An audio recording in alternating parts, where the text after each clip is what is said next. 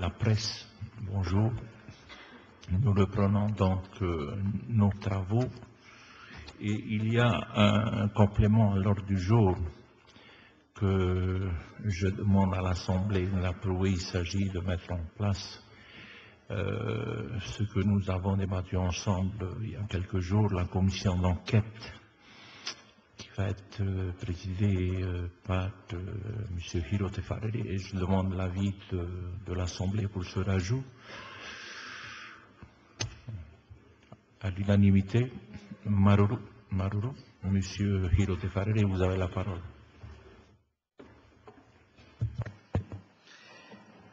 Merci, Monsieur le Président. Monsieur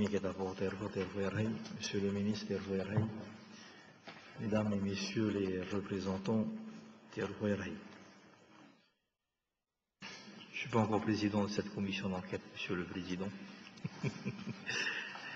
Euh, alors, rapport relatif à une proposition de délibération créant une commission d'enquête chargée de proposer des mesures d'encadrement des marges et des prix des produits commercialisés et des mesures de contrôle et de répression en cas d'infraction. Présenté donc au nom de la Commission des affaires économiques, du tourisme, de l'agriculture, de la mer et des transports par moi-même. Monsieur le Président, Mesdames, Messieurs les représentants, la présente proposition de délibération a pour objet la création d'une commission d'enquête de notre Assemblée, chargée de proposer des mesures d'encadrement des marges et des prix des produits commercialisés et des mesures de contrôle et de répression en cas de- en cas d'infraction. Lors de la réflexion entreprise depuis le début de notre séance, à l'occasion notamment de l'étude portant sur le dossier relatif à la TVA, l'unanimité des membres de notre Assemblée s'est ralliée à l'idée d'accompagner la baisse d'un point de la TVA de la mise en place d'une commission d'enquête chargée de proposer des mesures d'encadrement des marges et des prix. Compte tenu de ces éléments, le rapporteur propose à ses collègues de l'Assemblée et de la Polynésie française, au nom de la Commission des affaires économiques, du tourisme, de l'agriculture, de la mer et des transports, d'adopter la proposition de délibération ci jointe. Voilà, Monsieur le Président.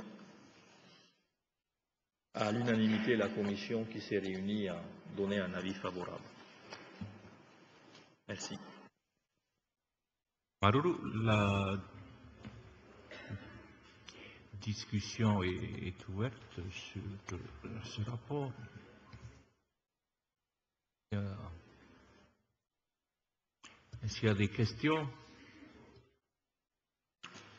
Peut-être qu'il serait bon d'aller directement à la délibération. Oui, on peut, on peut y aller. Oui, Monsieur Bichou. Euh, Monsieur le Président, bonjour.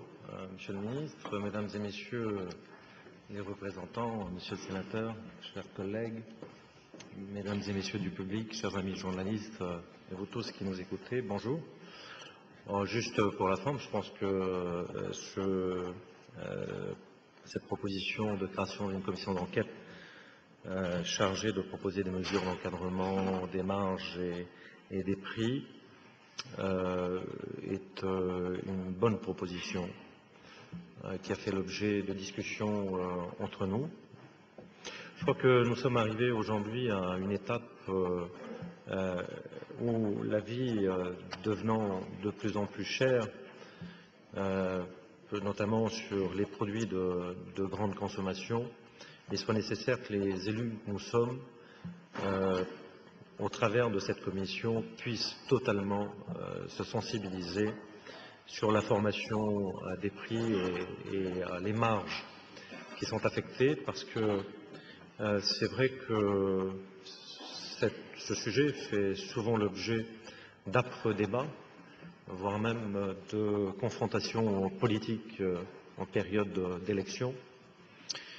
Il est bon maintenant que nous ayons euh, des éléments objectifs d'appréciation pour que nous puissions aider à la mise en place d'une politique publique permettant de mieux orienter à la fois peut-être les sources d'approvisionnement, parce que souvent on le dit, euh, nous sommes euh, dans le bassin du Pacifique, nous avons des pays euh, qui bordent ce bassin, à la fois des continents et des pays beaucoup plus petits. Et pourtant, nous avons des habitudes de consommation qui sont des habitudes relevant finalement de toute cette période antérieure à 1980, où on a l'impression que le temps passant, on est moins à s'interroger sur un nouveau modèle d'approvisionnement et une incitation finalement des opérateurs privés, c'est-à-dire des importateurs, euh, et en tout cas tous ceux qui travaillent euh, dans le domaine de la distribution, pour s'approvisionner euh, à partir de pays qui font des prix moins chers. Il ne s'agit pas de, mettre en place un, dirigisme, nous sommes contre le dirigisme économique, mais par contre de mieux apprécier et peut-être apporter des éléments d'information au grand public sur ces éléments-là. Euh, sur le reste, euh, en ce qui concerne euh, les marges, je crois que la position du gouvernement, et en tout cas ce qui a été expliqué par le ministre des Finances et le ministre de l'économie ensemble, c'est que les marges sont, c'est de la valeur ajoutée. Donc c'est ce qui permet aussi de créer des emplois. Et je crois qu'il faut garder en mémoire le fait que nous sommes pour une société d'économie libérale, et que de ce fait, euh, il est important que cette commission puisse bénéficier évidemment de l'ensemble des éléments d'information souhaités, tout en faisant en sorte de garantir aussi, euh, bien entendu, euh, le secret de certaines informations qui relèvent, je dirais, de la seule propriété de celles et ceux qui en sont les détenteurs. Voilà, je voudrais remercier enfin Hirohito Farere pour euh, cette proposition et vous dire que nous voterons évidemment pour la création de cette commission. Maruru, Monsieur Drolet, ti awena. E, Yorana, Presidenti, maruru i to tatou Raitei Nei te ini pepeu. I orana, tamo meroa por hei. Yorana na whatare hau opiti. Maruru i te amuira amai te pepeu, i orana, tamo e vea. Hap i te reo teiti. Rai tō mai. E, te Nei e, te tia o tā mātui maiti no te tuatawa pai te rira parau i au i te whaanhora a tā tātui maiti a mui e a whahora tātou i e te mōman o rarhei. Hou tātou hari e i te parau mana. Tō tātou ta e a Pierre Frebo. Maruru. Maruru. Maruru i orana preti tēne.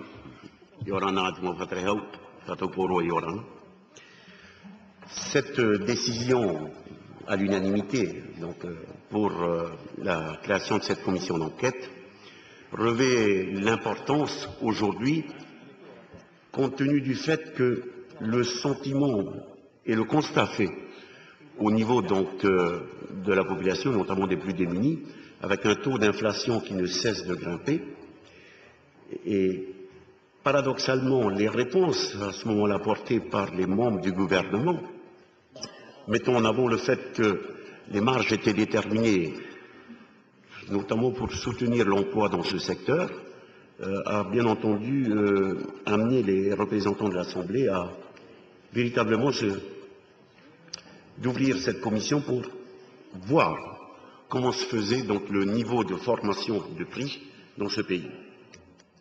Alors il est vrai que nous avons une réglementation des prix euh, qui a évolué dans le temps, dont on a eu cesse de répéter ici que c'est la liberté du commerce associée à une saine concurrence qui fera baisser les prix. Le constat est hélas alarmant.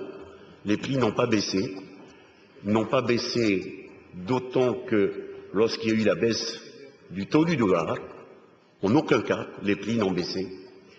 Et donc on peut constater les limites de la situation de libre concurrence ou de la concurrence sauvage.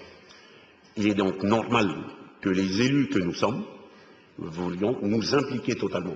Je rappelle toutefois que la compétence est bien au sein du gouvernement pour la fixation des prix et des marges et de la commercialisation des produits dans ce pays. C'est l'absence de visibilité et d'engagement au niveau du gouvernement qui, me semble-t-il, a poussé les représentants de l'Assemblée à s'en inquiéter et donc à demander la création de cette commission d'enquête. Il s'agit bien d'une commission d'enquête qui aura pour tâche de proposer des mesures d'encadrement de prix et de marge contrairement à ce qu'affirmait le représentant Buissou, où la liberté de fixation de marge, me semble-t-il, revient encore dans le discours, alors que nous nous proposons, nous, justement, de définir les produits qui seraient, je dirais, les plus indispensables euh, par rapport à la couche de population la plus défavorisée. C'est un enjeu capital. Euh, la course des revenus en Polynésie doit à un moment donné permettre véritablement d'avoir un niveau de consommation acceptable. Il nous appartiendra donc de définir les gammes de produits qui doivent être euh, proposés euh, au niveau donc de la couche la plus défavorisée pour que ceux-ci ne soient pas écartés également du système de consommation. je pense qu'on est sur une situation capitale, que cette commission d'enquête puisse disposer d'une ouverture dans tous les domaines. J'ose espérer qu'on ne va pas la restreindre dans, dans ses compétences, d'autant qu'elle n'émettra qu'un avis des orientations qu'il appartiendra ensuite euh, au gouvernement euh, de traduire en acte. C'est véritablement euh, la première fois qu'une disposition réglementaire, notamment sur les prix, sera débattue, je dirais, en toute transparence. C'est capital. je demanderai à tous les collègues ne restreignez pas le champ de vision de la Commission. Ne commençons pas à dire qu'on a un principe de liberté de commerce, de fixation de marge. Il nous appartient à nous ensemble de définir quelles sont les limites qu'on veut donner à cette orientation. Or, j'ai bien peur que si l'on prend une autre tangente et on s'occupe en réalité de définir quelles seraient les règles de concurrence sans pour autant débattre de la formation des prix et des marges, euh, je crois que le rôle de la Commission sera une commission d'enregistrement. Donc, en ce qui nous concerne, Monsieur le Président, nous veillerons particulièrement à ce que le titre tel que présenté et l'appellation de la Commission trouve euh, son application dans les travaux qui seront menés. Voilà. Maruru, j'aimerais rappeler avant de passer à la délibération qu'il y a trois amendements qui ont été déposés. Oui, Monsieur Droulet. Oui, avant de passer aux amendements, si vous permettez, Monsieur le Président, euh, nous avons un second intervenant au groupe UDSP en la personne de Monsieur Edouard Fritsch. Bonjour, Monsieur Edouard Fritsch, vous avez la parole. Maruru te piristini, rana pa i te tātou whareira, nā whaatere te ia mui mai, te maupapa EVA, bonjour, e, tano atu i te hui rātira, mō tā e te hine i o. Pritini.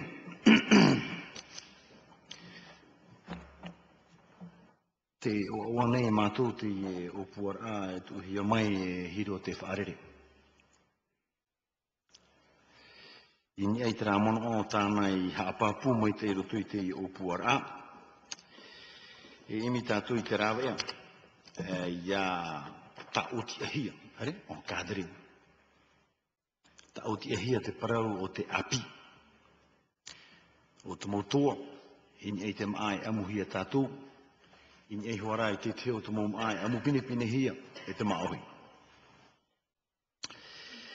La semaine dernière, Président, euh, l'UDSP a dénoncé lors d'une conférence de presse les marches commerciales pratiquées sur certains produits alimentaires.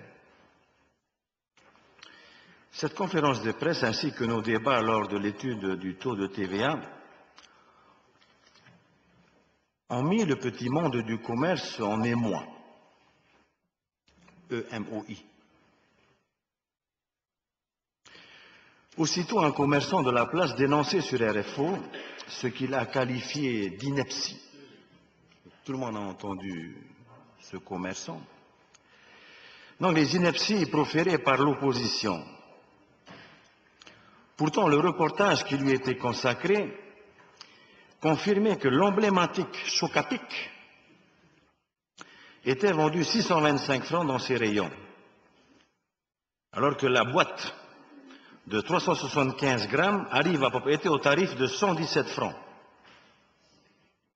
Comme nous avons fait, nous en avons fait la démonstration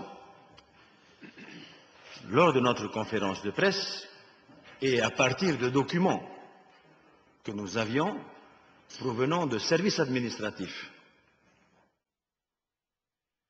Mais dans le même temps, les deux grandes enseignes de Polynésie française, tenez-vous bien, affichaient une promotion providentielle sur le même produit en vendant la boîte de 750 grammes de Chocapic à 495 francs.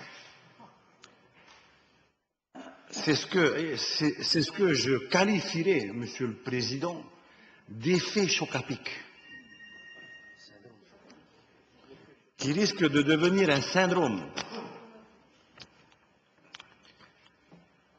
Céréales Chocapic Nestlé 750 grammes 495 francs. Ça tombe à pic.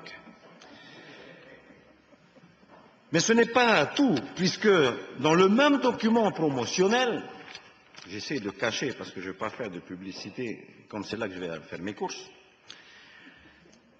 dans le même document promotionnel, la célèbre boîte de petits pois. Je suis heureux que notre ministre Petit Pois soit là. La célèbre boîte de petits pois Argo, qui plaît tant à notre ministre, est vendue 75 francs, mais par lot de trois. 75 francs la boîte d'Argo. Par lot de trois. C'est un peu comme les ministres, ça va à trois ou par deux. J'en conclus donc que l'intervention de l'UDSP a le bénéfice d'avoir ramené certains commerçants à des marches plus acceptables. N'est-ce pas? La commission d'enquête que veut créer notre Assemblée à l'initiative de l'opposition et avec l'aide de notre collègue Hirote Farere doit apporter un éclairage nouveau, Monsieur le Président, sur la vérité des prix. Et cette, euh,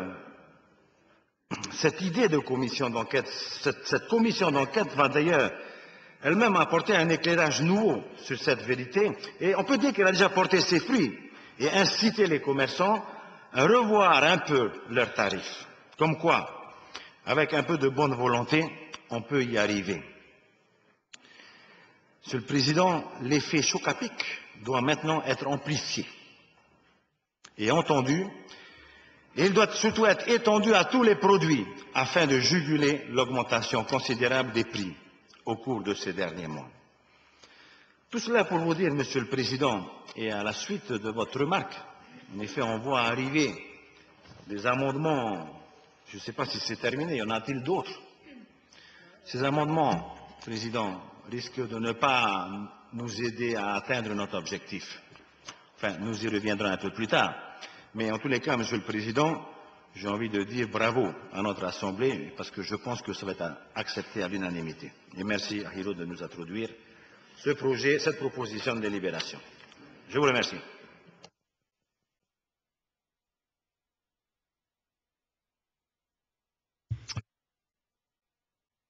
Madame Parker, vous avez la parole.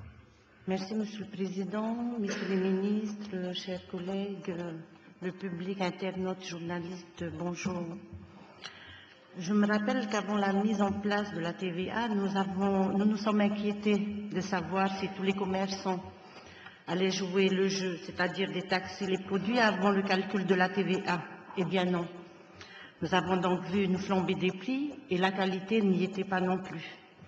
Cette commission, a été, si l'on peut dire, accouchée dans la douleur sur le principe qui est celui d'une volonté de transparence et d'équité qui est également celui d'une grande logique des prix dans le monde de la distribution.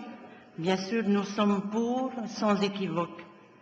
Je rappelle quand même que la meilleure façon de tuer la disparité des prix sur un même produit est et restera toujours la concurrence et que l'ultra-interventionnisme fait parfois plus de mal que de bien à la société.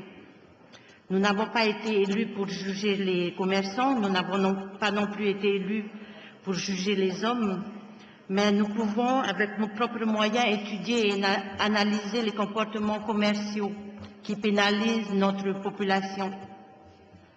L'île étant une économie fermée, je demeure, convaincue que le libéralisme est la philosophie à adopter. Qui dit libéralisme dit concurrence dit publicité concurrentielle. Si mon voisin vend quatre salades à 100 francs et que la grande surface les vend à 180 francs, ce sera mon éducation de consommatrice qui me fera aller là où le produit est le moins cher. Les dérives sont plus graves et plus courantes dans d'autres domaines. Huit pots de yaourt au bifidus actifs seront vendus au même prix qu'un vernis de luxe Chanel. Allez comprendre. Allez comprendre aussi pour quelles raisons des t-shirts vendus 500 francs à Hawaï coûtent ici 5000 francs un t-shirt, alors que 5 sont francs. Par ces exemples, nous avons besoin de comprendre, c'est l'objectif d'une telle commission, qui est de nous éclaircir afin de mieux agir. C'est ainsi que nous sommes en faveur de cette commission, Monsieur le Président, et non pas dans l'esprit d'un interventionniste quelconque ou d'un jugement vis-à-vis de nos commerçants locaux. Voilà, chers collègues. Monsieur Merci, Monsieur le Président.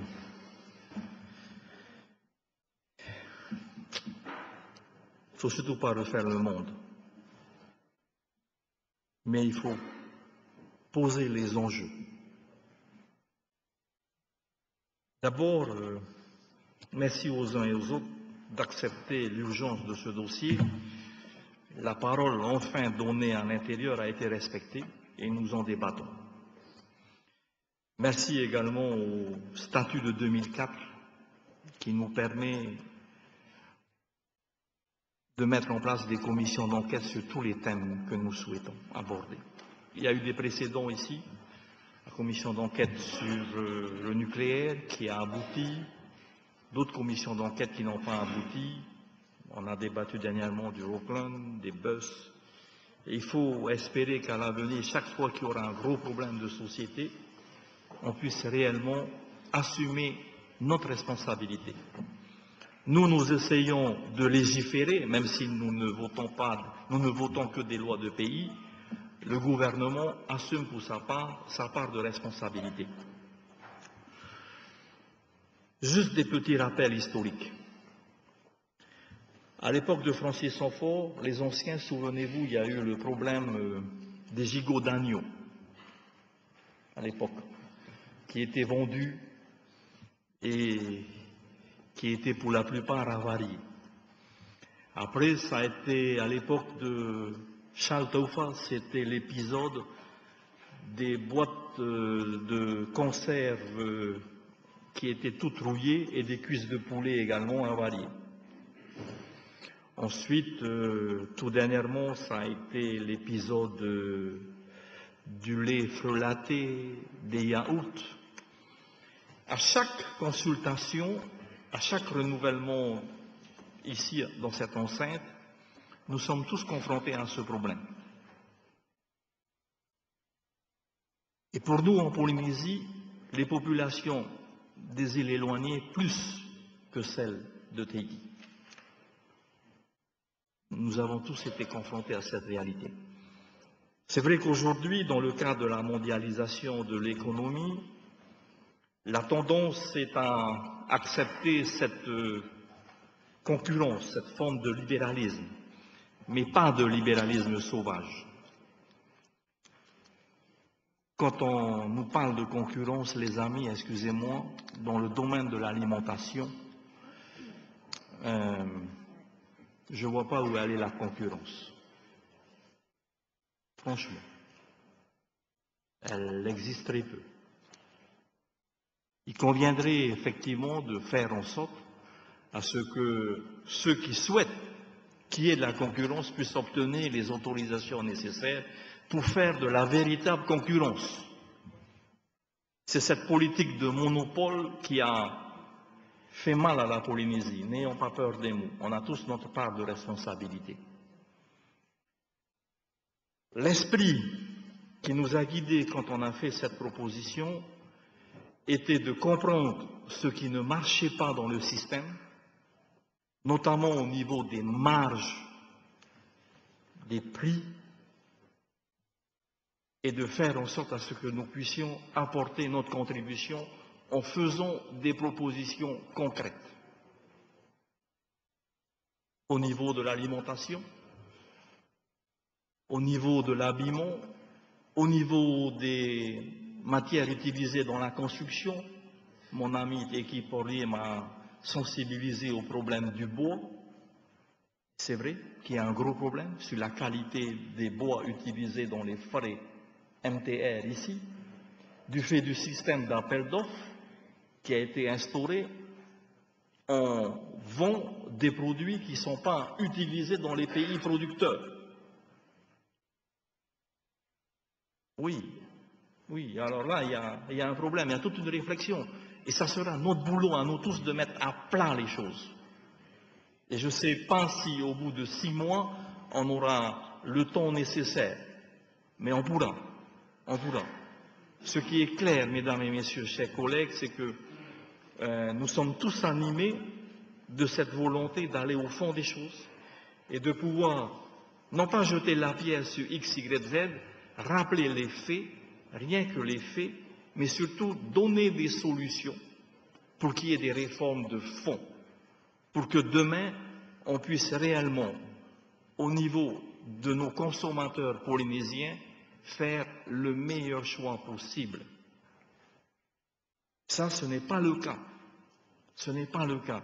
Des abus à tous les niveaux ont été constatés, des voix se sont exprimées ici dans cette enceinte. Donc à nous à assumer notre responsabilité. Les uns et les autres s'étant exprimés maintenant, peut-être qu'il serait intéressant de venir à la lecture même du projet de délibération, Monsieur le Président. Merci.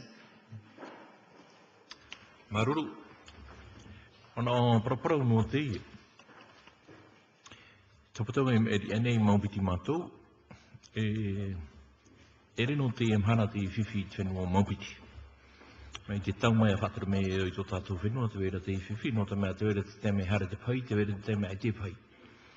E te hapata mai e ri wāni whahau me a rātou. E mana o he po e trana tātou pōro, te whiru di a nā whea te hau whenua nen he e tau turu i te e whea e tui te parau no te o e tā rātou e whare reina. E eri no te iamhana, mai te tau e te tau no te mea, te mau tei e te e eri i tā te hau, te e te rapai, ai te rātou ana anata hari te whenua no te mea i te api. E mi te peu e whai anō rātou i te parau no te pai o sashe e tere mai rei pōpora na pōpora te awha e tui te mau maa nei mo tauhia taranto hina arora e rātu i o te moninia. O te mea uauta hia te tahi ai o nei utawa ai pōpora hu te hi e rara huri wa hauni e hare tui i o moni te rei. Te rau e anoa tau e i tenei o propro mātou e tō tātou tō ahui tō whā, nona e o e tū tō tātou manawa. Tau whenua tenen he tō turu i tātou.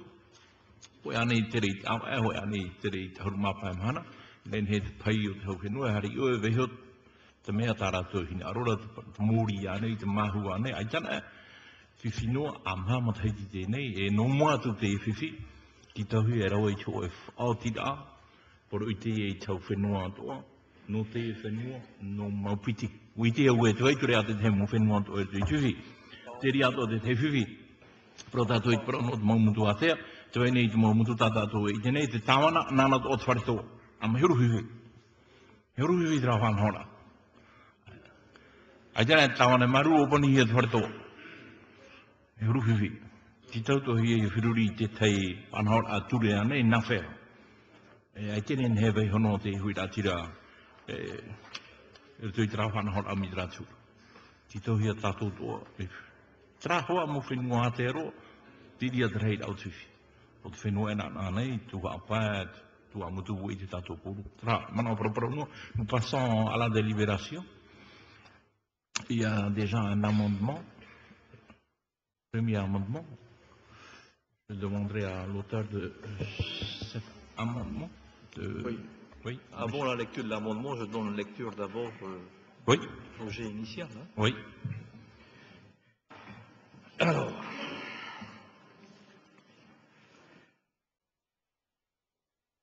article 1. Il est créé, en application des dispositions de l'article 68 du règlement intérieur de l'Assemblée de la Polynésie française, une commission d'enquête chargée de proposer des mesures d'encadrement des marges et des prix des produits commercialisés, des mesures de contrôle et de répression en cas d'infraction.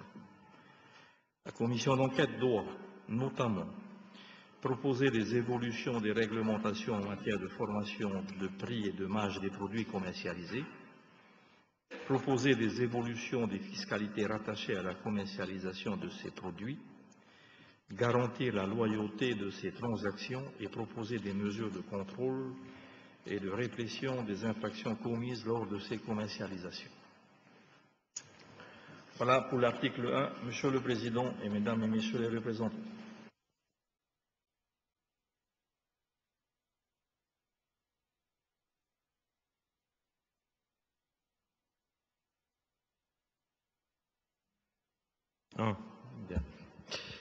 Oui, euh, Monsieur le Président, euh, je voudrais vous dire que je retire mes amendements. Je retire l'ensemble des amendements. D'abord parce que ce sont des amendements qui ont été euh, préparés pour être introduits en commission. Et malheureusement, ces amendements n'ont pas été discutés. Je viens de les retraverser très franchement J'estime qu'il euh, s'agit surtout d'amendements de rédaction. Il y a peut-être juste sur l'amendement numéro 2, on en vient, sur l'article 2, on en viendra tout à l'heure, sur le fait de rappeler les euh, mesures en matière de, euh, de confidentialité des données, de la loi informatique, etc. À la limite, c'est contenu dans l'amendement numéro 3, on en parlera à l'article 2, mais sur le principe, estime que la rédaction euh, qui a été validée par la Commission euh, aussi. Merci. Monsieur Tiawana. Merci, Monsieur le Président. Euh, avant de remercier M. Bouissou d'avoir euh, retiré l'ensemble de ces amendements, éventuellement de- d'en discuter à l'article 2, euh, je voudrais remercier également euh, Mme Eleanor Parker qui vient d'expliquer à ces dames de l'Assemblée qu'on pouvait se vernir les ongles avec du yaourt au bifidus actif. J'ai découvert ça ce matin, j'en parlerai à mon épouse. Merci. La discussion est ouverte sur l'article premier. Et maintenant, nous passons au vote de l'article premier qui est pour, à l'unanimité. Nous passons à l'article 2, Monsieur le rapporteur. Merci. Article 2, prérogative de la commission d'enquête. Pour les besoins de sa mission, elle peut procéder à toutes les auditions qu'elle estimerait utiles, se faire communiquer les documents archivés dans les services de la Polynésie française, notamment au service des affaires économiques et des services fiscaux, demander que soit diligentée toute enquête, investigation, analyse ou étude propre à éclairer les membres de la commission, se faire assister par les techniciens ou les experts dont elle estimerait la collaboration utile, s'enquérir à l'étranger des conditions d'approvisionnement des marchandises destinées à la consommation en Polynésie. Un crédit sera ouvert à cet effet au budget de l'Assemblée de la Polynésie française. Les fonctionnaires et agents de la Polynésie française sont tenus d'apporter leur concours à la mission de la Commission. Les travaux de la Commission sont secrets tant que son rapport n'a pas été déposé sur le bureau de l'Assemblée de la Polynésie française. Les membres de la Commission doivent s'engager à respecter le caractère confidentiel des informations qu'ils auront été amenés à connaître au cours de leurs investigations. Voilà pour l'article 2. Maruru, pour l'article 2, la discussion est ouverte sur le secret des informations. Monsieur Vissou, vous avez la parole. Merci, euh, Monsieur le, Président. Oui, effectivement, il y avait euh, une proposition d'amendement qui portait sur euh, le premier paragraphe de l'article 2 et surtout sur le deuxième tiré en ce qui concerne la faculté donnée au- à la Commission de se faire communiquer euh, les documents archivés par les services de la Polynésie française. Euh, mon souhait euh, dans cette rédaction est de faire apparaître un membre de phrase qui rappelle le respect de la confidentialité des données, de la loi informatique et liberté et de toute autre mesure législative ou réglementaire en vigueur, pour, que, euh, pour bien comprendre ce que l'on entend euh, derrière euh, les termes de ce tiré. Hein, se faire communiquer les documents archivés, si on l'écrit de cette manière-là, on peut opposer au service le fait que notre Assemblée a donné tout pouvoir à la Commission pour obtenir toute information, nonobstant évidemment ce que je disais tout à l'heure euh, sur euh, l'informatique et les libertés et aussi sur les questions de confidentialité. Alors, euh, euh, voilà, donc je, pose ça euh, en guise de débat euh, entre nous. Ou alors, est-ce qu'on peut entendre le fait que, en votant cet article, on, est bien d'accord sur le fait que nous sommes dans le respect euh, de la réglementation, euh, autant que ce soit dans le PV, plutôt que d'introduire euh, sous forme d'un amendement. Maruru, Monsieur Drolet, Tiawena. Te tūra te mana o te pereti tini. Ai te fofa e whaananea whahoi te te tapura hipa me roto mai te mana o Jean-Christophe Bissou. A tei, kua papuhi a te hope au te enei irawa te whahepora i te momero atu ora te tau a tomitera. E a piti, ua paraparaume o Bissou, ua puta tatato uh, haputura apara. Ora wa ino e whaatura i te ture. Maruru mai. Yorana. Maruru, nous passons au vote de l'article 2. Même vote adopté, nous passons au oui à l'article 3. Merci, mesdames et messieurs. Article 3, composition et présidence de la commission d'enquête. La commission d'enquête comporte neuf membres. Elle est composée d'eux, donc, euh, je, comme on vient de dire, je crois qu'il va falloir que l'on fasse une petite suspension, ou à moins qu'on nous donne les noms. Au niveau de Totato Aya et Temana Otemomotu, des noms nous ont été transmis, mais au niveau de l'UDSP, on attend les noms. Monsieur Drolet, Tiawena. E wainene to te i oa mātou pupu. Hou era, te man one mātou, ia riro tō tātou ta ia hiro te whaarere, e priti teni no te enei tōmite, tō mātou man o mata mua. E nā mero e maha, no te pupu i de SP e mai, o Minar e Galno, o Riveta Frederic, o Frebo Pierre, e o vone.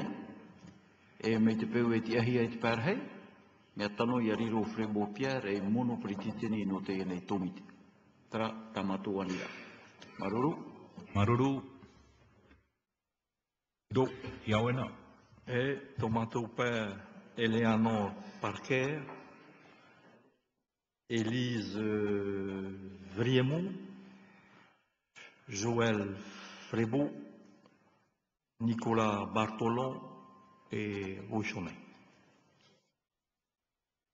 Et te whare ine mātou tramon o e tu ia Pierre e monopretin. Ia ue hi o, mi te pēr whare it o mātou, ia une e pretin.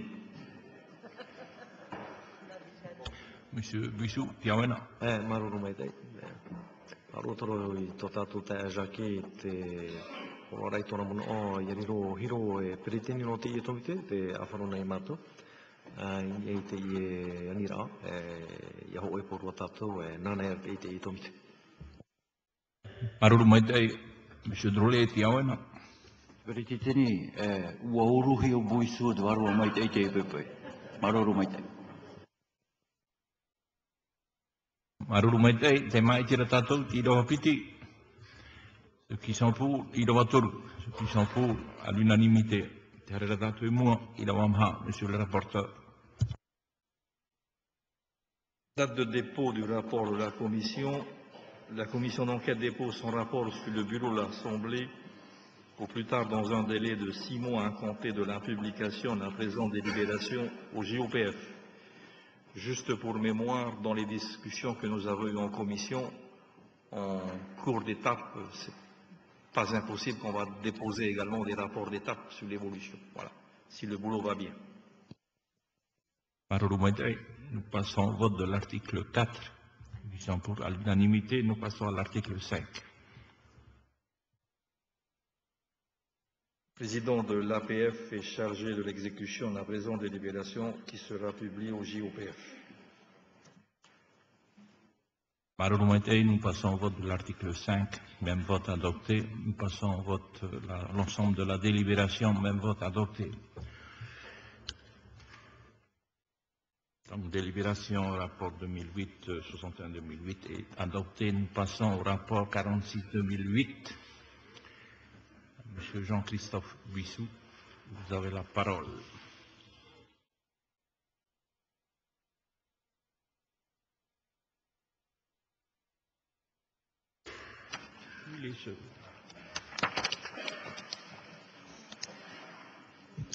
Merci, Monsieur le Président. Monsieur le Président, Messieurs les ministres, Mesdames et Messieurs les représentants, bonjour, rebonjour.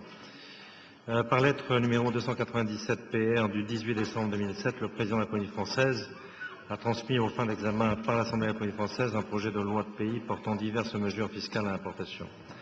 Reconduction du régime fiscal des établissements d'hébergement du tourisme classé. La mesure proposée s'inscrit dans le prolongement des dispositions de l'article 1er de la loi du pays du 26 décembre 2006 qui a reconduit pour l'année 2007 le régime d'exonération institué par l'article 8 de la délibération du 24 janvier 1992, modifié en faveur des établissements hôteliers classés et à jour du paiement de la redevance de la promotion touristique, que l'on appelle euh, généralement le RPT. Au terme de l'article 8 précité, ces établissements bénéficient d'une exonération de tout droit et taxes à l'exclusion de la taxe pour l'environnement, l'agriculture et la pêche, de la taxe de consommation pour la prévention, de la taxe spécifique grands travaux et routes, de la TVA, de la TDL, de la taxe de péage ou de la redevance aéroportuaire et de la participation informatique douanière à l'importation de certaines marchandises et équipements. Ce régime fiscal avait été initialement fixé pour un an, puis reconduit chaque année depuis son instauration.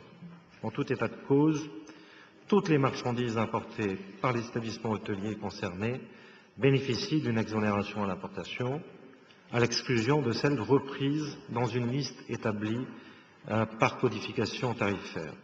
À titre d'exemple, sont exclus du régime les produits alimentaires les peintures, les parfums et autres toilettes, les articles d'hygiène et de toilette, les articles de pyrotechnie, les insecticides, la vaisselle et les articles de ménage ou d'économie domestique en matière plastique, les articles d'hygiène ou de toilette en matière plastique, le papier hygiénique, les mouchoirs, les essuie-mains, les nappes et serviettes de table en papier, les calendriers, les vêtements, le linge de table, les rideaux et stores d'intérieur, les ouvrages en ciment, en béton ou en pierre artificielle, les bijoux ainsi que les perles fines de culture et les pierres gemmes, les toitures, euh, charpentes, balustrades, rideaux, grilles, poutres en fonte, fer ou acier, les véhicules automobiles, à l'exception des minibus de plus de 8 places et les meubles en bois.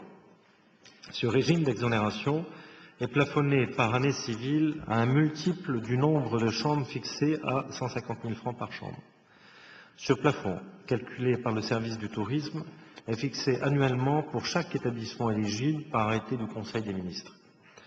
Sur la base des statistiques 2006, la moins-value fiscale induite par cette mesure ces, deux dernières années peut être estimée à 49 376 000 francs pour 2006 et 30 145 000 francs pour 2007. En 2007, 29 hôtels internationaux sur un potentiel de 50 établissements ont bénéficié de cette mesure. Le montant des taxés représente ainsi 7,5% du montant plafond global d'exonération auquel ces 29 établissements pouvaient prétendre. Cette mesure intervient avec d'autres dispositifs d'aide à l'investissement et à l'exploitation pour soutenir le développement du réceptif d'hébergement touristique dans notre destination qui se trouve confronté à des charges d'exploitation plus élevées comparativement à d'autres destinations concurrentes. Facilite ainsi l'achat des matériels ou équipements concourant à l'accroissement ou au maintien de la qualité du parc d'hébergement touristique de standard international, comprenant actuellement 3358 chambres, et donc euh, son activité sur les marchés émetteurs contribue à renforcer la fréquentation de ce réceptif d'émergement et donc à soutenir sa rentabilité, par voie de conséquence, à maintenir et à développer l'emploi dans ce secteur d'activité qui totalise actuellement près de 4700 actifs. La prorogation de ce dispositif apparaît encore euh, plus opportune dans le contexte difficile que traverse le secteur hôtelier face à la baisse de la fréquentation touristique constatée à fin 2007 et en début 2008 et à l'expansion attendue par ailleurs à court terme du parc international. 280 chambres supplémentaires sont prévues d'ici fin 2008.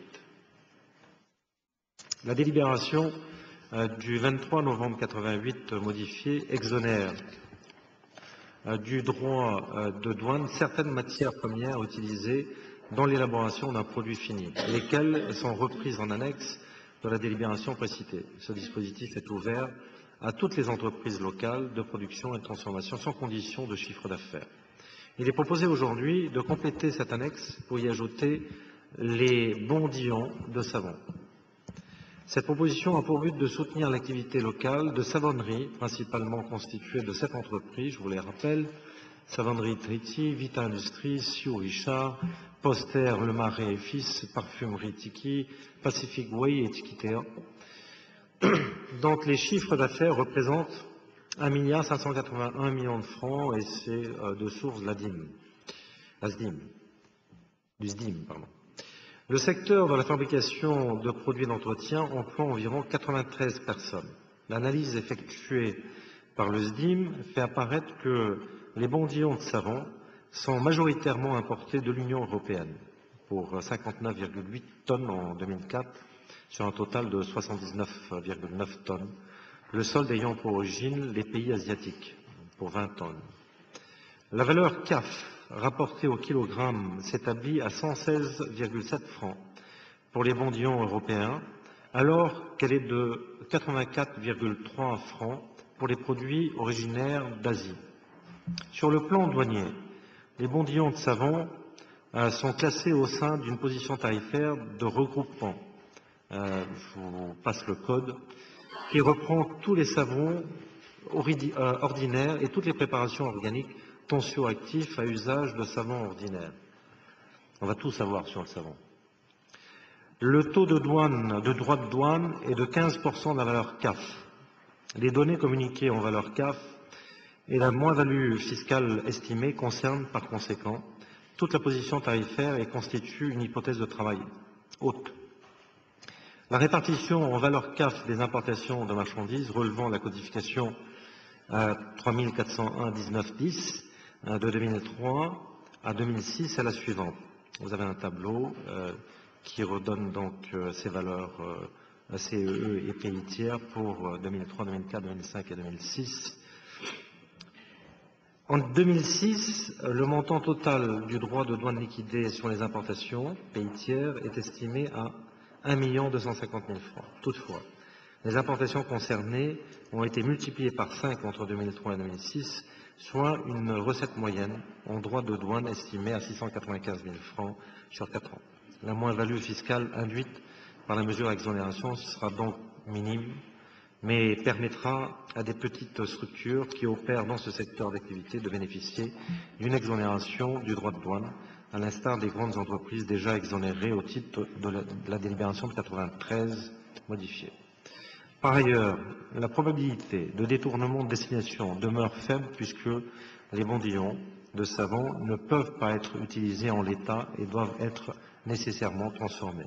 Pour ces raisons, il est proposé de compléter l'annexe de la libération à 88-158 en y ajoutant la position tarifaire 3401.19.10 savon ordinaire et préparation organique tensioactif à usage de savon ordinaire assorti de la mention suivante, je cite, l'exonération ne porte que sur les bondillons de savon destinés à la fabrication locale du savon. Enfin, le droit fiscal d'entrée ayant été supprimé au 1er janvier 2002, il est proposé par souci de lisibilité juridique de supprimer toute mention de cette taxe qui est actuellement reprise en libellé, euh, et à l'article 1er, la libération euh, du 23 novembre 88, modifiée. Sur l'exonération de la taxe de consommation pour la prévention, TCP, pour les produits de première nécessité, PPN. La délibération du 26 août 83 a institué le régime fiscal des produits dits de première nécessité, afin de permettre aux familles à faible revenu de disposer à moindre coût de biens de consommation correspondant aux besoins essentiels des ménages. Ce dispositif s'accompagne, outre de la mesure en charge, de la prise en charge par le budget de la Poignée française du coût du fret à destination des îles, qui représente une dépense annuelle de l'ordre de 140 millions de francs, d'un encadrement des marges commerciales ce qui permet aux populations internationales de bénéficier de prix comparables à ceux de propriété. Contrepartie de cet encadrement des marges, les PPN sont exonérés de tout droit et taxes d'importation à l'exclusion de la participation informatique douanière.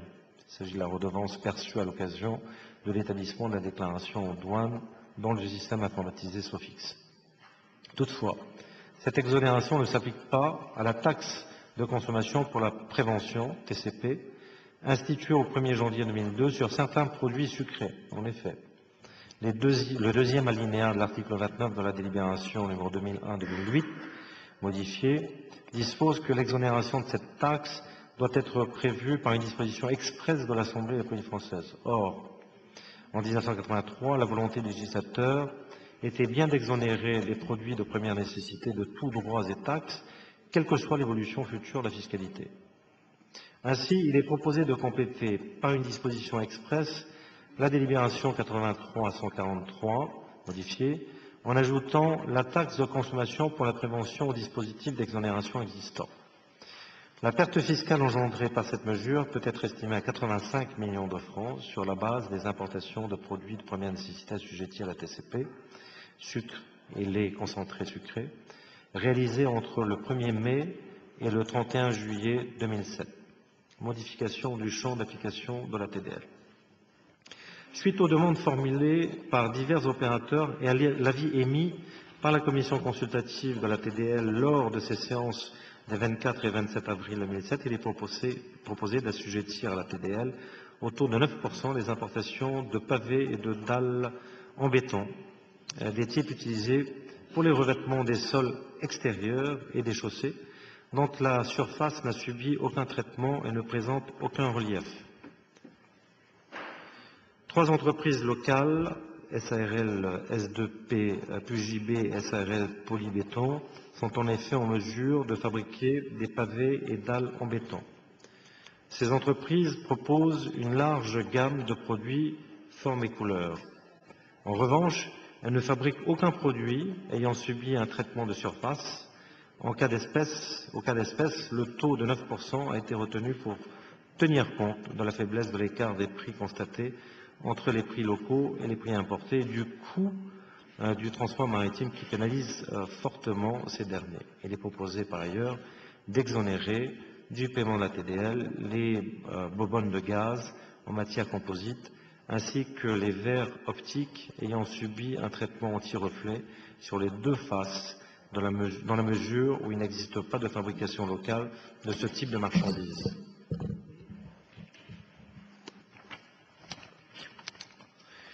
En l'absence d'individualisation des produits concernés dans la nomenclature des tarifs de douane, il est impossible d'évaluer l'incidence de, ces de ces deux mesures sur le niveau des recettes fiscales. Le projet de texte qui nous est soumis a fait préalablement l'objet d'une consultation du Haut Conseil de la Police française qui a rendu son avis le 30 novembre 2007.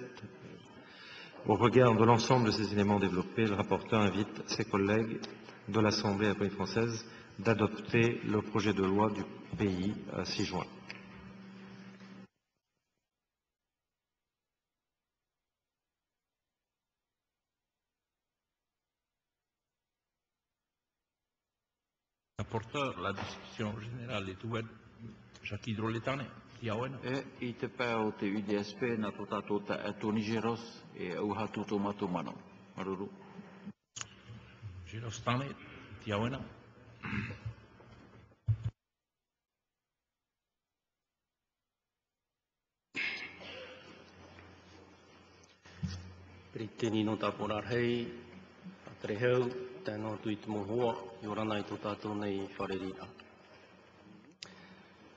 Mesdames et Messieurs, chers collègues Yorana, nous sommes saisis dans le cadre de ce neuvième rapport d'un projet de loi de pays portant sur la mise en place de diverses mesures fiscales à l'importation. Il s'agit pour la plupart d'ajustements à caractère plutôt technique qu'économique proposés par euh, notre gouvernement et repris avec quelques modifications de circonstances par votre gouvernement. Ces mesures de nature fiscale, comme l'a précisé le rapporteur, se décomposent en quatre points. En premier lieu, elles se proposent de reconduire à fin décembre 2008 le régime d'exonération affectant les produits importés à destination des établissements d'hébergement de tourisme classés. En second lieu, elle s'attache à modifier la liste des marchandises exonérées du droit de douane en la complétant par les bondillons de savon. En troisième lieu, elle préconise d'étendre à tous les produits de première nécessité sucrés notamment le régime d'exonération portant sur la taxe de consommation pour la prévention. Et enfin, en dernier lieu, elle nous invite à modifier le champ d'application de la TDL afin de prendre en compte la fabrication locale de dalles et de pavés en béton, notamment, et de manière plus polémique, dirais-je, la fabrication locale de saumon fumé. Mesdames et Messieurs, chers collègues, bien qu'il nous est loisible de penser que l'ensemble de ces mesures revêtent pour la plupart un caractère technique, il n'en demeure pas moins que certaines d'entre elles, et notamment les deux dernières, méritent que l'on s'y attarde et que l'on y prête davantage attention. Ainsi, au rang de ces mesures figure la proposition d'exonérer de la taxe de consommation pour la prévention tous les produits classés dans la catégorie des produits de première nécessité, au motif que lors de la création du texte encadrant, excusez-moi, tous les produits sucrés, hein, je voulais dire, hein, donc au motif que lors de la création du texte encadrant les marges en 1983, le législateur était animé de la volonté d'exonérer de toute taxe l'ensemble des produits de cette catégorie. C'est du moins ce qui ressort du rapport. Pourtant, en 2002, soit donc près de 19 ans plus tard, les choses ont considérablement évolué au point d'accorder au domaine de la prévention sanitaire une prépondérance qui ne lui était pas encore reconnue à l'époque. Et oui, mesdames et messieurs, chers collègues, en 2002, tout comme aujourd'hui d'ailleurs, les avancées de la science et plus particulièrement de la médecine nous ont non seulement permis de mieux comprendre les origines de certaines pathologies comme l'obésité et le diabète, mais bien plus encore. Elles considèrent désormais la prévention comme le meilleur et pratiquement le seul remède efficace pour lutter contre ces dérèglements. Ainsi donc, en 2002, le législateur décide dans un premier temps d'instituer la taxe de consommation pour la prévention, conférant à cette mesure le caractère d'une pénalité financière et propose dans un second temps de l'étendre à tous les produits alimentaires dont l'excès de consommation prédisposerait l'individu au risque de contracter les, pathologies évoquées tantôt, sans pour autant que la répartition catégorielle de ces produits en PPN, en PGC et autres n'ait été remise en cause. Alors, partant de cette logique et dans le souci pédagogique de rester cohérent dans nos décisions, le ministre des Finances du gouvernement Taoui de 2004 propose et obtient de la majorité de l'époque le retrait pur et simple du sucre et du lait concentré sucré de la liste des PPN afin de véritablement concourir à l'effort de prévention contre l'obésité et les péripathologies qui l'accompagnent. Ainsi donc, en 2004, notre majorité a su faire preuve de responsabilité et de cohérence en apportant par une décision politique responsable une réponse claire et précise à la politique de prévention du pays si cher à ma collègue qui n'est pas là. Je parlais bien entendu de Madame la ministre de la Solidarité. Pourtant, en 2007, sous l'égide de votre gouvernement, alors la version numéro 1, hein, c'était celle qui nous a renversé en 2006, fin 2006, et sans doute sous la pression complètement désintéressée de quelques élus des archipels, malheureusement qui ne sont pas là, mais on sait de qui on parle, le ministre en charge des Finances se voit intimer l'ordre d'avoir à réintégrer ces produits dans la liste des PPN en nous mettant volontairement ou involontairement, va-t-on savoir, tout semble avoir été fait dans la précipitation, tellement la pression était forte, de soustraire de ces produits la taxe de consommation pour la prévention. Or, aujourd'hui, soit un an et quelques mois plus tard, sans doute toujours en raison de cette barométrie chaotique qui sévit du côté de certains archipels, Monsieur le vice-président, ministre de la Santé, qui plus est médecin de profession et de carrière, sous l'œil non moins vigilant et attentif de ma collègue Madame la ministre de la Solidarité, vous nous demandez d'exonérer de la taxe de consommation pour la prévention le sucre et le lait concentré sucré, deux produits dont l'excès de consommation prédispose justement au diabète et à toutes les complications qui l'accompagnent. Car c'est bien de ça dont il s'agit. C'est un véritable scandale, à moins qu'il faille comprendre, Monsieur le ministre de la Santé, que dans le projet que vous nous présentez en 2008, la consommation de sucre et de lait concentré sucré ne prédispose plus au diabète, dixit sans doute le résultat d'une récente découverte dont vous seul avez la connaissance. Assurément, j'ai l'impression que nous naviguons en plein eau trouble. D'un côté, les institutions élaborent et financent à grands frais tout un plan de prévention contre l'excès de consommation de produits sucrés. D'un autre côté, ces mêmes institutions prennent des mesures propres à encourager et à favoriser la consommation en abondance. À la réflexion, nous pensons que c'est plus en raison de la pression irresponsable de personnes influentes de votre majorité, à laquelle nous avons également été confrontés par le passé, sans toutefois céder, faut-il le rappeler, qu'en raison soit de la détérioration de la situation sociale des ménages les plus défavorisés, ou soit de l'alignement de ces produits sur le statut des produits PPN, que vous avez été conduit à proposer le retrait de cette taxe sur les produits sucrés. Quelle tristesse et désolation pour le pays. Qu'en sera-t-il à l'avenir de la prévention? Continuerons-nous à maintenir au profit de ces actions et de ces structures autant d'argent? En 2004, nous nous sommes réjouis d'avoir pu faire, faire faire au domaine de la prévention un grand bond en avant. En 2008, nous sommes au regret de constater que vous lui faites faire un grand pas en arrière. Quel dommage. Monsieur le rapporteur, vous nous saisissez par ailleurs d'une mesure portant modification du champ d'application de la TDL, afin d'y intégrer la prise en compte des pavés et dalles en béton utilisés pour les revêtements des sols extérieurs et de chaussées dont la surface n'a subi aucun traitement et ne présente aucun relief, et que certaines entreprises du pays commencent à fabriquer localement.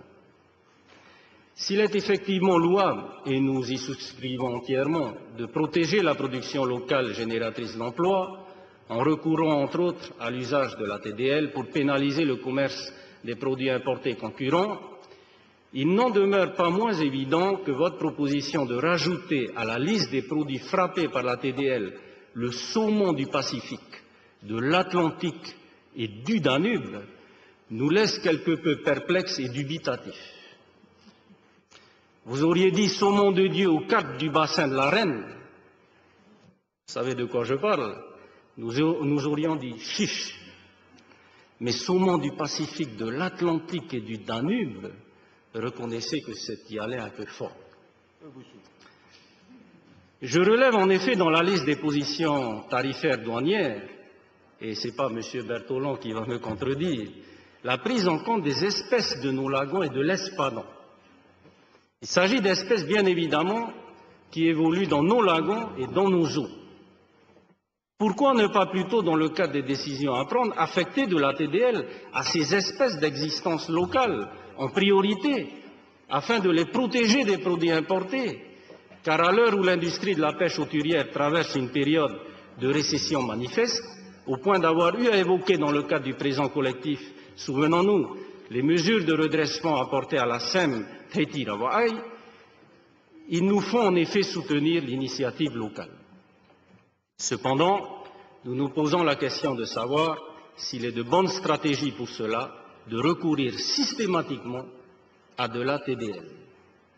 Il y a quand même, me semble-t-il, dans l'escarcelle des moyens du pays, d'autres possibilités pour soutenir l'industrie de production ou de transformation locale que d'actionner, comme vous le faites, une taxe qui a pour objectif en définitif, et il ne faut pas avoir peur de le dire, d'inflater, et euh, Euh, j'évoque euh, de manière volontaire le terme, même s'il n'existe pas, pour vraiment focaliser l'attention des élus que nous sommes sur la réalité du risque que peut faire encourir la mise en place de la TDL à tout va.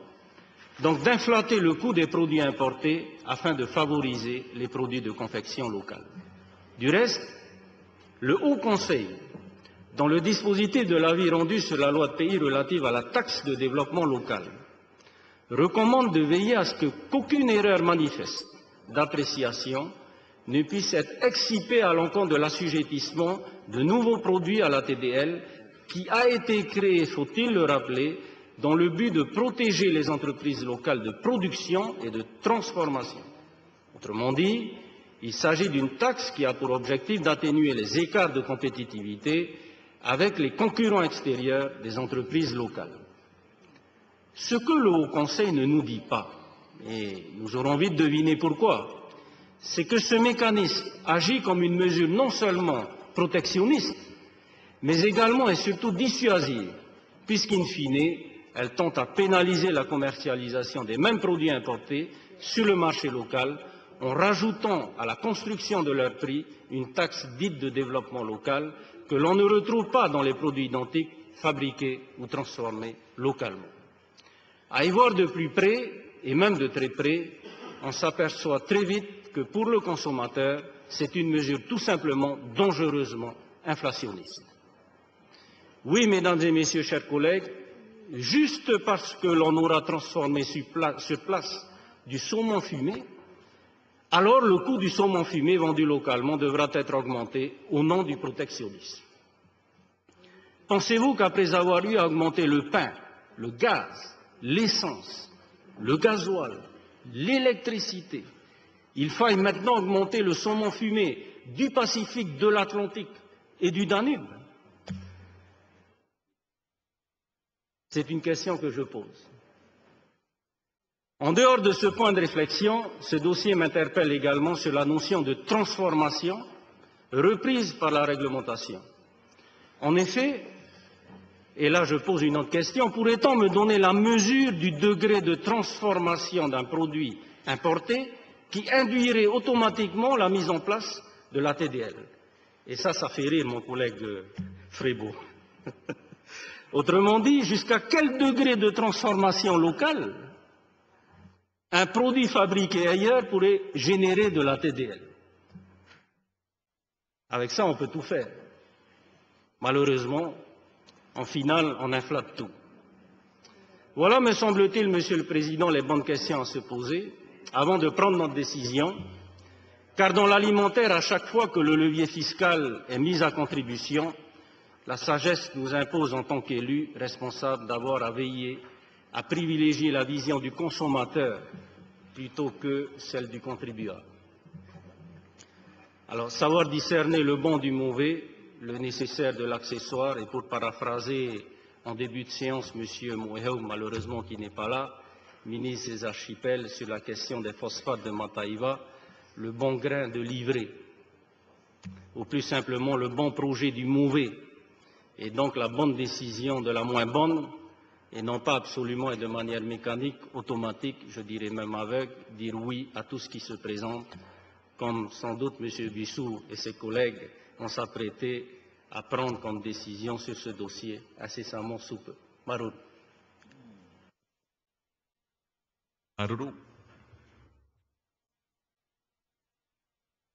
Est-ce qu'il y a d'autres interventions? Madame Parker. Oui, en remplacement de Benoît, de M. Benoît Côté, ça va être euh, Mme Joëlle euh, Frébeau qui interviendra. Madame Frébeau, vous avez la parole. Merci, Monsieur le Président. Monsieur le Président de l'Assemblée de la Polynésie française, Monsieur le Ministre, Mesdames et Messieurs les représentants, chers journalistes, chers internautes et chers publics. Le rapport qui nous est soumis aujourd'hui date de la fin 2007 et notre Assemblée doit répondre à l'urgence du dossier qui concerne essentiellement le domaine d'hébergement du tourisme classé. Les diverses mesures fiscales proposées sont des exonérations de droits et taxes à l'importation pour divers consommables. Il convient également de procéder à quelques réajustements de la TDL. Ce texte ne concerne qu'une partie des dossiers à l'importation, soit à peu près 7,5% du montant du plafond global d'exonération. Mais en l'état des choses, je n'hésiterai pas à dire qu'il est pertinent de répondre en urgence à un dossier qui traîne depuis sept mois. Il s'agit de faire avancer notre pays de façon constructive et dans ce cas précis, je rappelle que la mise en place d'un dispositif fiscal plus porteur au niveau de la TVA nécessite une réforme approfondie qui ne peut ni se faire ni s'exercer dans de brefs délais. La plus logique des stratégies dans le court terme est d'aborder un texte qui est, il faut le souligner, attendu des hôteliers polynésiens. Notre hémicycle se doit aussi d'être à l'écoute des parties concernées, car nous l'avons déjà constaté auparavant. Le rejet du service charge a créé un émoi particulièrement contestataire de tous les employés du secteur du tourisme qui connaissent mieux que nous les tenants et aboutissants des mesures que nous adoptons puisqu'ils les subissent directement. Aller contre ce texte, c'est prendre la responsabilité de laisser en attente d'une régularisation de nombreux dossiers soumis antérieurement au 31 décembre 2007 et en instance au service des douanes. Nous ne contestons pas le besoin de réforme, mais rejoins absolument la position du ministère des Finances qui propose une modification du système fiscal accompagnant les établissements classés dans le long terme. Dans le court terme, proposer un crédit de TVA aurait un coût sur le budget, puisqu'aujourd'hui les hôtels représentent la TVA, récupèrent la TVA. L'accompagnement du pays en matière de, de défiscalisation ou un coût de formation des agents est incontestable. En répartie, il s'agit aussi de faire en sorte que les établissements bénéficiaires de la défiscalisation locale s'engagent à la modération des prix. Nous avons été élus sur un programme et nous pouvons constater que le gouvernement est en train d'axer sa politique économique selon une ligne de conduite bien définie.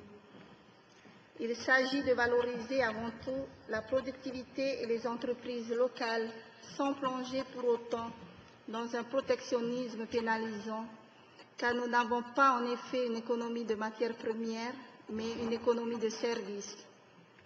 Même si nous développons nos ressources propres d'une façon ultime, notre pays sera toujours dépendant d'importations diverses et nécessaires. Ce projet de loi de pays est donc la prorogation des dispositifs d'exonération fiscale touchant à plusieurs domaines. Plus précisément ici, il s'agit de l'exonération du droit de douane sur les bondillons de savon qui devait permettre de valoriser les produits des entreprises locales. Pareillement, pour des raisons logiques et techniques, les produits importés qui font partie de la liste des PPN sont aussi exonérés de taxes à l'importation et le champ d'application de la TDL est également modifié. Le choix fiscal n'est pas uniquement basé sur une logique économique, mais il servira aussi de guide au comportement du consommateur. Taxer un aliment sucré induira peut-être à une consommation plus mesurée. Enfin, la raison pour laquelle ces diverses mesures fiscales à l'importation ne sont pas pérennes est tout simplement que chaque année, la conjoncture internationale ou locale change et que nous devons nous y adapter. Nous nous prononcerons en faveur de ce rapport qui répond dans l'immédiat à une demande générale du secteur hôtelier, mais aussi à une démarche logique de continuité des décisions fiscales.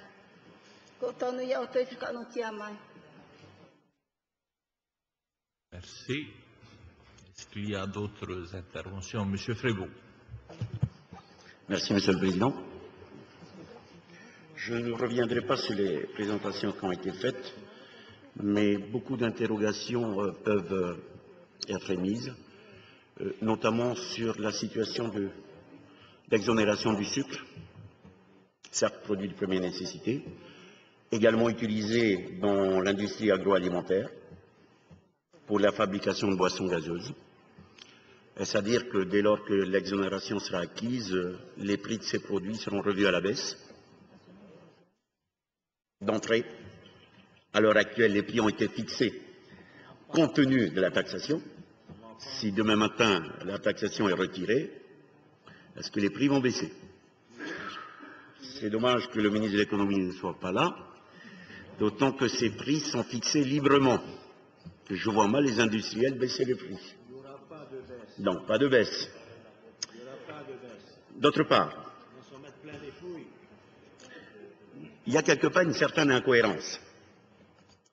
Autant l'on propose pour les entreprises de transformation l'exonération du droit de douane sur la matière première, ce qui peut se comprendre, autant euh, en ce qui concerne donc le champ d'application de la TDL, l'ouverture à d'autres produits, c'est la protection par rapport à l'extérieur.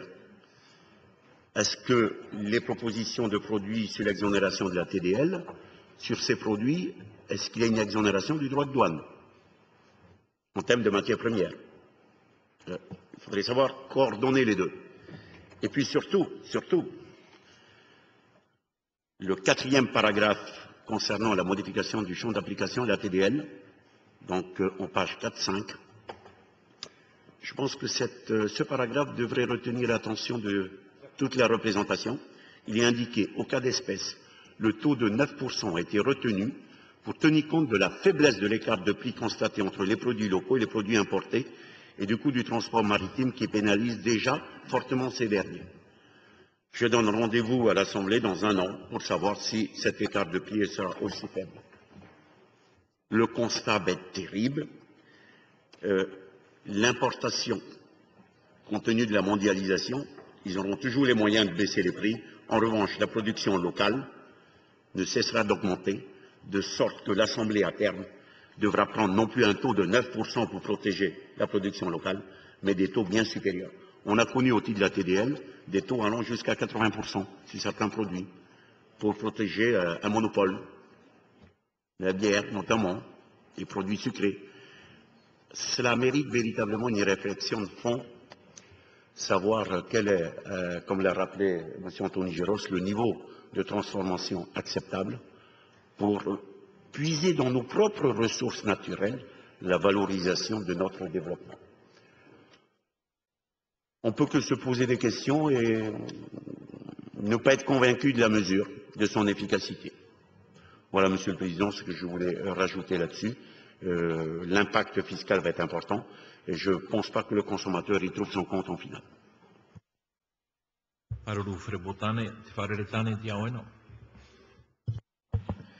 Et Lorsque nous avions commencé nos travaux dans le cadre de cette session extraordinaire, je vous avais livré ma réflexion sur euh, ce devoir de mémoire, de vérité qui doit être le nôtre, et surtout euh, comment faire pour toujours rester fidèle à ses convictions et rester surtout cohérent. Et après avoir entendu l'intervention de mon ami Tony Géros, notamment la partie consacrée au sucre et au lait concentré. Et pour avoir été à l'époque ici, dans cette enceinte, en 2004, oui, c'est bien dommage effectivement qu'elle ne soit pas là, parce qu'on aurait eu un beau débat à ce sujet. Euh, je me souviens de mon vote de 2004, et il n'est pas question pour moi de revenir sur ce vote. Par rapport aux produits sucrés, au sucre, au lait concentré. Et je compte sur euh, euh, le ministre Puchon pour dire comment est-ce qu'il va faire pour pouvoir effectivement prendre la décision qui s'impose. Parce que nous ne sommes pas là pour satisfaire des besoins qui émanent d'élus qui ont des intérêts personnels ou pour subir des pressions de groupes, je l'ai dit, locaux, nationaux ou internationaux. Les choses doivent être claires. Et pour moi, pour le sucre et le lait concentré, il est clair que la responsabilité de ces deux produits, dont les maladies d'aujourd'hui sont énormes. Je rappelle à toute cette assemblée que près de 50% de nos jeunes qui ont moins de 14 ans sont atteints d'obésité. C'est énorme, plus de 50%. Donc dans ces conditions, on a tous, on a tous un énorme devoir ici.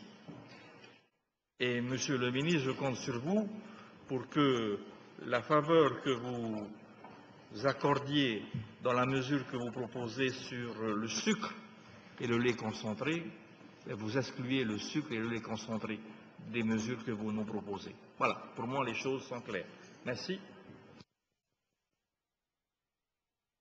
Euh, euh.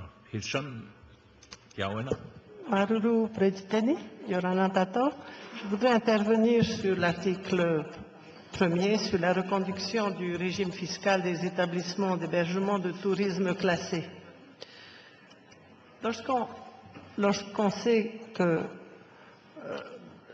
y a des dispositions très importantes qui sont offertes aux hôtels, euh, en termes de défiscalisation, surtout, je ne comprends pas euh, cette disposition. Il est vrai qu'elle ne représente pas une somme, une somme énorme, il s'agit de 49 millions et des poussières pour 2006 et 30 millions en 2007. Lorsque vous allez dans un hôtel et que vous voyez les prix qui sont pratiqués par ces hôtels et les aides dont ils bénéficient, je trouve que en termes de donnant-donnant, il n'y a pas d'équité là. Et qui c'est qui en bénéficie Dans le dossier, on nous parle de 29 hôtels internationaux. Or, à mon avis, ce ne sont pas ces hôtels-là qui, ce sont des, compte tenu de leur budget, ce sont vraiment des, des broutilles qu'on leur, donne. Par contre, cet argent-là pour euh, les pensions de famille, par exemple, serait très apprécié, ou pour la préservation de notre environnement, euh, je voudrais interpeller euh, mes collègues sur euh, la nécessité de la reconduction de, ce régime fiscal. Voilà, Monsieur le Président, ce que je voulais dire.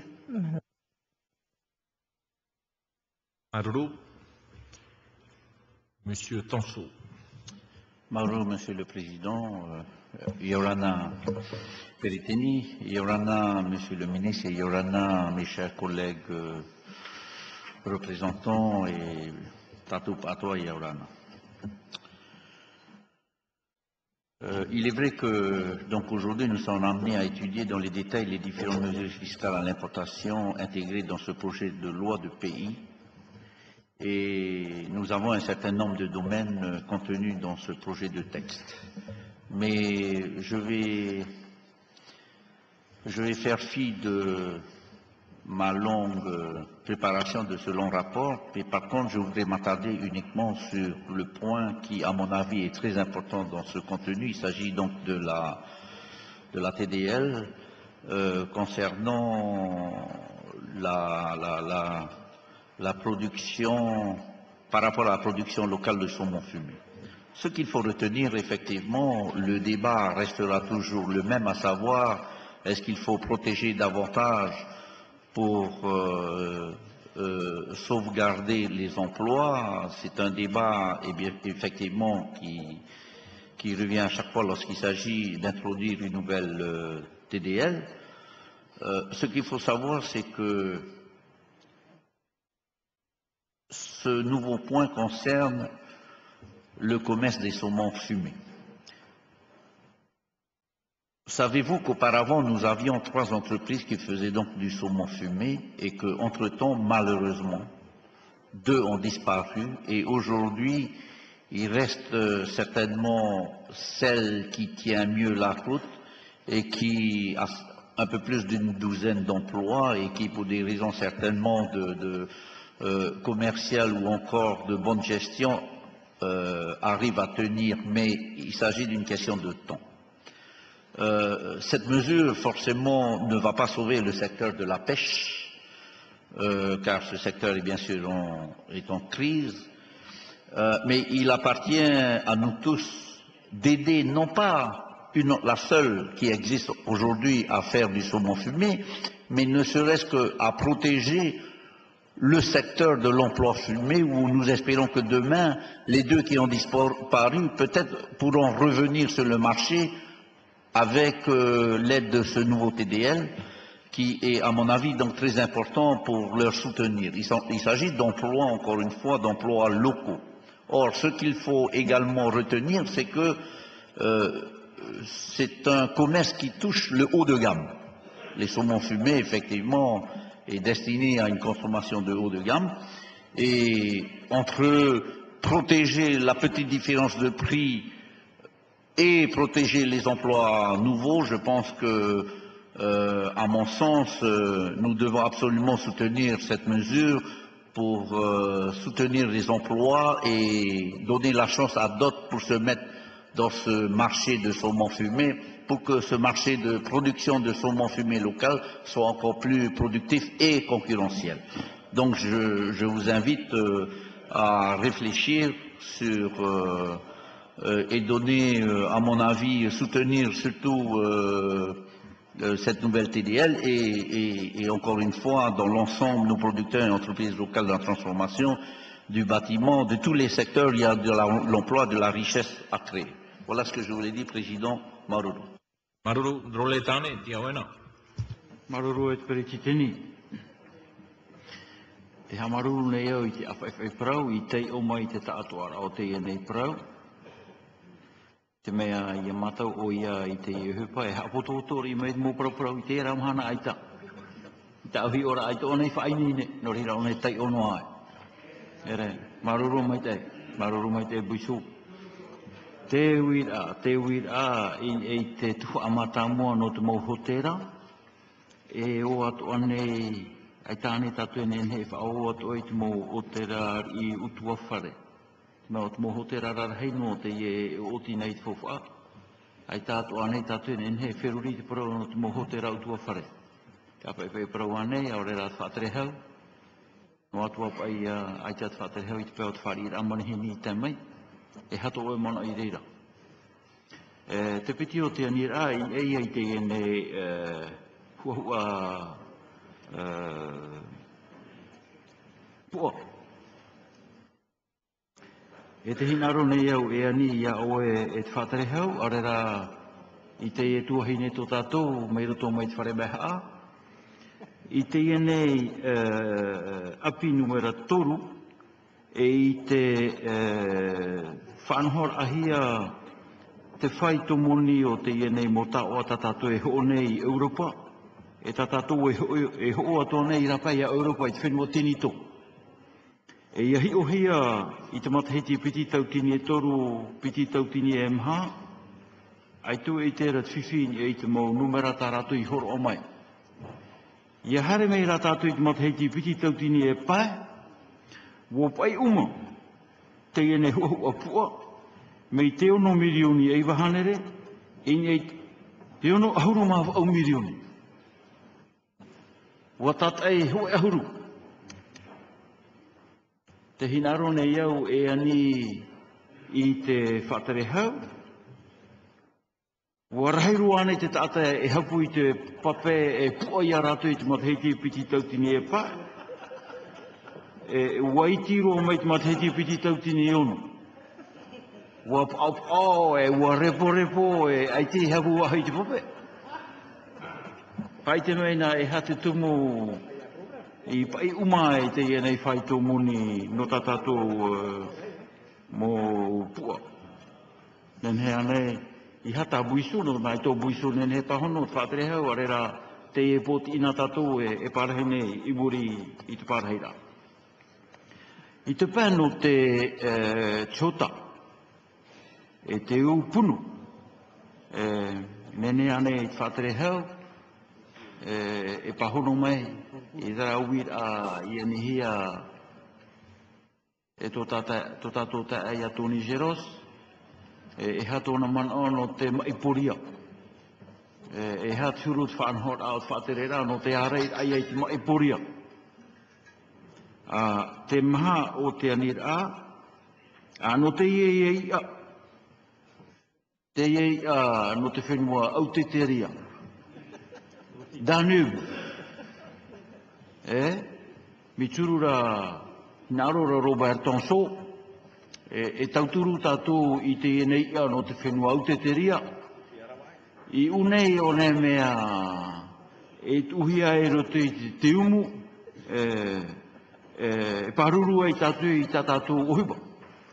Vahi o ta ue mea re nei roto i te mana o, o tō tātou ta ei a Tonso Uh, ai te i o ne propro i te prono tā tātou shui ia Inhai te ienei mhana, te i te ora tatu i te te mo ia, ai te mau ahora ia, ai te oa, te whaamuhi re te whenua Vietnam. Uh, I raro ai te whare haumiti a te mo Vietnam ia. E, te rira te ia e hohi ara i o tātou, e hare tātou te whare tō, e amu tō tātou i te rira ia. E ia hio, me au. E, me ia poria mai te itara. Ta ia hina rore e ui a tatou e wharinoa nei tatou i te ia nei e mou peu o tatou so maa whaani nei te maiti. Ia mātou e perititini ai te mātou hina rore e turu i te e huru o puara hare mei i ta tatou i ana mua. Hou whiruri e prau no te tamono no te whenua au te teria. Maruru. Maruru. Kia whribotane, ti awena maruru perititini dans l'exposé qui nous est fait au, au motif qu'il y a de l'emploi, il faut donc protéger une entreprise qui ferait de la transformation, notamment du saumon fumé. Alors, on peut porter la réflexion plus loin. Pourquoi ne pas créer une TDL sur le charbon importé? Car nous avons des gens qui n'ont rien demandé, mais qui font du charbon de bois. À ma connaissance, ils n'ont pas de dispositif de protection.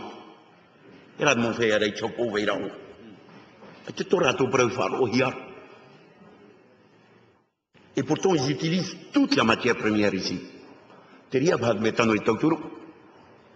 Avec un encadrement. Ils n'ont rien demandé. Ils se débrouillent tout seuls. Le nombre d'emplois créés et l'activité qui est présente, qui se fait généralement en famille, c'est ça la réalité. Lorsque je disais tantôt, il faudrait peut-être réfléchir à la situation de la TDL dès lors qu'on puise dans nos propres ressources, qu'on valorise nos ressources. Voilà une activité dont personne ne parle. Et pourtant, ils subissent le contre-coup de l'importation. Alors, dans cette logique de protection, qu'est-ce qu'on fait pour cette activité? Rien. Aucune réflexion. Deuxièmement, sur la situation encore du saumon, Là, je vais peut-être m'adresser au président et à quelqu'un qui connaît mieux la douane que moi. En regardant le tarif douanier, on s'aperçoit qu'il y a bien une position concernant le saumon, mais qu'il y a d'autres poissons. Est-ce pas donc Il est même indiqué poisson de lagon de récif. Et on ne mettrait pas la protection sur ces produits-là. Il vaut mieux que nos industries travaillent nos propres produits que dans cette logique-là, si on fait venir de l'extérieur ce type de poisson, il est normal qu'on se protège. Alors, on nous propose de mettre une TDL à 27% que sur le saumon, pas sur l'espadon, qui serait retravaillé fumé, et pas sur les poissons de la de récif tels que le tarif douanier le propose. Où est donc la logique? Ne vaut-il pas mieux, dans ces conditions, pousser nos entreprises à travailler nos propres produits et mettre les protections qui s'acquièrent? Jacques Hydrolet a raison de dire bientôt on aura du à importer. Voilà, Monsieur le Président, les interrogations qui font que il est difficile de soutenir ce manque, de, encore une fois, de visibilité de la conduite du développement industriel agroalimentaire. Je repose encore ma question. L'exonération euh, de la taxe sur le sucre va-t-il faire baisser les produits euh, notamment euh, sucrés fabriqués localement?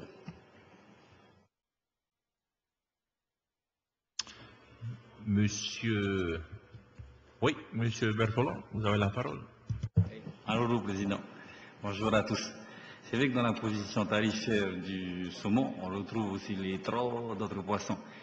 Mais n'exagérons pas, chers collègues. Déjà que les poissons qui viennent des moutous, hein, ils ont du mal à tous les vendre. C'est à Tahiti. Euh, je veux dire, parce que les gens ils veulent du poisson frit. Bon, maintenant, maintenant, Alors imaginez que qui va importer du, poisson de la rotoa ou du poisson d'archipel de, encore beaucoup plus éloigné hein, Je veux dire, euh, il faut déjà bien voir le marché local. Mais cela dit, il ne faut pas oublier que faut voir dans la production de Tahiti Island Seafood ce que représente le saumon fumé par rapport à la production de d'autres poissons qui fument aussi, d'autres productions. Je voulais revenir aussi sur les propos de Tony à propos de la taxe sur le sucre. C'est vrai, c'est un problème de fond. Hiro a raison. Est-ce que c'est un PPN Si oui, la philosophie, c'est qu'effectivement, il n'y a aucune taxe. La réflexion de fond, si on retire ce produit des PPN, à ce moment-là, le taxe normalement. Si effectivement, il faut faire en sorte que les Polynésiens consomment mieux et mangent plus de produits sucrés, et qu'il faut qu'on rentre dans une période où on va aller manger des produits euh, qu'on produit localement comme euh, le taro ou le ourou. Une autre question de fond se pose. Qu'ont fait les différents gouvernements pour les agriculteurs ces dernières années en matière fiscale Regardez le chapitre 87 dans le tarif des douanes. C'est dans ce chapitre-là qu'on trouve quoi? Les tracteurs. On n'a jamais rien fait pour exonérer les tracteurs des droits et taxes en importation. Pire que ça, d'autres gouvernements par le passé, lorsqu'ils ont mis en place la TSGTR, taxe spéciale pour les grands travaux routiers, les tracteurs payent 8% de TSGTR. Les tracteurs vont sur la route abîmer les routes et payent tous les autres taxes. Ce n'est pas un produit, ce n'est pas un outil qui est utilisé que par les agriculteurs. Maintenant, quand on voit comment fonctionne l'agriculture, ils payent la TVA à l'importation, ils payent la, la TVA à l'intérieur. Mais les produits, les légumes, ils les vendent comme pour le poisson, sans pouvoir percevoir de TVA. Qu'est-ce qu'on a fait en matière fiscale pour permettre aux agriculteurs de vendre leurs produits à des prix beaucoup plus abordables? La logique, elle est globale. D'un côté, on dit qu'il faut faire en sorte que Que nous puissions consommer mieux, mais nous ne faisons rien pour permettre à ces, à ces agriculteurs de vendre leurs légumes à des prix beaucoup plus abordables. La réflexion de fond, elle est là. Maintenant, pour revenir à l'hôtellerie théâtre. Tu disais que c'est 29 hôtels qui en profitent et que là, on a abordé que la dimension fiscale de ces 29 hôtels. Mais on a oublié un autre, une autre un autre de la réflexion lorsque ça a été mis en place le dispositif. En fait, l'exonération, c'est une carotte. Parce qu'en amont, le service du tourisme rentre dans le système pour aller vérifier que ces hôtels respectent un cahier des charges pour que ces hôtels aient une certaine qualité. C'est pour ça qu'on les considère comme hôtels classés. Mais au départ, c'est ça. Mais cela dit, c'est vrai qu'en profondeur, on pourrait réfléchir pour savoir est-ce que les autres petites structures ne, peuvent pas bénéficier d'un dispositif identique La réflexion, peut se faire de ce côté-là. Mais là, la vraie question qui se pose par rapport aux hôtels classés, c'est l'efficacité du dispositif. Mes chers collègues, regardez ce qui a marqué à un des articles, à un des paragraphes de ce premier, de ce premier grand paragraphe concernant les établissements euh, classés que sur un total de 100% de moins-value fiscale que peut représenter le dispositif, chaque année, on chatouille à peine les 7%. La question de fond, c'est quelle est l'efficacité du dispositif? Est-ce qu'on ne peut pas réfléchir pour pouvoir le réformer de façon à ce que, alors qu'on propose à ces acteurs 100% de moins-value fiscale possible, qu'ils puissent atteindre les 80 ou 90%, ils n'atteignent que les 7%. Tout un dispositif est mis en place, avec tout un national qui ne permet une moins-value fiscale, une efficacité alors de l'ordre de 7%. Il y a vraiment un problème de fond de ce côté-là. Voilà ce que je voulais dire, Monsieur le Président. Merci. Marolo, Monsieur Rivetta, vous avez la parole. Président Yorana, Mesdames, Messieurs les ministres Yorana, chers collègues Yorana. je voudrais intervenir là sur les propos de M. Berthelot. Qu'est-ce qu'on a fait par le passé pour l'agriculture? Juste pour vous dire que si nous n'avons pas la fiscalité, allégée au niveau de la douane, je vous informe, au niveau de la DDA, il y a 66% qui financent les aides des tracteurs. Donc, euh, on a fait quelque chose à ce niveau-là, donc pour pouvoir euh, vous répondre. Mais il y a une chose que je voudrais intervenir. Si on fait du développement dans ce pays, certes, il est vrai qu'on n'est pas tellement parfait mais il fallait construire le développement de ce pays. Et je regarde au niveau de tout ce qui est de matière première. Quand on dit pandanacée, pandanacée, c'est tout ce qui est des produits à base de pandanus. J'aurais aimé que le gouvernement, en augmentant la DDL, c'est toujours le coût de production est encore moins cher par rapport au coût de production de l'île, du pays. Tout ce qui est fait à l'extérieur, même si nous augmentons la TDL à 82%, eh ben, c'est toujours moins cher par rapport aux productions locales. Donc, ce qui m'intéresse, c'est qu'on supprime, et surtout, les ponts euh, bon nombre de nos habitants et des mamans qui font de l'artisanat dans les îles, ben, vivent de ça. Et vivent de ça. Et c'est important. J'aurais aimé qu'on supprime ça. Deuxième chose, quand on dit pendant lancé, si nous lançons la production des pandanus à planter pour pouvoir donner de la matière première, euh, je parle des Australes, parce qu'il y a pas mal de plantations de pandanus aux Australes. Je vous assure que les lancés qu'on fait venir de l'extérieur, nous ne connaissons pas, nous avons un point d'interrogation à ce niveau-là concernant tout ce qui est des séries de maladies phytosanitaires. Ça risque de nuire au développement de notre île et de notre pays. Et puis il y a une autre chose à voir, c'est tout ce qui est de design qui se font sur les feuilles. C'est simple, mes amis. On prend le design d'ici, on va à l'extérieur et on fait imprimer, on ramène ici à un coût de production moins cher. Donc tout ça, c'est à réfléchir. Je pense que, bon, euh, tout ce qui est, moi je pense qu'il est de il faut interdire toute cette partie-là. Interdire dans la région de le faire introduire. Comme sur certains produits, par exemple, euh, certaines plantes qui sont interdites d'entrer sur le territoire de la Polynésie. Voilà, merci. Marou. Est-ce qu'il y a d'autres interventions? Oui, Monsieur Tiawena. La discussion en séance plénière est aussi intéressante qu'en commission. Ça, c'est le premier constat que je fais. Mais nous avons l'art de poser des questions. Quand on a les réponses, on n'aime pas aller au fond des choses. Je crois qu'il faut qu'on s'habitue entre nous tous de crever l'abcès. Euh, Tony, moi-même et Nicolas, nous reconnaissons que le débat de fond sur le sucre, il est, et le, concentré, il est impératif. Il faut qu'on ait ce débat-là. Donc, nous, moi, je fais cette demande, le gouvernement peut-il donc, sur cet aspect des choses, nous donner sa position aujourd'hui?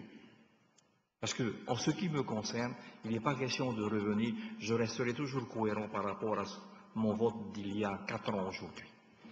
Mais je veux rebondir sur euh, le débat qui a été le nôtre en commission et qui est plus ou moins lancé sur le poisson. Parce que je crois que là, il faut nous habituer à parler chiffres. Et je suis donc venu ici avec des éléments intéressants sur la TDL que je veux nous communiquer. Et je remercie mes amis de m'avoir remis cette réflexion. En 2007, 96% des produits importés sont exemptés de la TDL. Il y a 164 codifications. Le taux moyen de taxation est de 29,6%. Les principales catégories de produits qui représentent 50% des recettes sont les suivantes soda, batterie de démarrage, porte et encadrement en bois, bijouterie, peinture, boissons contenant du jus de fruits, tubes et tuyaux en matière plastique, shampoing, meubles de cuisine, chocolat, savon de toilette, couverts en plastique, pâtes pour préparation de produits de boulangerie et bière. Sur les 50,6 milliards de taxes liquidées en 2007, la TDL ne représentait que 3,7% de cet ensemble, soit 1,9 milliard.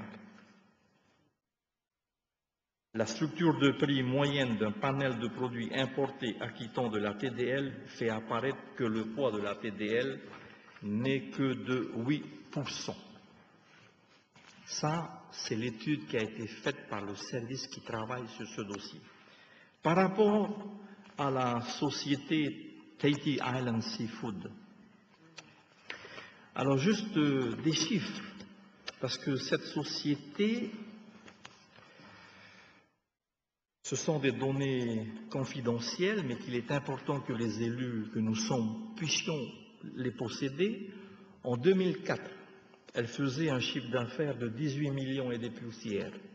En 2005, 51 millions, dont 23 millions de chiffre d'affaires à l'export. En 2006, 111 millions, dont à l'export 76 millions. En 2007, 139 millions, dont 86 millions à l'export. Prévision 2008, 260 millions, dont 140 millions à l'export. Dites-moi aujourd'hui quelle est la société polynésienne qui fait la transformation de produits locaux? Thon, Tazar, Houda, le saumon ne vient en complément qui fait autant que ça. Voilà pourquoi, personnellement, autant sur le dossier du sucre, je ne suis pas d'accord, autant là-dessus, je défends à fond. Parce que je parle chiffres, je parle réalité. Je ne parle pas dans le vide. J'essaie de venir apporter cette pierre. Et cette société, avec donc ce projet, va créer quatre emplois nouveaux. Aujourd'hui, elle utilise 14 effectifs salariés déclarés à la CPS. J'ai fait les vérifications. 10 ouvriers spécialisés filteurs, un livreur, deux cadres, un secrétaire comptable. Ça, c'est les chiffres officiels. Voilà. Hein? Maintenant, c'est vrai que dans ce domaine-là, auparavant, du fait des difficultés propres à, ce domaine, deux sociétés ont eu des difficultés. Mais en ce, en ce qui les concerne, par rapport à l'investissement au départ, c'était 300 millions d'investissement au départ également. Voilà, par rapport à cette société. Maintenant, il nous faut nous habituer à débattre de cette manière, Monsieur le Président, si on veut réellement euh, aller au fond des choses. Mais je suis d'accord sur la proposition de M. Nicolas qui nous dit, eh ben, débattons sur l'opportunité, comme celle de M. Rivetta, de maintenir ou non cette TDL. Mais nous, nous ne faisons qu'hériter d'une situation. C'est tout. Nous tous.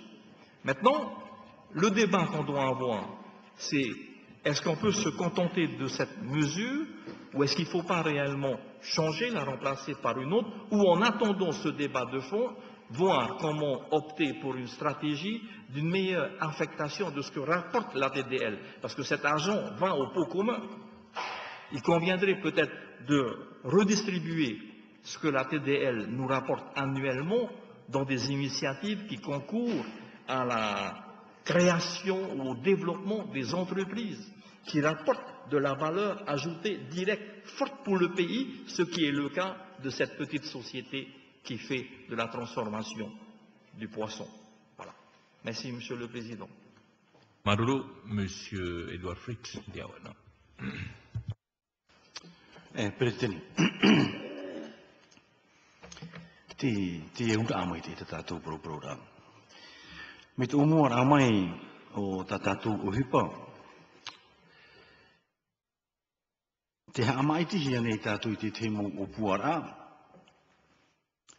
Nā te whaatrera o te whenua. E promo.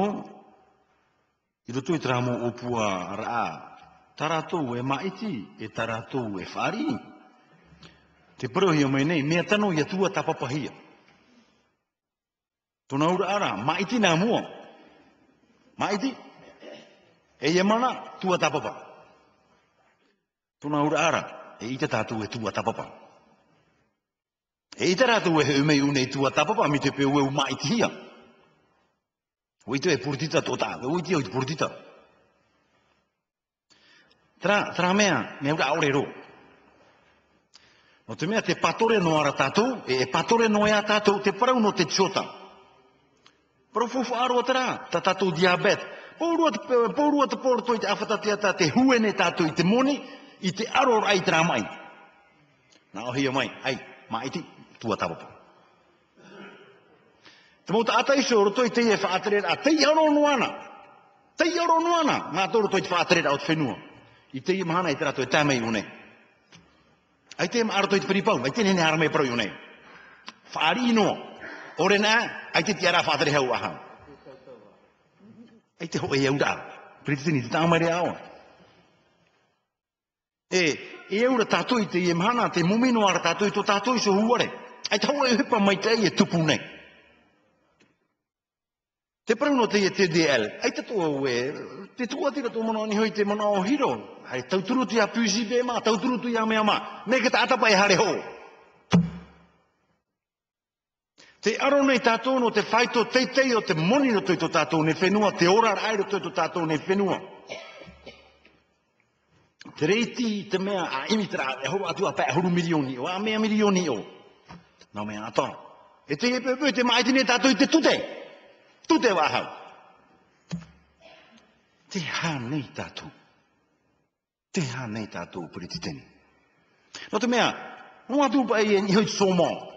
Ia i sone o poro te tui tomi te roto i o ai mai ha maru o woi tera mea. No te mea, e whia tāia pa i tātou te hina aro ua te ore ua hina aro. Te turu nei ua te whaia, taia, tara whenua tō mea ma, ta sa ki ta danub ma. Ta tātou iso ia iau whaite e orto i tō mite, te whaaru e nei tātou teia, o a, ta tai.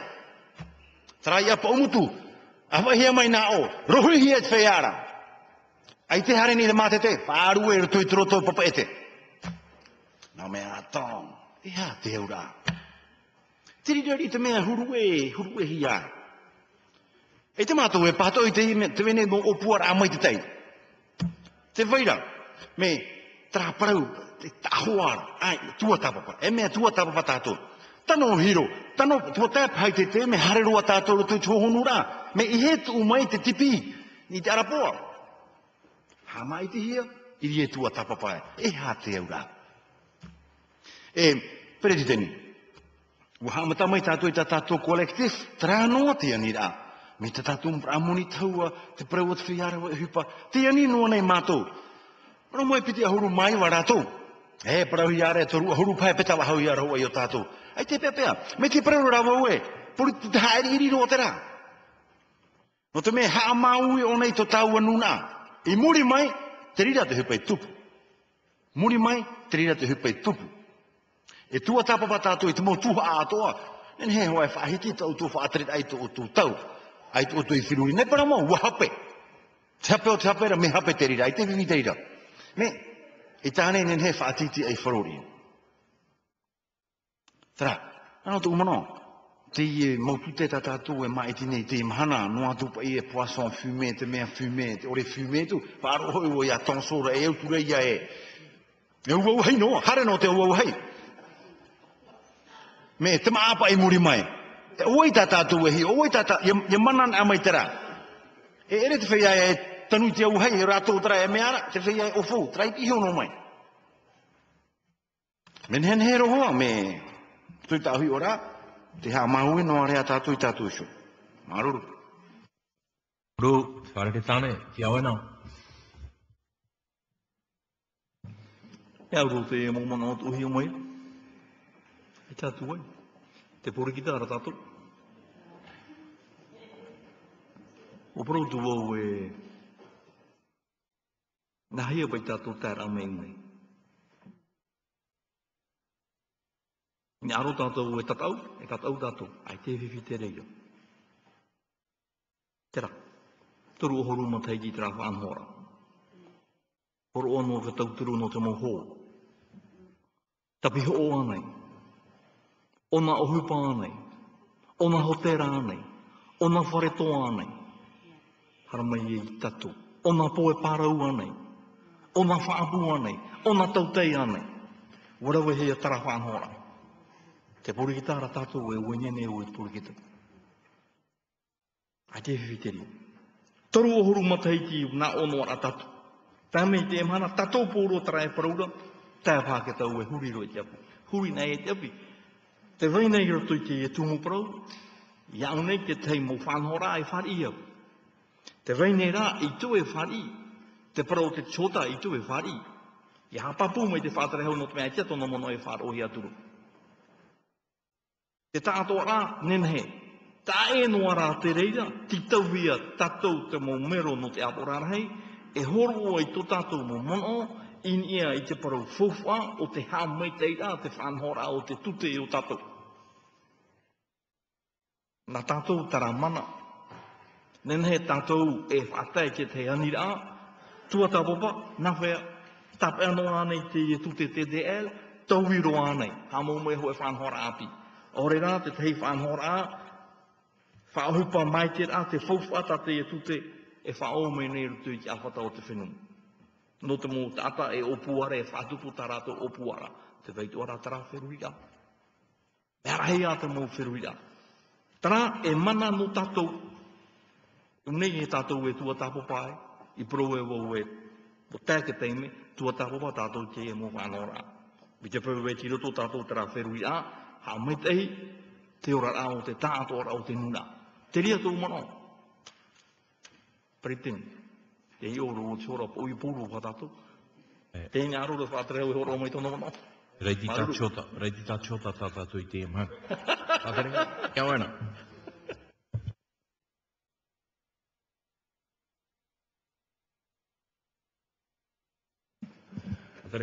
Eh, messieurs, mesdames et messieurs les représentants Yorana, ah, c'est vrai que c'est une discussion euh, et un débat aussi euh, très intéressant concernant ce dossier. Alors je voudrais tout d'abord dire que ce dossier qui vous est présenté est celui euh, du précédent ministre des Finances. Je crois même que c'est Tony Géros qui l'a préparé. Et donc, il y a un certain nombre de dispositions qui devaient être passées avant le 31 décembre, ça, ne l'a pas été. Donc, on essaie de rattraper le temps perdu. Et je voulais dire qu'en commission, concernant le sucre et le lait concentré, qui euh, devaient faire l'objet d'une exonération de la TCP, donc c'était votre question à plusieurs représentants, j'ai présenté un amendement en commission qui a été retenu qui euh, annulait la disposition, ce qui fait que l'article LP4 a été supprimé et dans ce cas-là, le sucre et le lait concentré continueraient à être frappés de la TCP et ne seraient pas exonérés. Voilà, donc ce, ce point-là a été corrigé. Pour ce qui concerne euh, la TDL, à quel degré de transformation locale euh, il y aurait une TDL automatiquement? Juste pour rappeler qu'il n'y a pas d'automaticité, il n'y a pas de droit. Euh, la demande est au coup par coup et examinée par une commission de la TDL. Ce n'est pas parce qu'on crée son entreprise locale qu'on a droit forcément à imputer une TDL sur un produit importé. hein. Il faut bien voir que la TDL porte sur les produits importés et non pas sur le produit fabriqué. Et donc, euh, je disais, il n'y a pas d'automaticité. Lorsque nous avons introduit la TDL euh, au, moment du démantèlement de la TNPS et des droits d'entrée par rapport à la réforme euh, de la fiscalité euh, douanière et l'introduction de la TVA, euh, cette euh, TDL euh, a pour fonction de réduire l'écart de compétitivité. Parce qu'au départ, il y a eu une construction qui a été faite déjà. Et donc, pour permettre à ces entreprises de ne pas subir de plein fouet la concurrence extérieure et de voir leur euh, entreprise et également les emplois menacés, nous avons donc introduit une compensation sur euh, euh, la TNPS et les droits d'entrée, mais pas une compensation à 100% de ce qui était démantelé. Donc c'était une compensation à 80% de façon à amener les industriels locaux à accepter de faire un effort de compétitivité. Donc c'est ce qui a été fait, c'est le régime qui prévaut jusqu'aujourd'hui et qui fait l'objet euh, d'une étude euh, par le ministère chargé des petites et très petites et petites et petites et moyennes entreprises et de l'industrie euh, concernant euh, la réforme de cette TDL. Donc il y a une étude qui a été lancée et nous aurons euh, euh, les données de cette étude d'ici le mois de novembre qui va nous permettre d'avoir l'état des lieux et aussi l'analyse de la situation, puisque certains d'entre vous ont parlé aussi d'efficacité hein, de notre système de protection ou d'exonération. Alors ça fait aussi partie de cette démarche d'évaluation des mesures mises en place de façon à, remettre encore sur table euh, d'une manière aplanie les paramètres et les contraintes et, et ensuite euh, voir s'il faut maintenir, faire évoluer ou changer complètement de système. Donc nous sommes euh, dans cette situation. Est-ce que la TDL est inflationniste? La TDL forcément implique une augmentation de prix puisque c'est une taxe qui vient se rajouter à la structure de prix. Mais si on prend sur la masse globale, les données vous ont été communiquées par le représentant Hirote Farere, dont les chiffres sont justes, et je le confirme puisque euh, nous arrivons au même, euh, chiffre. Effectivement, aujourd'hui, la valeur CAF, l'assiette CAF frappée de TDL ne représente que 4% de la totalité de nos importations. Ramené au panier de la ménagère et à l'indice des prix, c'est epsilon. Au niveau des recettes, c'est vrai que ça représente 1,9 milliard et euh, par rapport à nos recettes propres du pays, directes et indirectes, euh, c'est de l'ordre de 13%, ce qui n'est pas négligeable. Donc euh, démanteler la TDL, c'est quelque chose de faisable, mais il faudra réfléchir sur comment accompagner les entreprises actuelles qui sont en place. Donc ce sera un prochain dossier qui viendra certainement devant vous et on aura l'occasion d'en rediscuter. Concernant le secteur du tourisme, euh, certains d'entre vous ont appelé euh, notre attention euh, concernant les pensions de famille. C'est vrai que les pensions de famille aujourd'hui ne bénéficient pas de cette disposition et donc les services de la présidence sont en train de travailler sur ce dossier avec les professionnels pour étudier euh, un dispositif euh, adapté à leurs contraintes et à leur taille d'activité, de façon à ce qu'eux aussi puissent être accompagnés. Parce que dans ce système d'exonération de, droits et taxes pour euh, ces matières et ces produits, la contrainte, ça nécessite une organisation administrative hein, pour faire face au contrôle de la douane. Et pour les petites entreprises comme les pensions de famille, euh, nous pensons qu'il faut trouver un autre système d'accompagnement plus simple pour atteindre le même objectif. Donc c'est ce qui est en train euh, d'être étudié au sein de la présidence et d'ici là, on aura certainement les résultats de cette étude. Pour ce qui concerne euh, les autres hôtels, ça concerne les hôtels classés.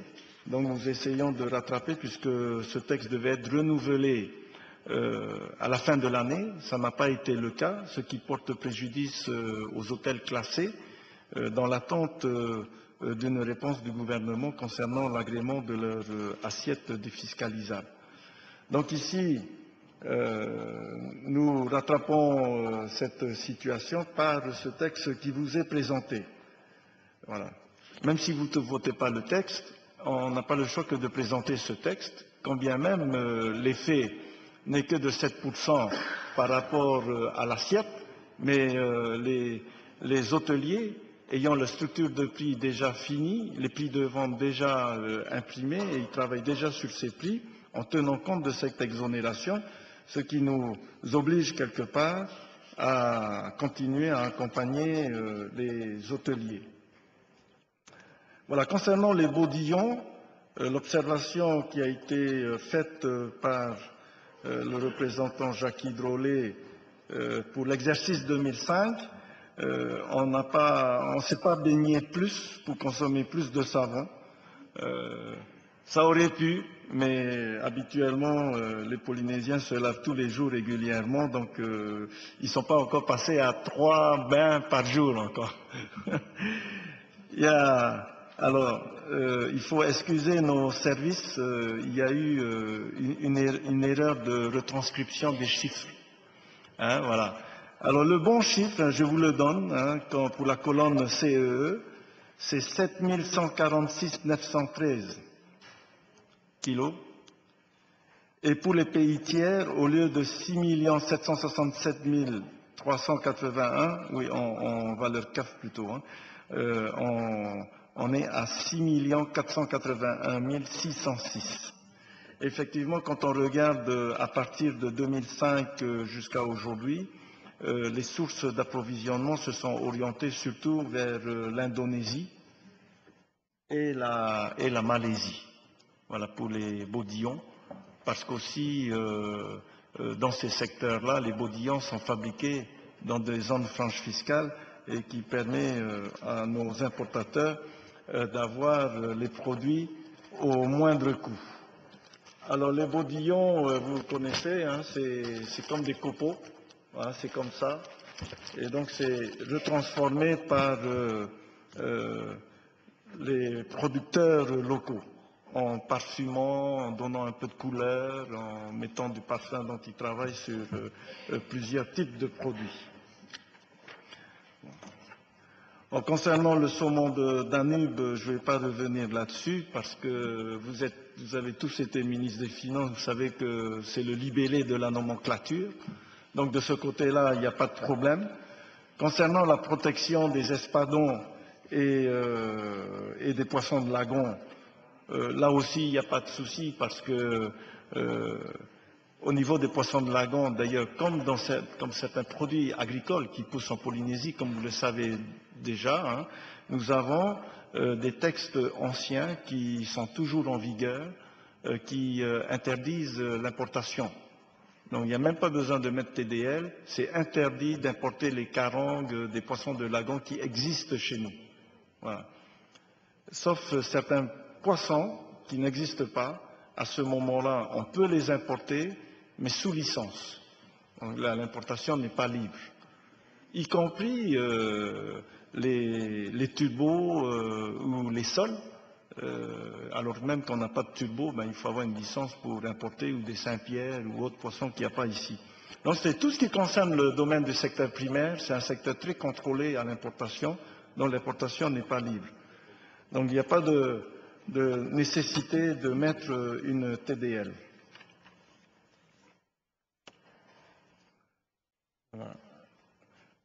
Je pense que j'ai à peu près répondu à toutes les questions, mais la partie qui vous inquiétait le plus, c'était surtout le sucre. Donc, de ce côté-là, euh, il n'y a pas de souci, hein, j'ai répondu à, vos questions.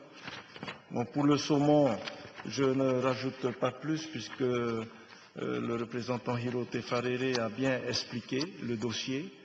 Et c'est vrai que c'est un dossier euh, important qui permet, en fait, grâce au développement du fumage des filets de saumon, bien pérennise le fumage des poissons locaux. Parce qu'effectivement, le tasard euh, l'espadon et les thons sont fumés, mais de quantité insuffisante.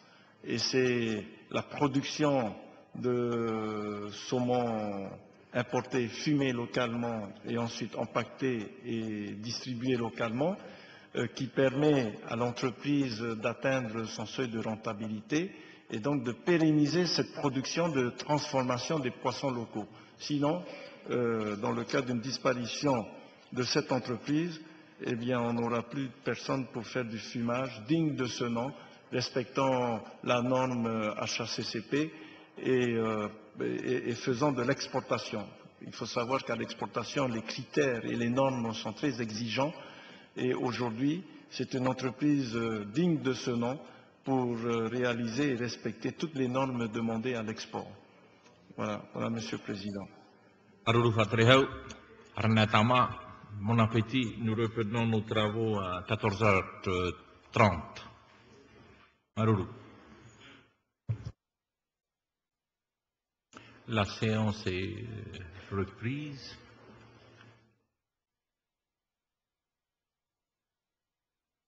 Passons à la loi de pays. Je demande au rapporteur, Madame euh, Eleanor Parker, de donner lecture de la loi du pays.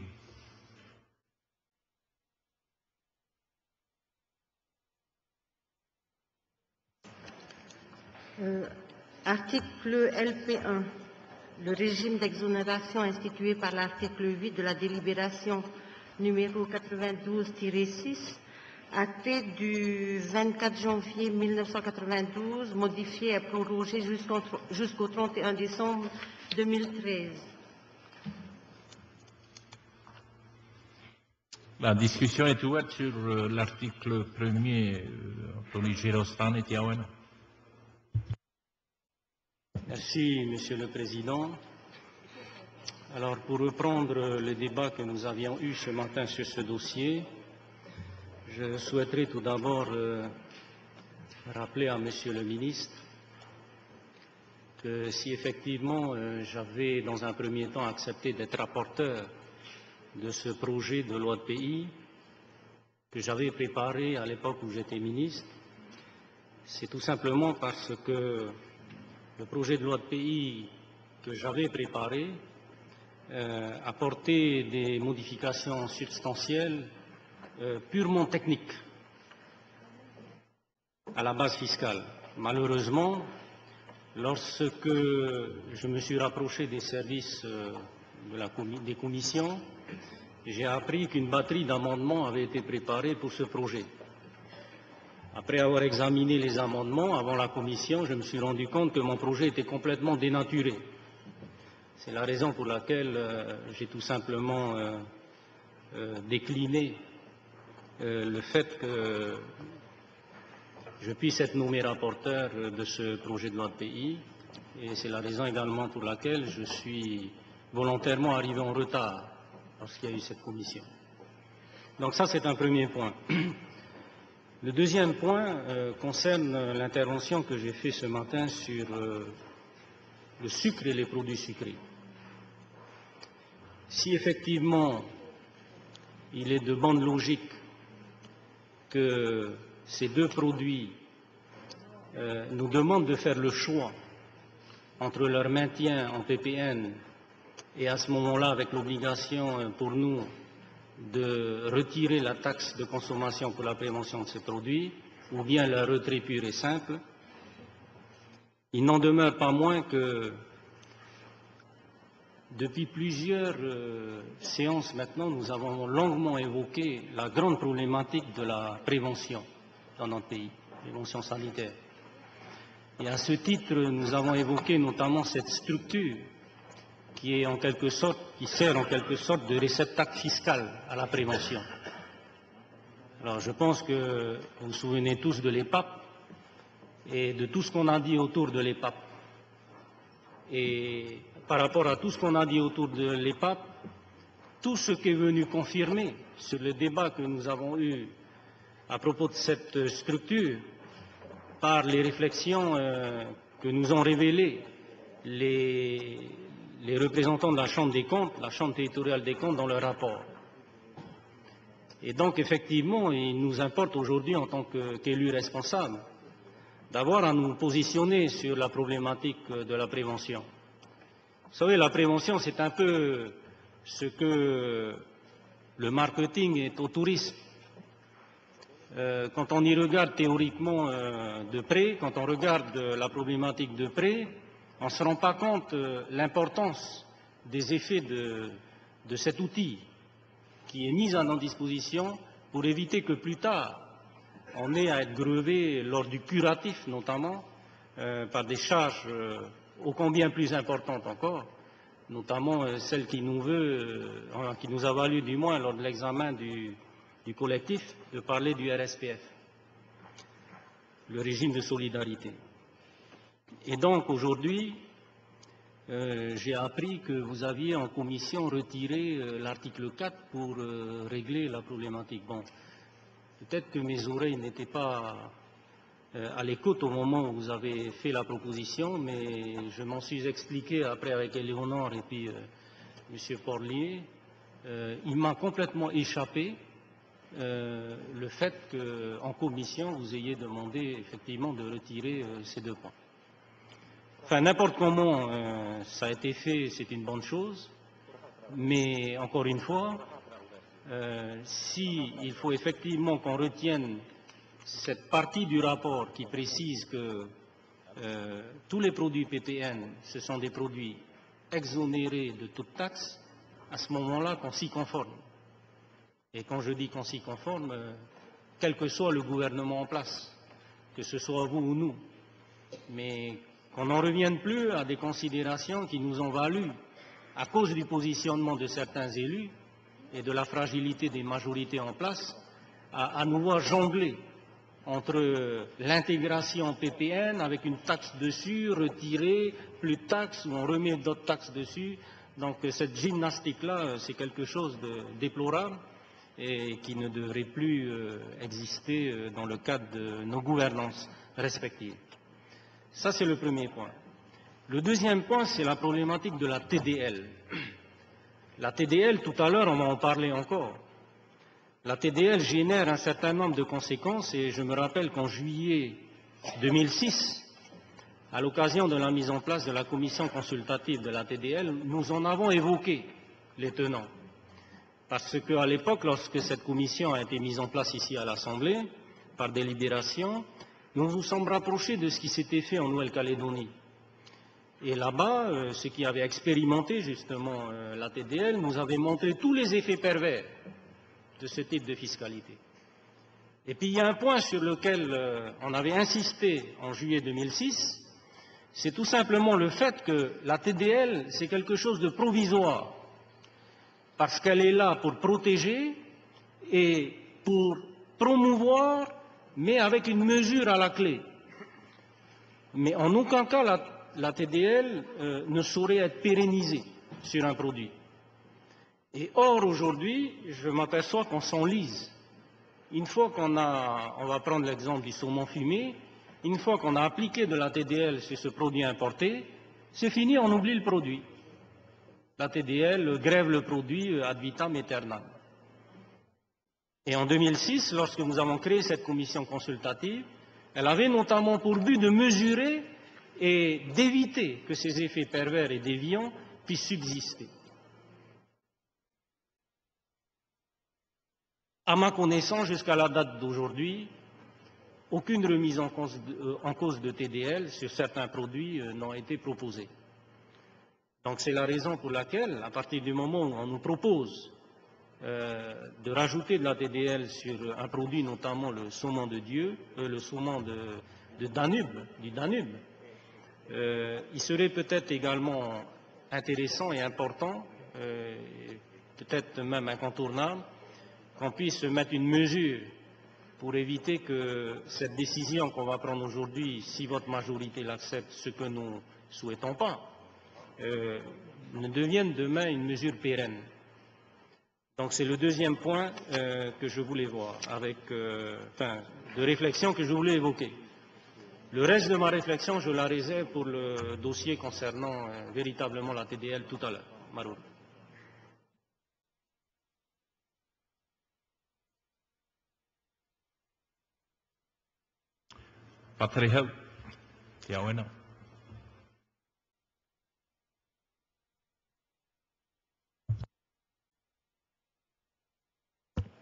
Oui, ça marche. Bien. J'ai bien écouté euh, l'exposé de, M. Anthony Géros concernant ce dossier. Je voudrais lui dire que les amendements que j'ai présentés en commission euh, ne dénature en rien le dossier initial qui était présenté parce que c'est un dossier purement technique. L'amendement que j'ai présenté, c'était à l'article 1er de mettre au 31 décembre 2013 au lieu de 31 décembre 2008. Pourquoi? Parce que le temps que ce soit voté, qu'on suit la procédure des lois de pays, on arrive pratiquement à la fin d'année et on n'aura rien solutionné pour le secteur du tourisme.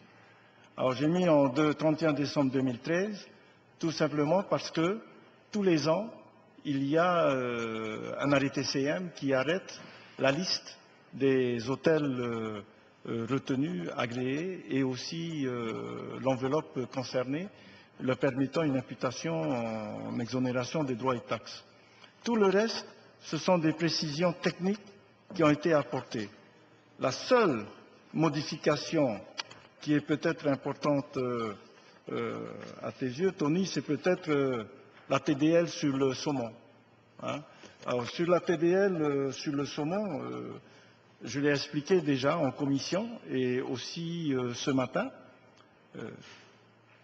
L'objectif, c'est d'arriver à une réforme de la TDL. Comme ce dossier n'est pas la réforme de la TDL, c'est normal qu'on ne vous présente pas un dossier de réforme de la TDL, parce que c'est un dossier technique d'ajustement des différents points des délais, des précisions qui sont apportées. Donc c'est quelque chose de très simple. En dehors de euh, du bien fondé de mettre une TDL sur le saumon fumé ou pas. Bon, on a eu ce débat ce matin. Je ne reviendrai pas là-dessus puisque nous connaissons euh, les raisons et les effets euh, attendus de cette décision. Par contre, concernant le rôle, c'est-à-dire le but de cette TDL, à quoi sert cette TDL lorsqu'elle a été créée? Est-ce que cette TDL a réellement répondu à l'objectif recherché? Est-ce qu'aujourd'hui nous devons continuer encore dans ce système-là? Ou avons-nous une autre proposition à faire pour permettre une certaine compétitivité sur le marché, tout en permettant aux industriels de continuer à assurer pérennement leur activité et le maintien de l'emploi? C'est ce que je disais, il y a une étude en cours engagée par le ministère des Petites et Moyennes Entreprises et on espère que ce soit terminé pour novembre. Et à ce moment-là, nous aurons à débattre de ce sujet pour revenir devant vous pour une proposition de réforme de cette TDL. Donc aujourd'hui, ce que nous faisons, c'est juste des mesures d'ajustement qui n'a pas une portée euh, pérenne puisque c'est destiné à évoluer et peut-être à disparaître totalement. Et également euh, dire que euh, sur 2009, j'ai eu l'occasion de le dire en, commission. dans un premier temps, ce que nous souhaitons en attendant d'avoir une précision très claire en termes de propositions venant du ministère concerné sur la réforme de la TDL, nous allons commencer dès 2009 à faire bouger les taux de TDL concernant les matériaux de construction de façon à permettre, en tout cas contribuer, à tirer le prix des coûts de construction vers le bas, si possible, en essayant euh, de commencer à baisser par ce billet-là et introduire là même une première secousse de compétitivité au sein de notre marché local.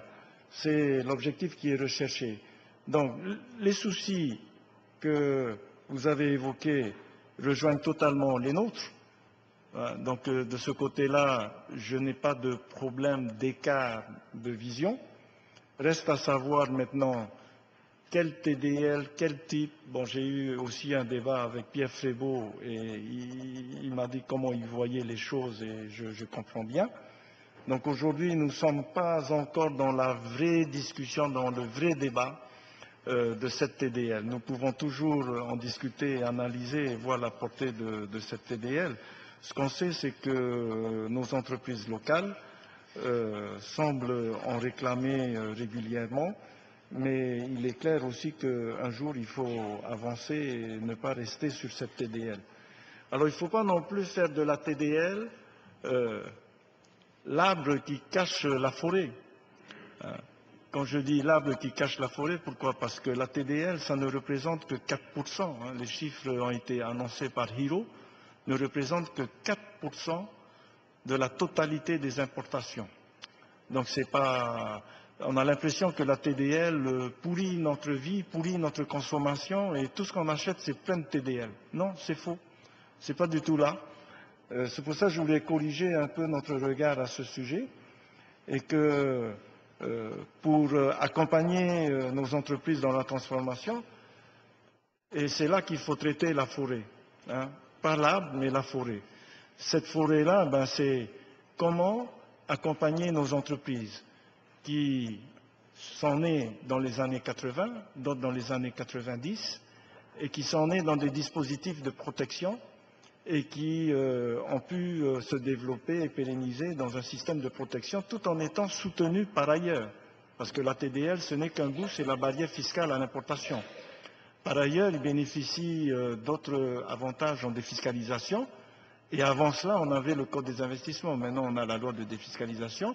Et pour la matière transformable, ils bénéficient d'exonération de droits et taxes sur la matière transformable dès lors que cet article est agréé euh, par la Commission et ensuite retenu en Conseil des ministres. Et à côté de cela, pour les nouvelles entreprises, ils bénéficient aussi euh, des aides à l'emploi. Donc il y a toute une panoplie d'ingrédients qui vient euh, en aide à ces entreprises de transformation. Maintenant, je pense que lorsqu'on veut réformer la TDL, il faut réfléchir dans la globalité euh, des paramètres de gestion d'une entreprise et voir comment on peut arriver à tirer le coût vers le bas et favoriser la compétitivité.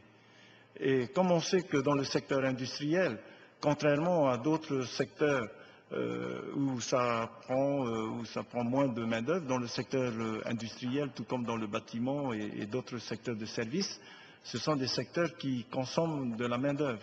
Alors de plus en plus, pour arriver à une meilleure productivité et à tirer le coût vers le bas, les industriels euh, ont de plus en plus maintenant recours à des machines et euh, à essayer euh, euh, de rentrer dans une autre productivité qui est plus liée euh, euh, aux, aux équipements euh, qu'à la main-d'œuvre. Donc c'est pour ça que de ce côté-là, euh, n'ayez crainte, nous avons bien à l'esprit euh, ce chantier euh, important. Concernant la prévention, bon, euh, j'ai bien entendu. euh, en tout cas, je, je vous remercie de, de considérer que l'EPAP est une nécessité, que la prévention est une nécessité, qu'il faut maintenir les actions et qu'il faut maintenir aussi les recettes de l'EPAP. Parce que je me souviens à l'époque, euh, lorsque nous avions créé euh, l'EPAP et mis en place euh, les taxes pour alimenter cette EPAP pour pouvoir engager cette politique de la prévention, j'avais ma tête sur la pancarte. Et il y avait toute une manifestation là, dans l'avenue Bruat, qui était orchestrée hein, par vous autres. Et, ben, bon, on a tenu. et aujourd'hui que vous êtes passé aux commandes aussi du pays, eh bien, vous voyez l'intérêt d'avoir un tel outil. Et cet outil-là, c'est vrai qu'il faut savoir euh, bien l'utiliser et ne pas euh, euh, dévoyer ses buts et ses moyens. Et nous sommes, nous sommes bien d'accord. Voilà, Madame la Présidente, ce que je voulais dire en, en résumé, en réponse à l'intervention qui vient d'être faite, et pour dire que je pense que pour la plupart des cas, nous sommes sur la même longueur d'onde. Voilà, merci. Marourou, nous passons au vote. Qui est pour? 29 pour. Qui est contre? Qui s'abstient? 28 pour. Article 2. Article LP2, la délibération numéro 88-158, actée du 23 novembre 1988 modifiée, est modifiée comme suit.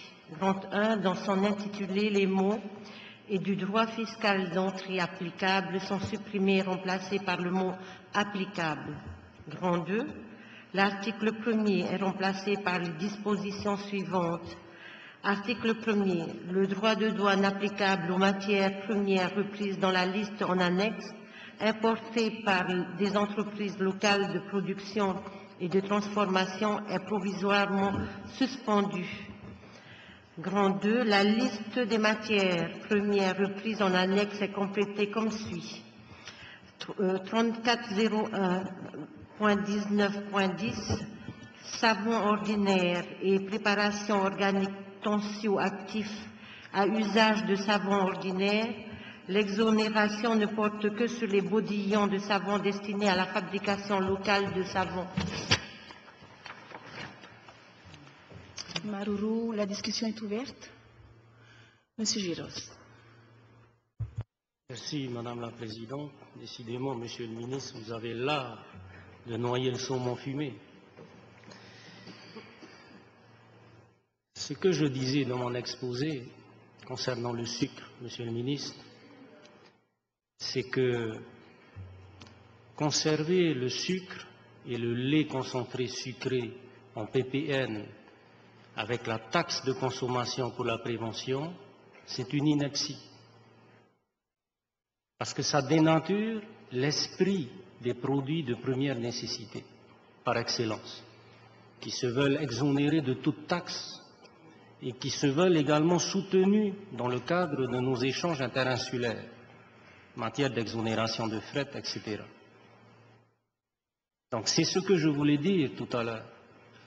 Donc la cohérence aurait été en commission, Monsieur le ministre, qu'on eusse retiré des produits PPN, ces deux produits-là, le sucre et le lait concentré sucré, et qu'on ait, à juste titre, au nom de la prévention, gardé la taxe de consommation pour la prévention sur ces, sur ces produits. Or là, non, vous avez laissé ces produits en PPN et puis vous continuez à garder de la taxe dessus.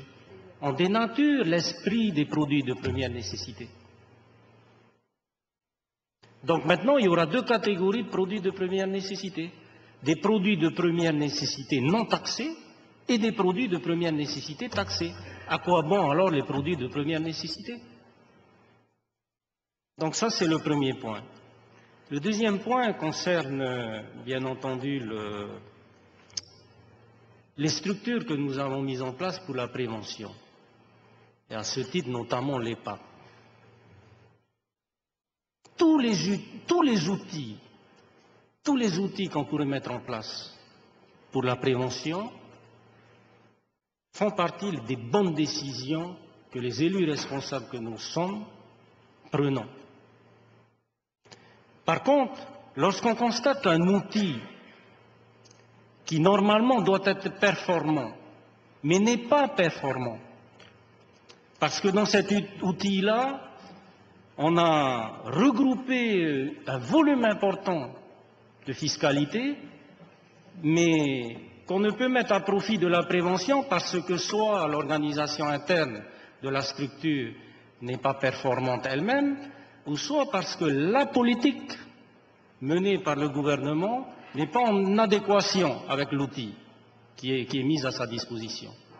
Donc qu'est-ce qui se passe?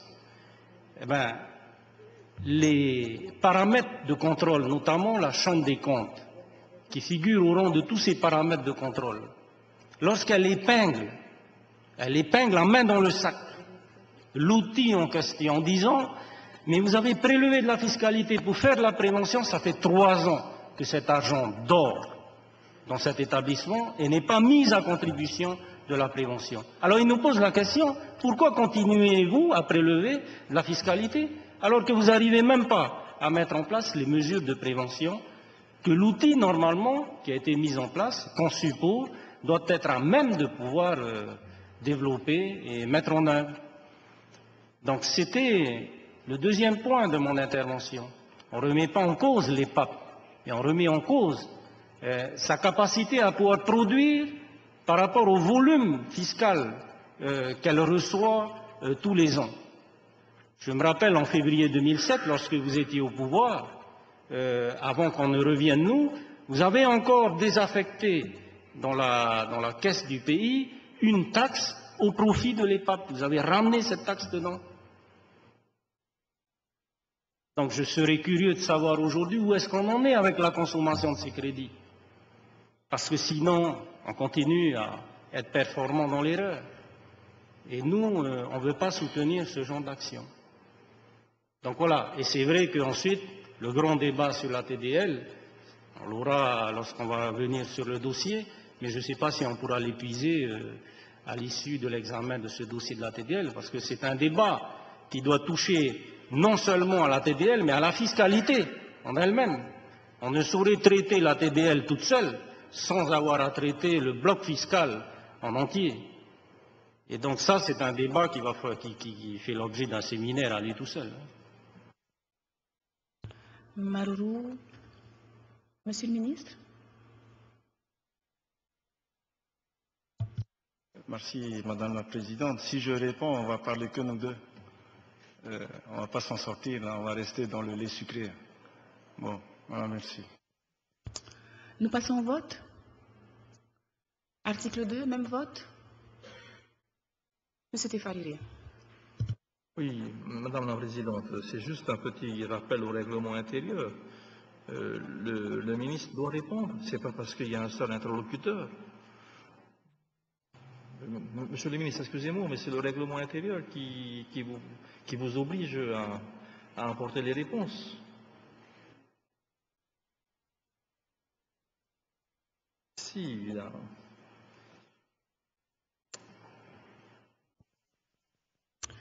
Monsieur le ministre Moi, je veux bien répondre, mais je ne vois pas de questions là. On a donné toute la lumière. Il a posé, euh, il parlait de, euh, des PPN taxés et non taxés. J'ai bien compris. Ce qu'il a dit. Mais aujourd'hui, euh, je ne suis pas à même de dire oui, il faut le faire ou pas faire, parce que ça ne concerne pas que moi. Concernant la prévention et trop de moyens qu'on allait affecter des taxes, bon, j'ai rien à dire là-dessus. Ça a été fait pas, par moi, mais par, par, mon prédécesseur. Mais aujourd'hui, quelle est la situation de l'EPAP nous, nous sommes euh, sur l'exonération euh, des droits et taxes euh, pour l'industrie. Moi, j'aimerais bien discuter de ça quand on aura le dossier de l'EPAP ici, où on va discuter de la prévention, où on va discuter d'un sujet lié à cela. C'est pour ça que, bon, je, je, si vous voulez que je débatte de ça, je veux bien, mais je ne vois pas le lien direct avec cet article LP2. Donc, on en a déjà discuté, euh, enfin débattu de, cela depuis euh, la discussion générale et ensuite on est revenu là-dessus tout à l'heure. Bon, c'est pour ça que je dis j'ai rien d'autre à rajouter. Voilà. Mais c'est pas que je ne veux pas répondre. Hein. Tout à l'heure il y aura d'autres questions, je continuerai. Hein. Mais, j'essaie d'être utile dans la réponse. Voilà ce que je voulais dire. Maruru. Tifariri.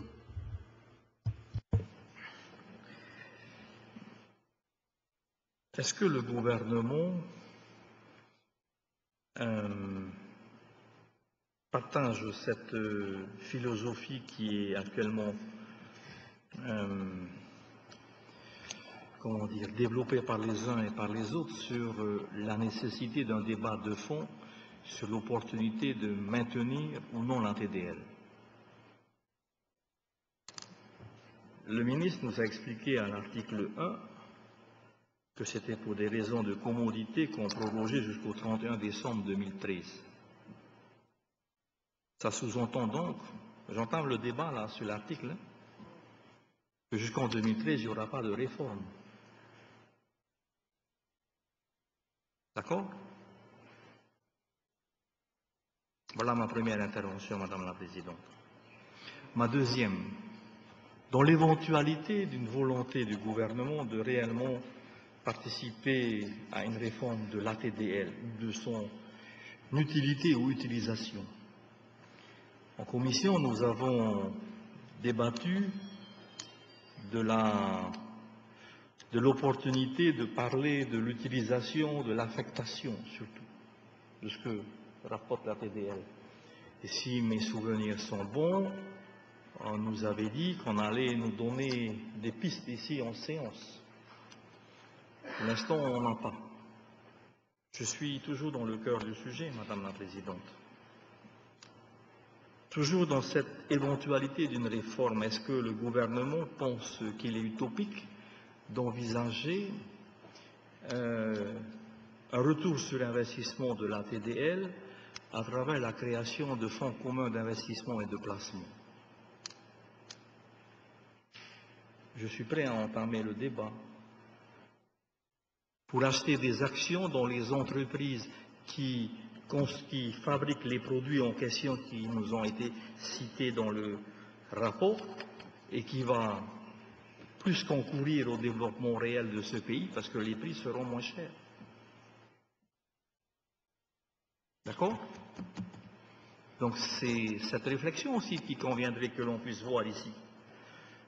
Encore une fois, je me lasserai pas de répondre que l'Assemblée, est compétente pour légiférer, pour délibérer, pour dire ce que nous souhaitons. D'accord? Je suis toujours dans le corps. Et je peux continuer ainsi. Donc, ce sont ces éléments de réponse qu'on veut avoir. Quand nous sommes intervenus, il y a de cela un mois derrière nous, sur l'opportunité de revoir la politique énergétique du pays. Ce matin, on m'a annoncé qu'il y avait une réunion commune à tous les partenaires politiques et économiques la semaine prochaine. Donc l'interpellation politique qui a eu lieu dans cette enceinte a eu ses effets. Idem lorsque nous avions soulevé la question liée à la pelliculture sur le maintien, la suppression ou la suspension du, du DSPE. D'accord? Donc, si le ministre nous dit qu'il est attentif, qu'il est disposé, qu'il est prêt à vouloir débattre, qu'il nous donne un calendrier. À quel moment il compte inviter les partenaires politiques et représentants que nous sommes pour mener la réflexion qui convient? Parce que tous, les uns et les autres, pour avoir exercé des responsabilités au niveau gouvernemental, que ce soit au niveau des finances, du budget, de l'économie et des petites et moyennes entreprises, ou de l'agriculture ou de l'artisanat, nous avons tous les uns et les autres des idées que nous voulons faire partager à tout le monde. Voilà les réponses que je souhaitais avoir. Merci. Maruru en résumé à Rui Amuyan et Monsieur le ministre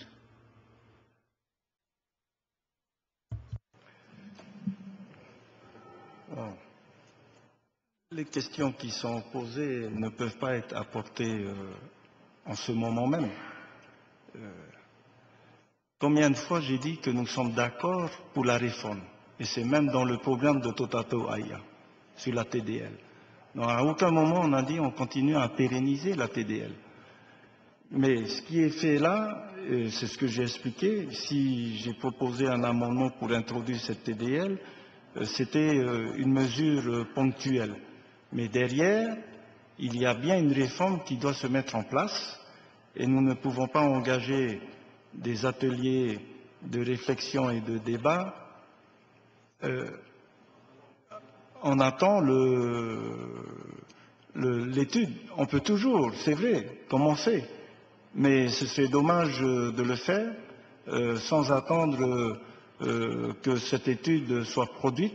À ce moment-là, on aura un état des lieux, on aura un point de vue objectif réalisé par quelqu'un et non pas par nos propres services ou par le ministère pour débattre de ces secteurs et voir l'utilité ou pas, peut-être que oui dans certains secteurs et pas dans d'autres.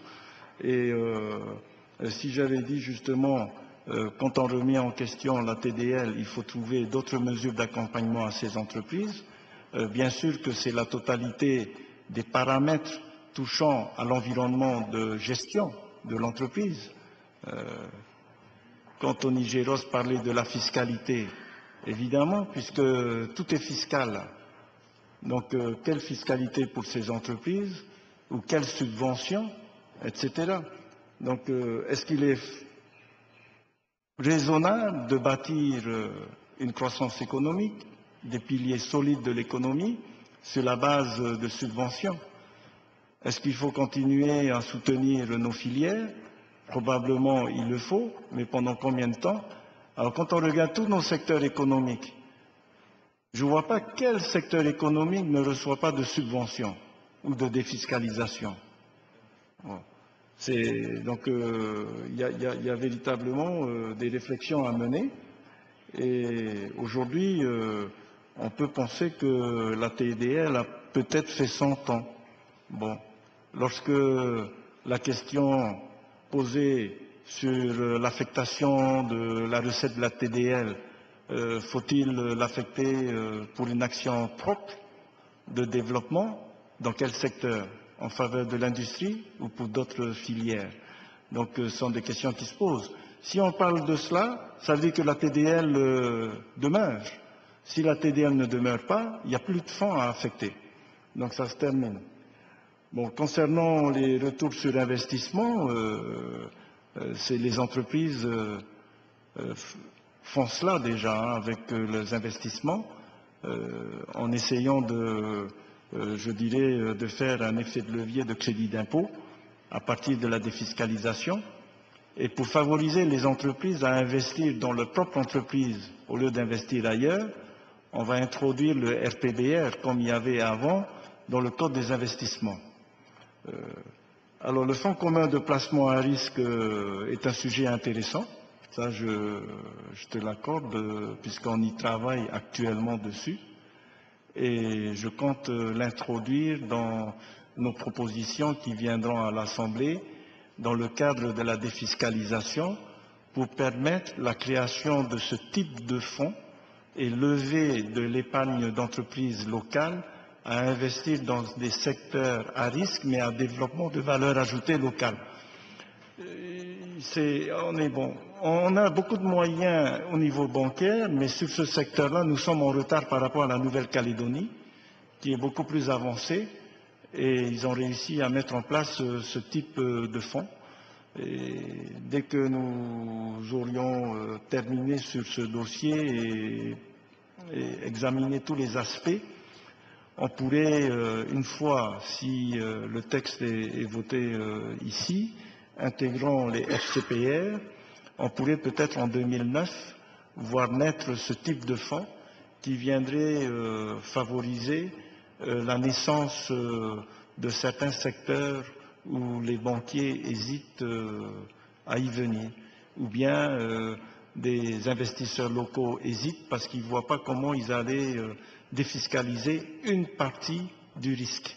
Alors, en mettant une épargne d'entreprise dans les FCPR avec une défiscalisation possible, ils peuvent se dire, eh bien, au lieu de perdre 100, et si jamais je perds, je vais peut-être perdre que 50 ou 60 et l'autre partie, eh bien, ça vient des impôts. Quelque part, c'est toujours le pays qui met les moyens euh, en termes d'accompagnement de financement et aussi euh, d'effet de levier d'incitation à l'investissement.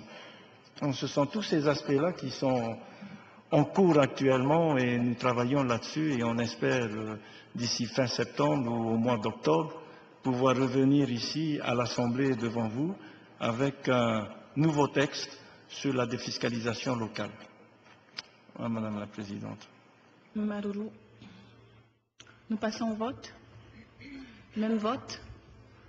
Article 2 adopté. Article 3. Article LP3. Le tableau mentionné à l'article 3 de la délibération numéro 97-194 APF du 24 octobre 1997 modifié portant modification du tarif des douanes et instauration d'une taxe de développement local TDL à l'importation ainsi modifiée. Premièrement, ajouter les lignes suivantes. Donc, je vous laisse lire silencieusement. Euh, et et deuxièmement, remplacer les lignes, bon, toujours, lecture silencieuse, par les lignes suivantes. Voilà, Madame la Merci pour le raccourci. La discussion est ouverte.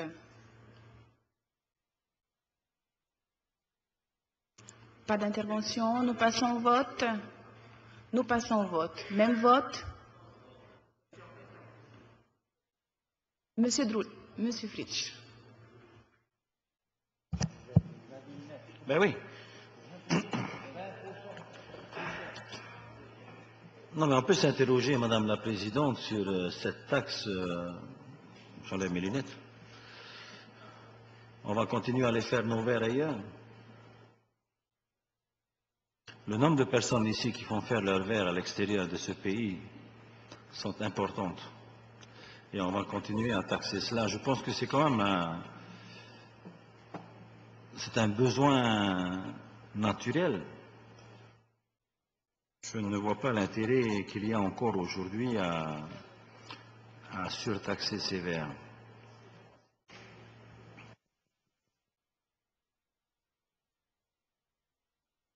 Maruru, Monsieur Droli.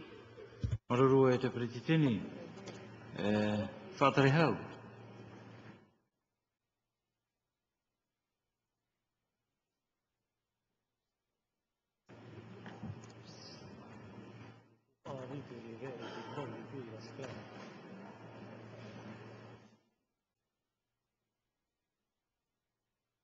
Te ri anō tō man au i te nei ene tuhu anō te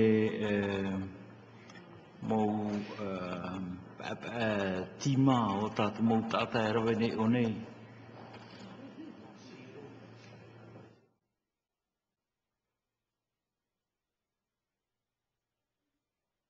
O te tā urua? Eh, tēnā no i tō man au i te nei uh, tute e i vani e tanere. o te whautahia ni e te mō uh, tua o tatatou e, e poro i nei, no te taua, taua tima. Uh, warawa i anei no te paruru i tatatou mō te iete, te iewani e tanere, mei te whahiti ato tatou ta e a Pierre Frebo, Uh, ai tau e maramarama mai te era no te hae nari rāe. I hare tātou ni e te mō hi o te titi amata tini e te whaito piti oru ni e tānere. Hare tātou ni e te ne tima tini e te whaito eiwa ni e tānere. Ahani, nene ane ta oe hapapu mai te e numara i tōne taui ananai, hei whaho me one no te taui aho i ana. Horori me na te tei ha mara mara. Maruru mai tei. Maruru. Monsieur, Monsieur Bertolon. Euh, merci Madame la Présidente. Apparemment, euh, on comprend mal euh, l'implication du texte concernant la TDL sur les verts. On n'est pas en train de dire qu'on va mettre la TDL sur les verts, cette TDL existe déjà. Hein, elle est de 20%. Et on est en train de dire que dans tous les types de verres qui servent aux lunettes de vue, hein, il existe un type de verre qui est traité de deux faces, qui jusqu'à présent subit de la TDL, mais qui pourtant n'est pas produite localement.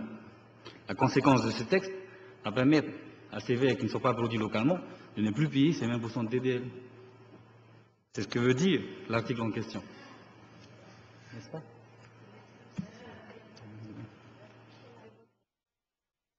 Voilà, voilà, Madame la Présidente. Maruru.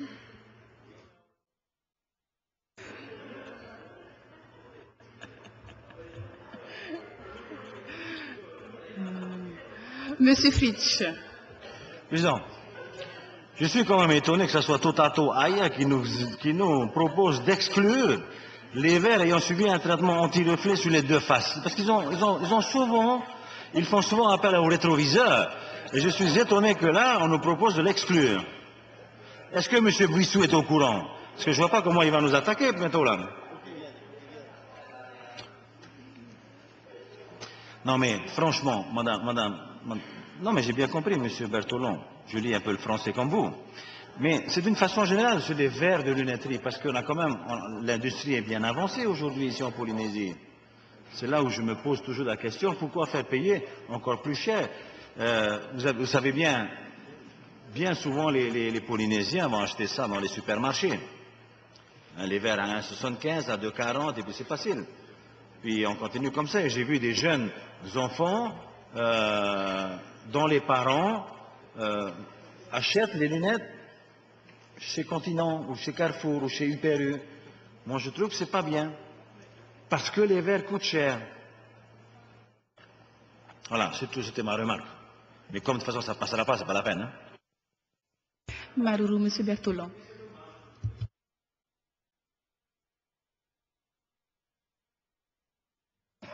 Apparemment, avec M. Fritsch, on comprend le français, mais pas de la même façon.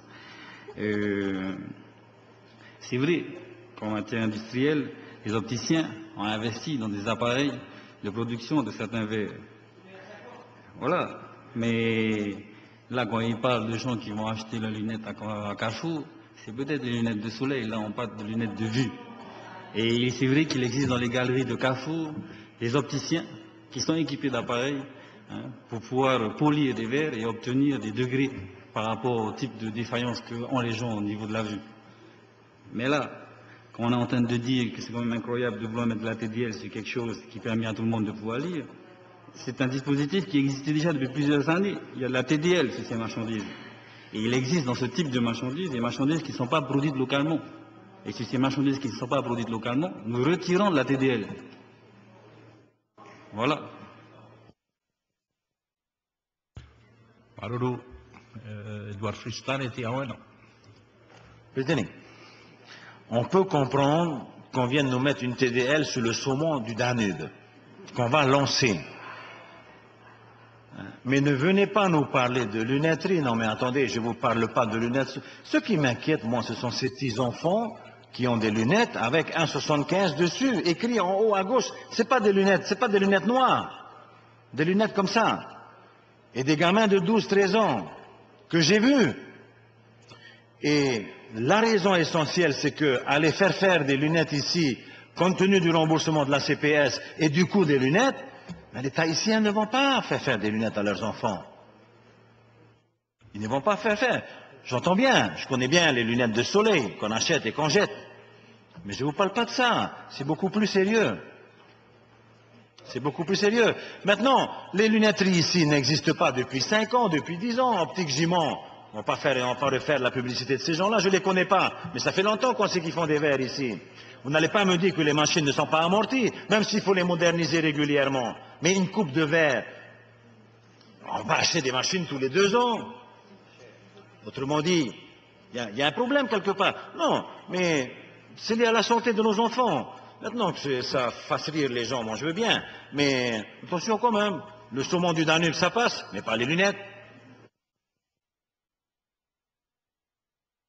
Bertolon. Oui, merci, Monsieur le Président. Ah, apparemment, ce que a du mal à comprendre, ce que je suis en train de lui dire, c'est que la TDL en question qu'il trouve scandaleuse, c'est eux qui l'ont mise en place depuis quelques années. Alors, si, cette TDL, dirais, elle existe depuis le démarrage de la TDL. Il faut demander à pourquoi il l'a mis en place. Alors, non. Et dans le cas si, de toute si cette TDL qui a été mise en place, si je vous parle il y a une d'optique Gémant, que nous voulons retirer. si je vous parle d'optique Gémant, vous êtes parce en train qu'on sait de quoi vous on êtes parle en tous train, les deux. Vous deux. critiquer vous-même. Regarde là-bas. Voilà, merci, Monsieur le Président. Il en fait partie des socioprofessionnels. On sait pour qui on fait ça.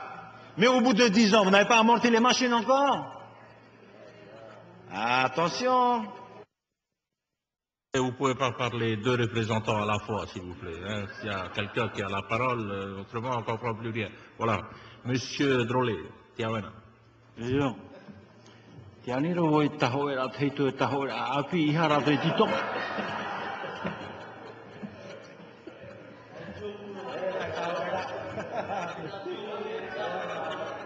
E te ie, e taho e ra ota. E anira ta au e te peretitini ni e te ie nei mō taua tima. E, no te ha i ha mau e, e te ie nei e, whaito ewa ni e tanere. E i roto i te tatarara te nā ora ta oe papa i e no te mea e mar au e te whereti o te pai.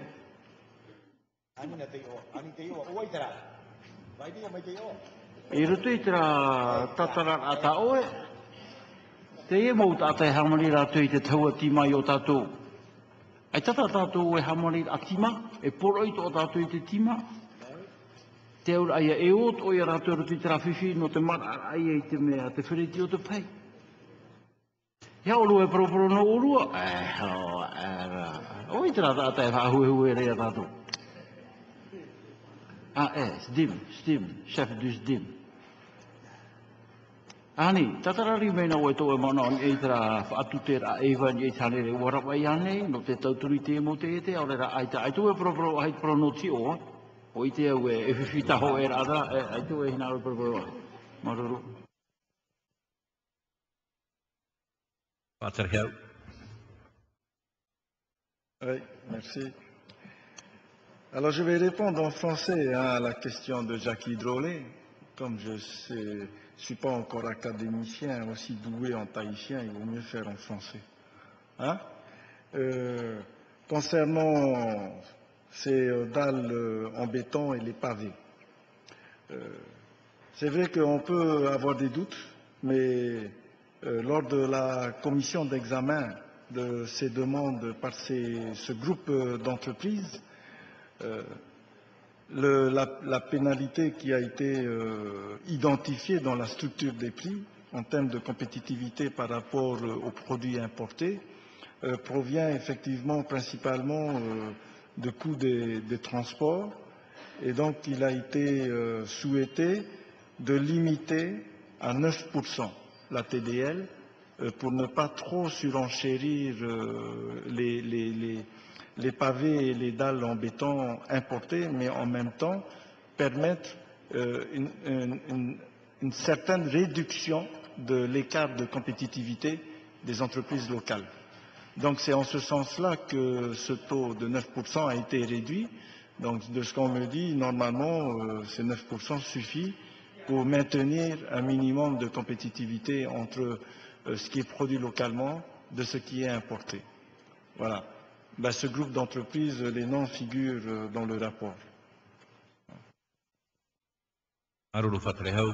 euh, Monsieur Drolet, Tiawena. E maruru mai te te te te Ai tau oi pahono mai ta au i a e te whiwhia to o te mote i te hamani nei te e nei mo te hua ti mai o tatu? E, ia poro i me ratu i ta ratu ti mai e o i te whereti. Te aura ia e whiwhi mi te te? E poro i nei te tima, te taua tima mai mai rapai mai. Whahiti hia te o te mote e te whaitui tohea re une, Eh, ne ne ane ta oe ahiti me te o te te e te aitatana te e hamari a pamea taua tima une e poro i meira na te ara. O rato ia te o foi tratu te iwan i ai chanere. Mono te mea iai whaaro i ta oe mo tatarara mi tūra e ai tō e parurura i tatatou, Te parurura o e tra mo te i te poro e meira meira pa. Pene apa te hape i rato umanao. Iau e wharo i ta oe propra. Ia e wharo i ta oe propra. mi turura te parurura o i te teipu putata. Rato tere e por meira te mautaua ti ma i pa mai. Nene ane oe e whaite mei amato, aure rei ani tu tra ata e rata i tzim, oe tra mo te e te por i nei te mautaua ti ma. Ia papu mai te wei tatu i te e watea, e tra te whanau e whanau hi ara. E re te i reo tua reo whahapa. Wohoro hea te tei ua o te teipa, a horo to atu pai te tei ua o te teipa. Ia papu ia tatou oe tre por e mere te o tima. Maruru. Maruru, uh, riwe tatame, Tiawena. E, Putin, e, ho e amana o te e hare tura e tōsa ki trole, no ni e prau no te tima, e te prau tro no ni e prau no te, no te pua saura. Te e me bondio. No te e te tatu parurue, e tu uta te te te te e, de te hinu puha te e uri de pan, i roto. Eh, ai te e tatu tu atiro atu rein e o drama, wei mai a drama o a te ite, e ta tatu e paruru ne. Wei a huru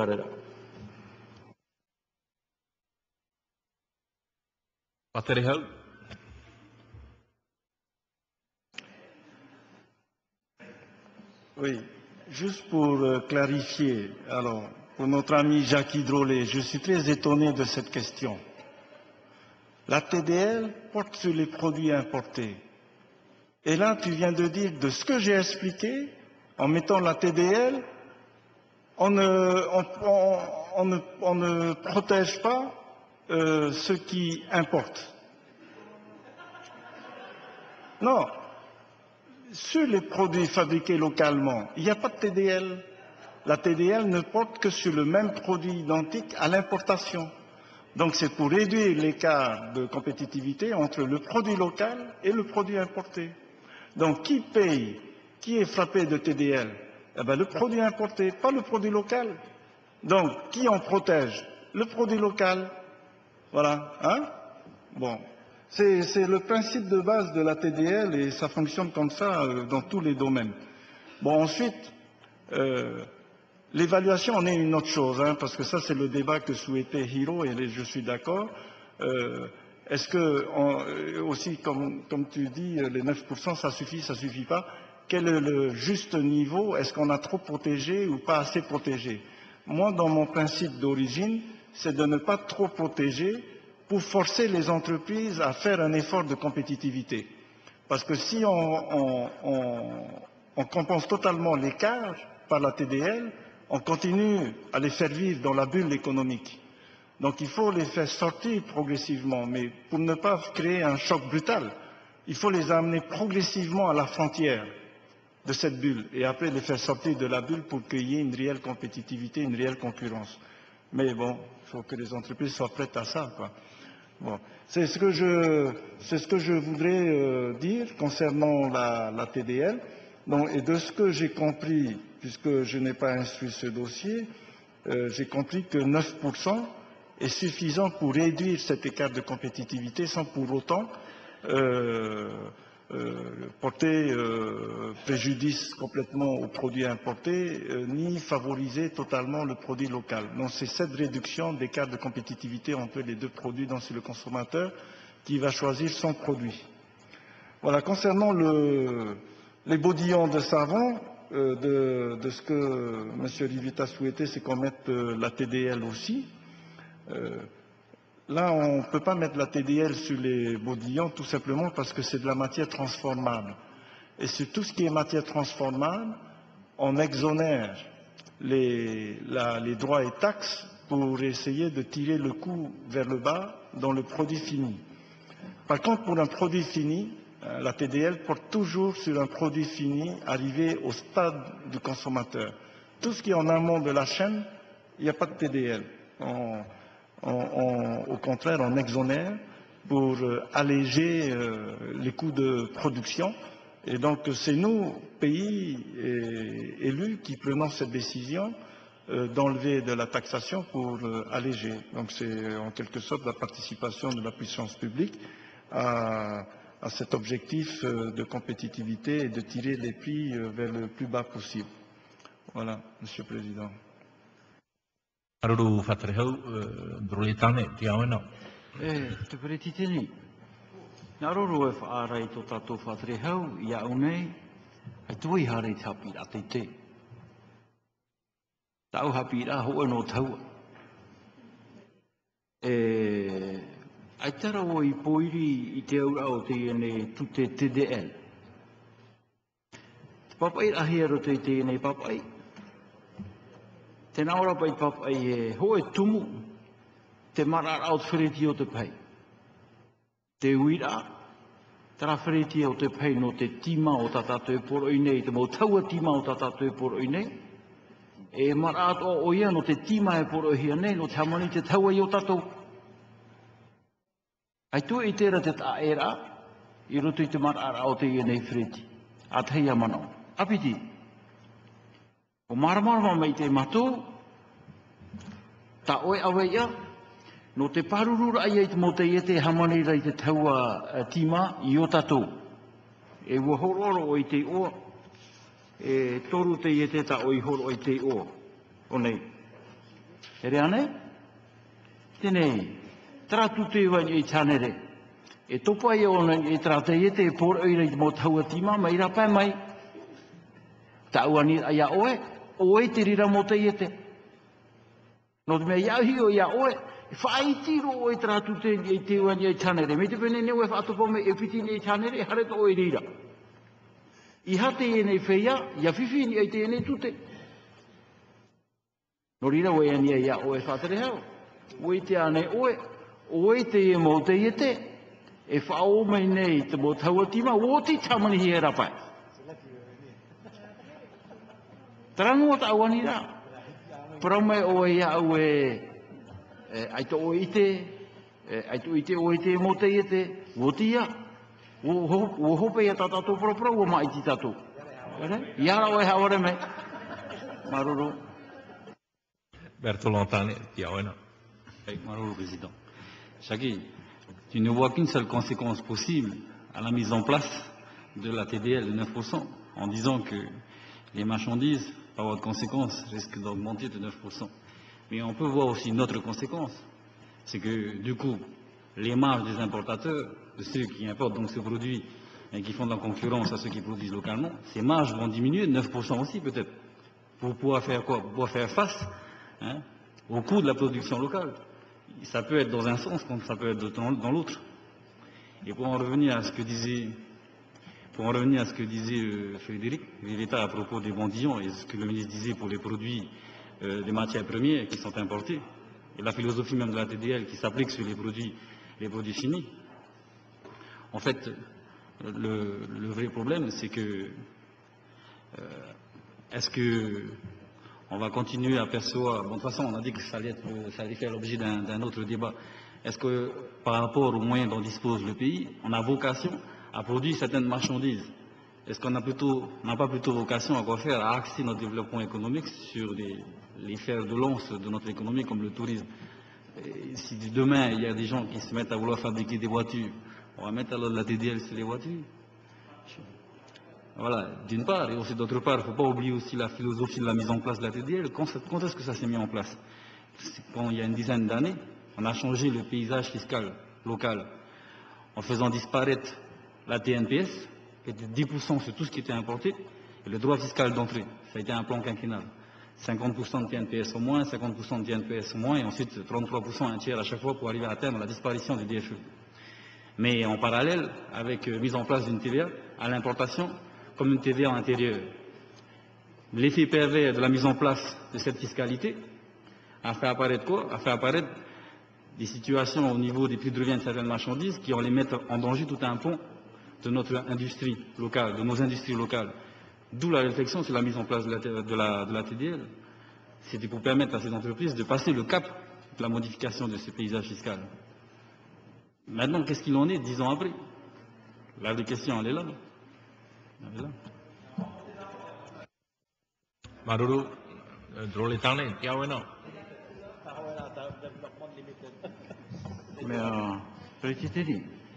Mea, te hare rotura ta tātou uhipo pai te rerura. Ai tu e papu mai te o mara mara mai te ane o Bertolon tani, te ui rau ta ui eni atu i to tātou whatere hau. Ai tu e poro i ane paripari mai tra mo paripari tāne poro poro mai. Ho e no ta uira, o ei te e te e whao mei nei te taua ti mai o tātou, e ho atu ai. Rātou te, rātou te tawhiwhi te ieiwani e tānere. Tō mana ho hono me te pēu tauturu tātou i tātou mō te iete. E tauturu tātou i tātou mō te iete no tō e tau poto me te prohia e tō tātou ta e Tony Geros. Te ene tuho anō te te, te te el e ere no te e, atau ahiti a murino atu. Ia ia. Ia ia. Tōna hau a mau e tau i te tei te me. Ia marare. Maruru. Maruru. Maruru. Eh, est-ce que je vais répondre à la question de Jacques Hidrolet Parce qu'il avait l'air de dire que je cache quelque chose. Je cache rien. Et je protège rien de particulier non plus, parce que ce n'est pas moi qui ai proposé 9%. Hein, ce sont les services et la commission qui ont rendu un avis là-dessus. Donc j'ai n'ai pas à bouger, mettre plus, mettre moins. Je ne fais que transmettre un dossier euh, qui est d'ordre fiscal. Mais maintenant, qui sont les entreprises qui sont concernées? Nous connaissons toutes ces, entreprises qui importent des dalles euh, et des pavés. Hein? Et si ce sont des noms euh, que tu souhaites avoir pour pouvoir aller faire tes courses, tu, le dis. Ben, ils sont tous là, comme Hyperbrico, Carovog, Sotapor, MCM, et il y en a d'autres encore, euh, enfin, matériaux, ils font tout ça. Mais on peut aller faire les courses ensemble, on va pointer les prix en même temps, comme ça on va choisir la qualité et le prix. Hein, sans tous ces dossiers-là. Mais sinon, euh, moi je n'ai pas de parti pris euh, particulier là-dessus. Hein. On suit les avis techniques et le travail qui a été effectué par nos services. D'ailleurs, c'est un dossier de Tony Giro, c'est signé par euh, Totato Petitini Oscar Temaru, la loi de pays. Maruru nous passons au vote de l'article LP3 qui est pour. Même vote adopté. C'est quoi le même vote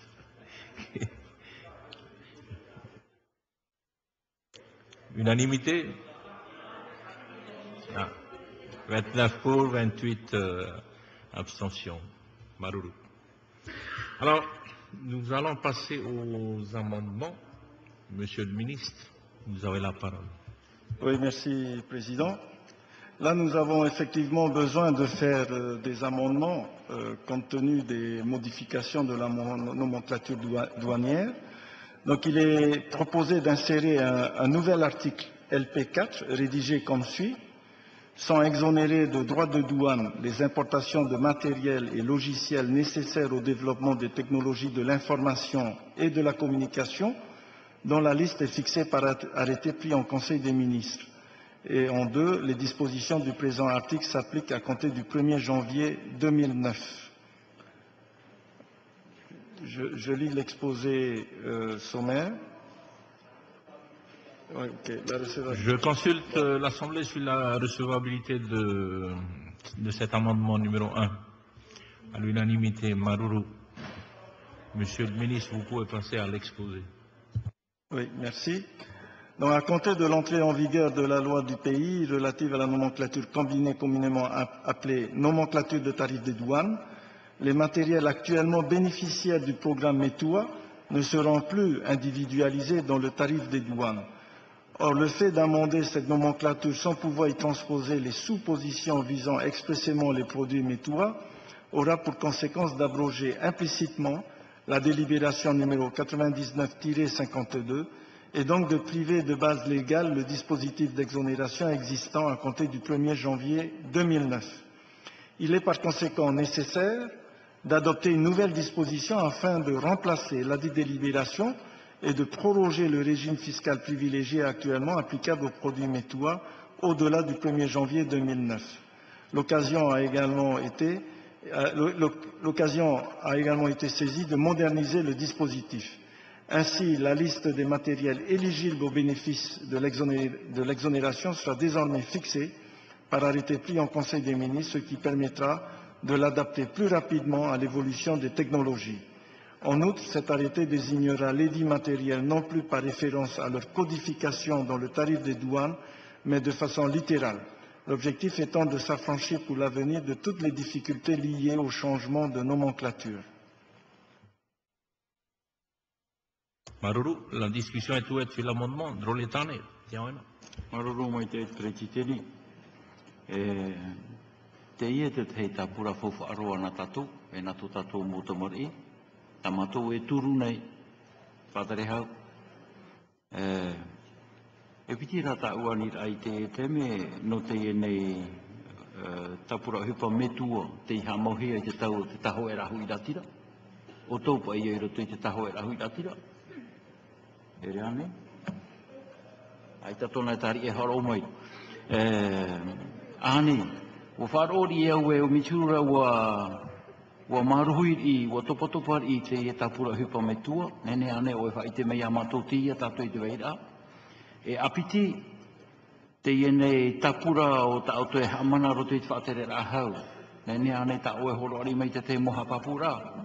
I he hare roro tu i tuhonu ra me horo ari mei rata te moha papura. E piti anira, maruru.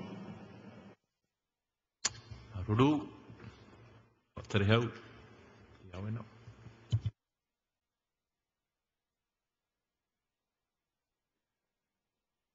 Bien sûr, euh, le développement de ce sujet euh, concernant le programme ETOA, euh, cette transposition, d'abord, je vais expliquer juste, cette transposition permet de la continuation de l'exonération des droits et taxes sur les ordinateurs, les parties d'ordinateurs servant au montage des ordinateurs, puisqu'il y a des assemblages locaux hein, en ordinateur, et aussi euh, euh, toutes les parties qui rentrent euh, dans euh, la composition des, circuits, des réseaux, euh, donc des, produits dérivés. La difficulté qu'on a connue jusqu'ici, c'était au niveau de ce texte, c'est euh, l'imputation de la nomenclature du numéro. Et donc, il y avait des problèmes d'interprétation et des discussions avec euh, la douane. À partir du moment où on va établir clairement la liste des produits, ça permettra ensuite de mettre en face des numéros de nomenclature pour éviter des discussions ultérieures et permettre une bonne application du texte. Maintenant, est-ce que le programme MITOA est, en panne ou en baisse? Euh, C'est un programme qui, a été lancé, mais qui s'est poursuivi aujourd'hui, mais plus sous le même angle, puisque euh, comme vous savez, le groupe OPT continue sa démarche euh, de câblage en fibre optique, puisque aujourd'hui ce sont les îles sous le vent qui bénéficient de ce travail. Et maintenant, par rapport aux câbles sous-marins, donc on ne parle plus de programme ETOA, mais ça fait partie de cet esprit de développement des nouvelles technologies qui arrive et qui va permettre de voir le développement du haut débit au niveau de Tahiti, Moorea on a rajouté dernièrement Huahine, et puis Rayatea et Bora Bora. Euh, dernièrement, nous sommes en train de voir et prochainement nous aurons à voir en, conseil d'administration de l'OPT puisque j'ai demandé à ce qu'on commence à augmenter les débits et avoir des tarifs différenciés pour mieux préparer euh, euh, progressivement l'arrivée du câble pour les changements de capacité et de tarifs. Eh nous arrivons maintenant à une saturation de capacité sur les îles sous le vent, parce que d'après ce qu'on me dit, euh, de l'augmentation des capacités qu'on va donner ici, puisqu'on va monter à 1 méga euh, de la DSL, sur les îles sous le vent, on ne pourra pas offrir euh, les mêmes capacités, parce que la liaison Tahiti en faisceau hertzien sur Huahine est saturée et il ne reste plus que 14 mégas de disponibles. Donc on sera obligé, pour les îles sous le vent, d'attendre l'arrivée du câble sous-marin pour pouvoir ensuite booster en capacité. Entre Reyatea et Ta'a, le, le, le, la, le câble fibre optique sous-marin est déjà posé et qui va permettre aussi à Ta'a de bénéficier du haut débit au niveau de l'Internet.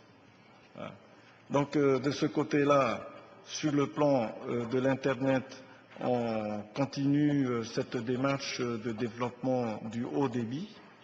Et pour ce qui concerne les autres aspects qui rentraient à l'époque dans le schéma METUA, c'était l'aspect audiovisuel, puisque euh, TNTV rentrait dans le programme euh, de METUA et euh, TNS aussi a été créé dans ce sens-là.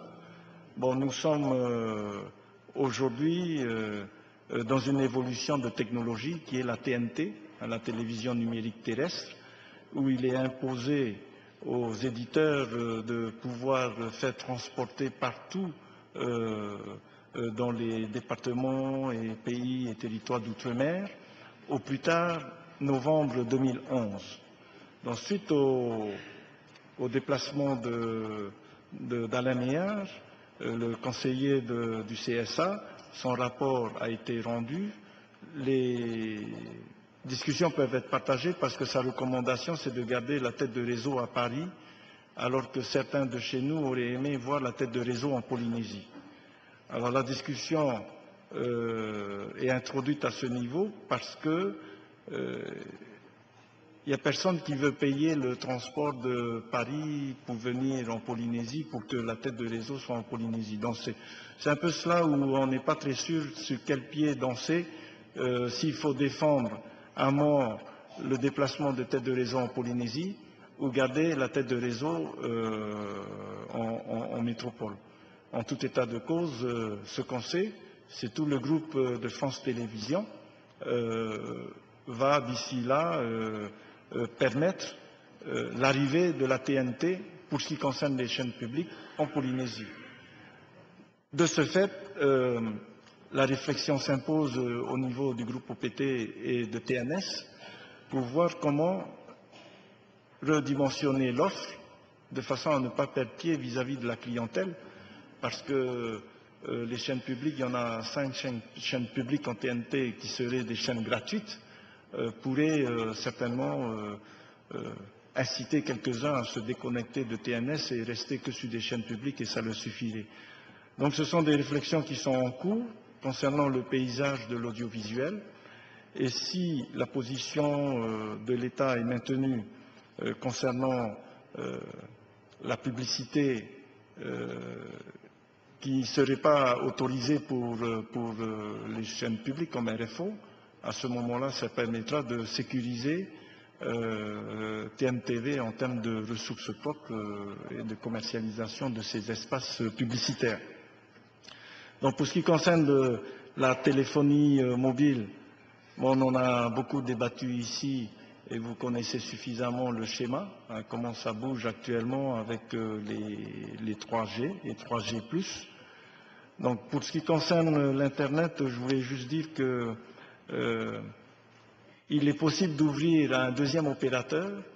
Euh, Aujourd'hui, Mana est, le seul FAI au niveau de l'Internet.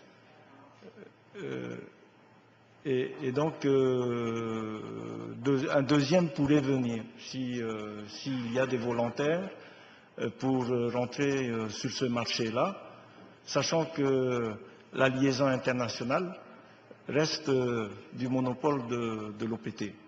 Hein, Donc c'est là où nous avons besoin, à titre de protection quelque part du consommateur, mettre en place des tarifs de référence de façon à ce que s'il y a des opérateurs nouveaux qui viendraient sur le marché, puissent disposer euh, d'un tarif euh, arbitré et, donc que le consommateur ne soit pas pénalisé.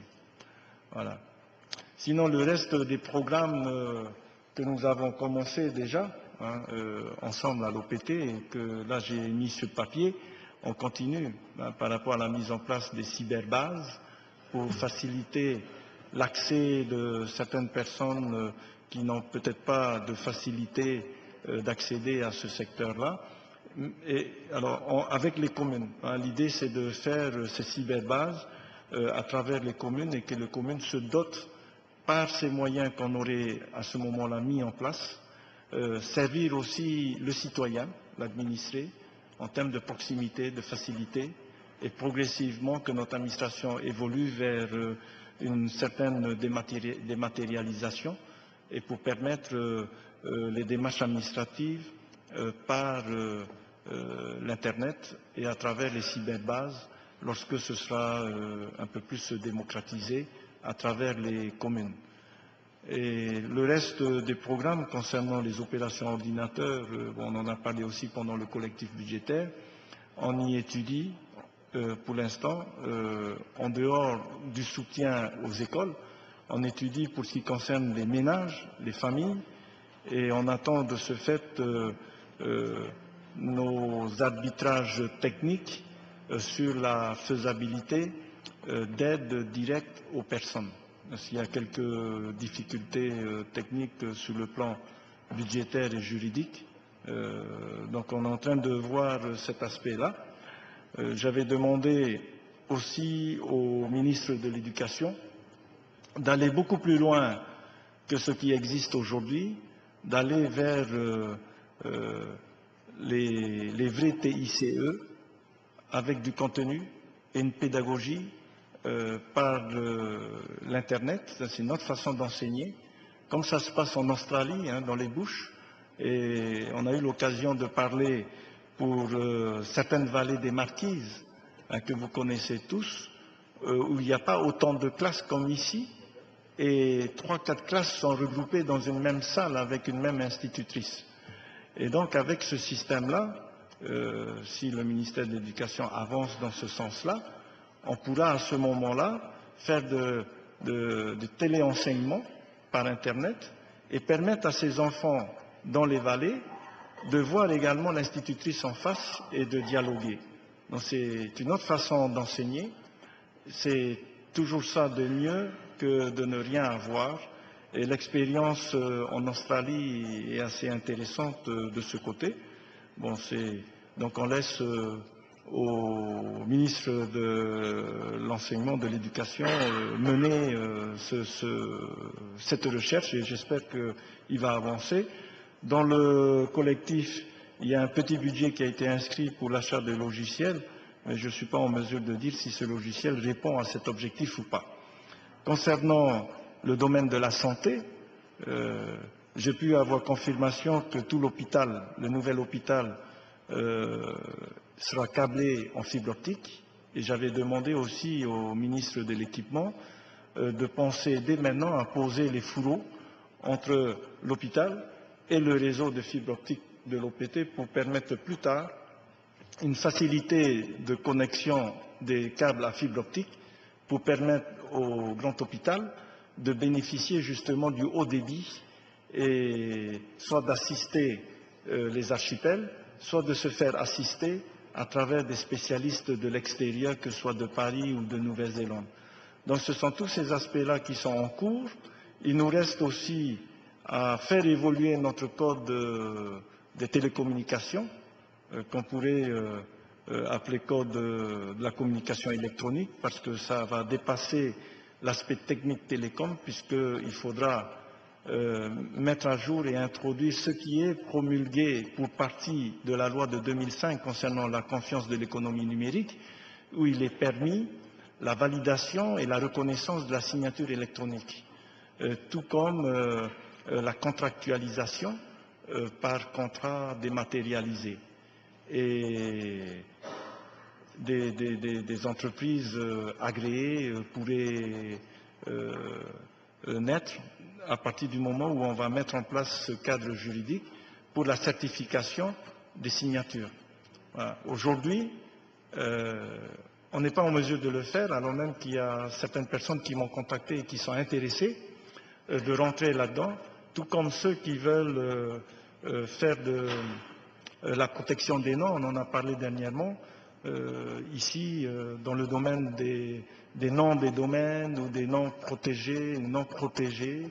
Euh, donc il y, y a- pas mal de secteurs possibles qui pourraient voir naître en Polynésie en tant que filière économique, mais pour ça il nous faut adapter notre code et faire évoluer le droit de façon à ouvrir ces champs de développement tout en protégeant les consommateurs par rapport à ceux qui viendraient euh, dans ce secteur-là. Voilà, c'est juste en résumé les quelques points euh, qu'on n'appelle plus métois, mais c'est toujours euh, cette démarche dans cet esprit-là de développement euh, de, euh, des nouvelles technologies de l'information et de la communication. Voilà, Monsieur le Président. Maruru. Maruru maruru e piti ta uani rai naua nei, ho e ni e a metua, e ho e ni e te i nei paraumana o tate apora ahau e rawe, e te apapar ai atu motai hea e nen he ha mamai te tute. Au re refa ore te tute. E rea nei, te i nei paraumana ta oe i, i, i whahiti, nā te apora ahau te rea paraumana e rawe. Nen he ane ta oe whai te mei, e hate i motai hea ta o te opuare i te whaore i te tute, eh? I roto i te rea tapura. No te hui mei tu uman oni e ia whare me tua, ia me tua. Uh, hape tu e au i te o moara, te gene ta o ta o i tona i o i tarara tau, e whare me tua oire. Hape tu e au. Wawai nora o ia i tua e wahei e ai taho e hupa mai te i tupu mai, ai tatu o mana hina rora e whahapa i te te te te, ua haamatahi ara e ai titapa. Tona i ua i te matamoa, whare me tua oire. A te o api, cyberbaz. Tata ua hare mata i te, i te tua wewe roat oire o pari. E ria ria te tata i te roro wira. I o tau wa charera. Hape tu ea, i roto i tera o puara, Tira roa te atere a, a te eh, a whatamoni caisse de dépôt et consignation. Ho e tera tapura hupa i tuhi roto i tōna rima, e wo tūt ohi a te moni roto i tōna rima, no te tauturu ai ai te mōtu ai nenhe e amoi tau ta wawaheira. Ai tia tau e ma i titura te mo oire. Patia tia no tō ia oe, e nei no hiti a. E apu mai te i nei cyberbans basta oe. Re? Hare hopa i te wahai vewe roa di re rawa ia i tau wahi pāra. Alo, e roto i te i e mana, uh, me te peu e wa tū te hauwhrani i te fofu a roto i tra te i e te caisse de dépôt e consignation no te rawa i ta wa tapura hupara, e nārira ato ane o ia i o tātou. Tāpa e moni i tuhi roto i tōna rima, no te rawa ai mea pari 18 nene ane hare mei hitia, e ura aprau. E ura aprau noa, exemple, eh? E ere whahe pora hare me hitia, exemple, no te, eh? Tera te anira. Te piti, me te pau e aita. Ai tapu ai te ia nei a whata moni kes de depo e wha o o me tāna tauturu tu i tā tātou tuhua. E, ne ne anei tā tātou a whata whip. E mua o i tāna a i reira. E tauturu ato i te mo oire no te whaaratara i e te tātani i te roruira No te mea, te tapurahi pa mata mua na te siberbaz o ia te whaaratara i e te tata i te ienei muha. E iarata mai i te ere mohi a nen he e whaatea atu i te te moani a i roto i te whaaterera o te hau, e ti tau atu e te mo prau ha mara mara mara. Te turu papu nei mato i tera manao. me tanu rā ia whaatea to me o i te te mo hapapura, na whea tātu i te rawe, tihia tātu i te veira.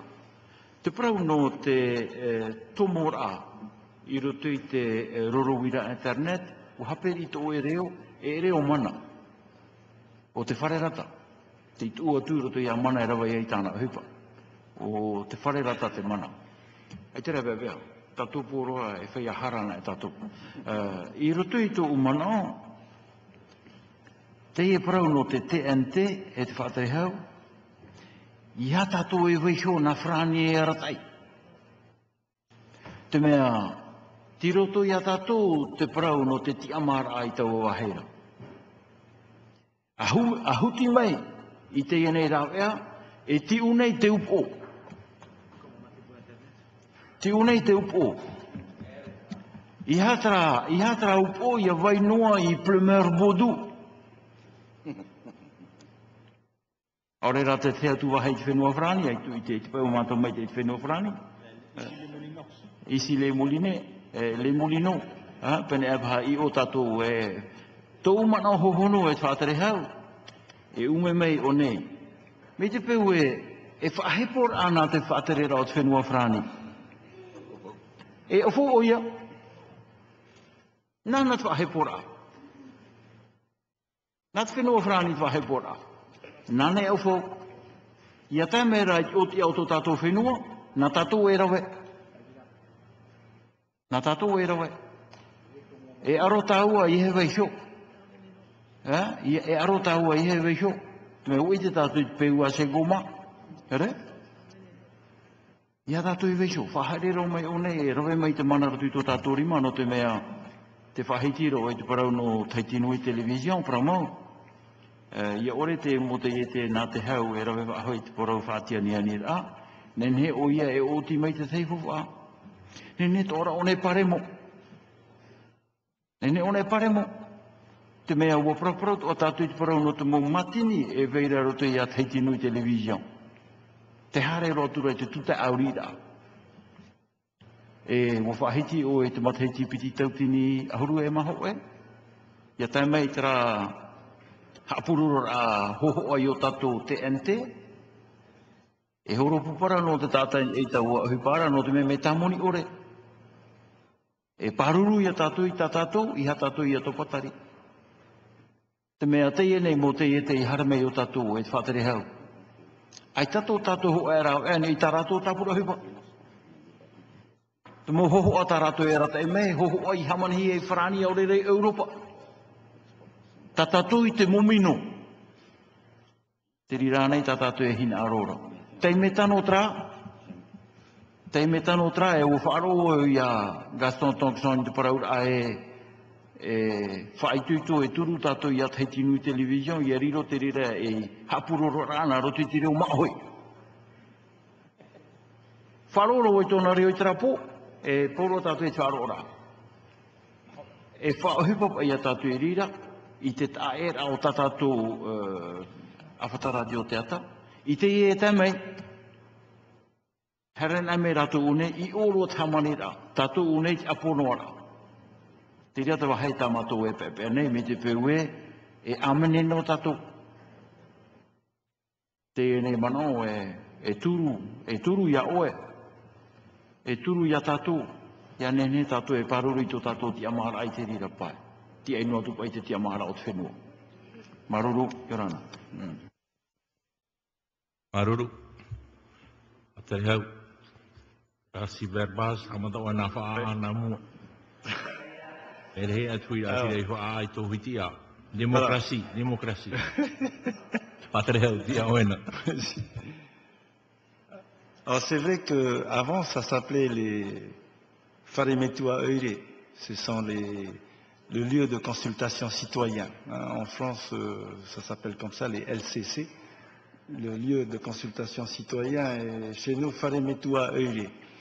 Effectivement, euh, l'idée était bonne, mais au moment où le programme Metua a été mis en place, je crois qu'on était trop en avance par rapport au développement de la culture multimédia et de l'Internet. Puisque la DSL n'est arrivée chez nous qu'en 2003, alors que Metua a démarré en 98. Donc on était trop en avance, trop tôt.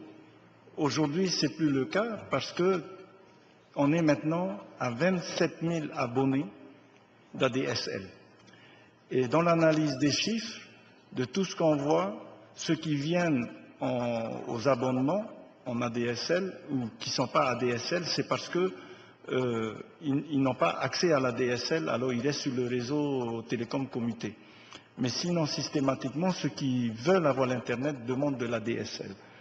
Donc aujourd'hui, nous avons euh, un peu de retard dans notre programme de VSAT, hein, que tu connais, puisque pour permettre aux archipels d'accéder au haut débit plus vite que l'arrivée du câble sous-marin, euh, là, il y a un retard au niveau de, l'OPT, malheureusement. on espère pouvoir euh, promettre euh, pour le 1er juillet 2009 que les VSAT soient installés dans les archipels avant même l'arrivée du cap sous-marin. Et donc, pour les Faremetua œillés, ce qui a un peu manqué, c'est le contenu. L'idée était là, mais il fallait mettre du contenu et aussi des animateurs. Et on a voulu aussi passer par des associations pour s'en occuper. Et ces associations, euh, tant qu'il n'y a pas de contrat euh, emploi aidé, il n'y a pas de pérennité. Donc aujourd'hui, c'est vrai que dans notre démarche aujourd'hui de cyberbase, c'est toujours euh, notre dossier, notre dossier qui date maintenant de 2-3 ans avec la CDC. Donc c'est dans le schéma que nous avons vu à Paris pour permettre, lors de la création, de rentrer dans un réseau, un réseau mondial, France, Outre-mer, tout ça, et dans le budget, euh, nous avons le budget, puisque c'était prévu déjà au primitif, euh, pour créer deux cyberbases avant la fin d'année. Dans le pays, sur le budget primitif, a prévu 8 millions de francs, 4 millions en aménagement, 4 millions en équipement. Et la CDC accompagne euh, sur la base de, 3 millions, 3 millions plafonnés à 3 millions, 3 millions 5 euh, par euh, sur un format euh, standard. Donc maintenant, nous sommes arrivés au bout de notre discussion où on ferait un partenariat pays, OPT et CDC. Donc l'apport de l'OPT, c'est la connexion Internet gratuitement et aussi une mise à disposition de ressources humaines, des webmasters, sur des tranches horaires définies avec la commune. Donc il y aura une convention cadre de prévu et ensuite par commune il y aura une convention d'application et la commune qui accueillerait le cyberbase, donc c'est la commune qui héberge, hein, donc qui offre le local et qui met son propre animateur. Alors de plus en plus on propose euh, dans le montage du schéma comme on a vu à Paris euh, sous forme de maison d'insertion et de l'emploi de façon à ce que L'animateur qui s'occupe des gens qui viennent à la mairie pour des démarches soit sociales, soit de l'emploi, puisse également euh, gérer ces cyberbases et mettre en œuvre tout cela. Donc le programme euh, est pratiquement ficelé, le compte d'exploitation aussi, les coûts pour la commune, nous avons tous ciblé cela. Et pour démarrer euh, avant la fin d'année, puisqu'on n'a que deux cyberbases de prévues, donc j'avais proposé à notre président de l'Assemblée pour sa mairie de Faha, s'il a un point d'accueil, on pourrait commencer par Faha. Et un, à l'est, ça pourrait être Pire par exemple. voilà. Mais bon, rien n'est décidé. Et l'année prochaine, euh, on, en mettra, on en mettrait un peu plus.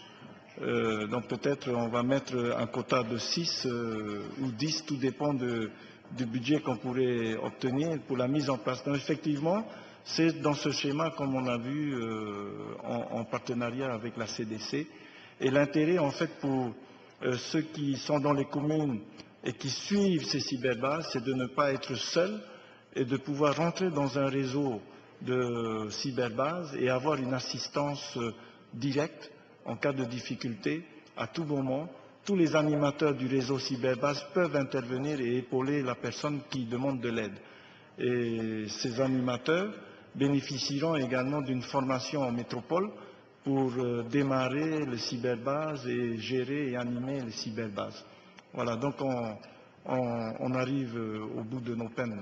Il reste maintenant euh, les communes. Il faut que les communes optent. Voilà.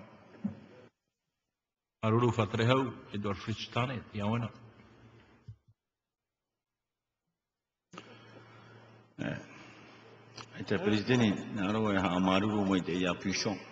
trap e mon o e na fa a te amata mai. Mon o o i te pao ne ha amata rei te mea te e e. Ka e. Non, plus sérieusement, je voudrais dire au, ministre, c'est vrai que s'il y a 15 ans, le, programme euh, METOA était un programme qui pouvait tenir la route, euh, c'est vrai qu'aujourd'hui, je pense qu'on a besoin de repenser complètement à, à ce programme. D'autant que de plus en plus, euh, je pense que sur Tahiti, c'est presque 100% des écoles sont aujourd'hui dotées de matériel informatique ou ont pratiquement toutes leurs salles informatiques et sont pratiquement toutes branchées sur la DSL. Euh, je crois que c'est tout à fait autre chose maintenant qui est attendu de la part de, ces jeunes qui commencent à se lancer sérieusement euh, dans l'informatique. Et, c'est vrai que le gros problème, en fin de compte, c'est l'encadrement humain, c'est les, cybermasters, c'est tout ce personnel euh, qui encadre ces jeunes et, et qui devrait les guider euh, dans leur euh, évolution euh, dans le domaine euh, de l'informatique. euh. Mais c'est bien, Président, moi je pense qu'il faut en effet que, il faut revenir là-dessus. Et je pense euh, plus particulièrement aux archipels euh, qui sont encore dans un état de pauvreté en matière informatique, euh, en matière d'Internet. D'abord, c'est vrai parce qu'ils sont, malheureusement, ils n'ont pas les mêmes capacités, ils n'ont même n'ont pas les mêmes potentiels que nous. Mais je pense que le développement de l'Internet dans les îles est toujours aussi important, sinon prioritaire plus que jamais, et, et qu'il aura des effets divers, euh, que ce soit en matière d'enseignement euh, qu'en matière de commerce. Euh, Là, là, le programme, malheureusement, on a beaucoup investi dans le Vini, on a investi dans des tas de choses de ce genre-là. Mais du côté d'Internet, j'ai l'impression qu'on est toujours dans le même état. Et ça a beaucoup stagné, ce côté. Voilà. Merci, Monsieur le Président.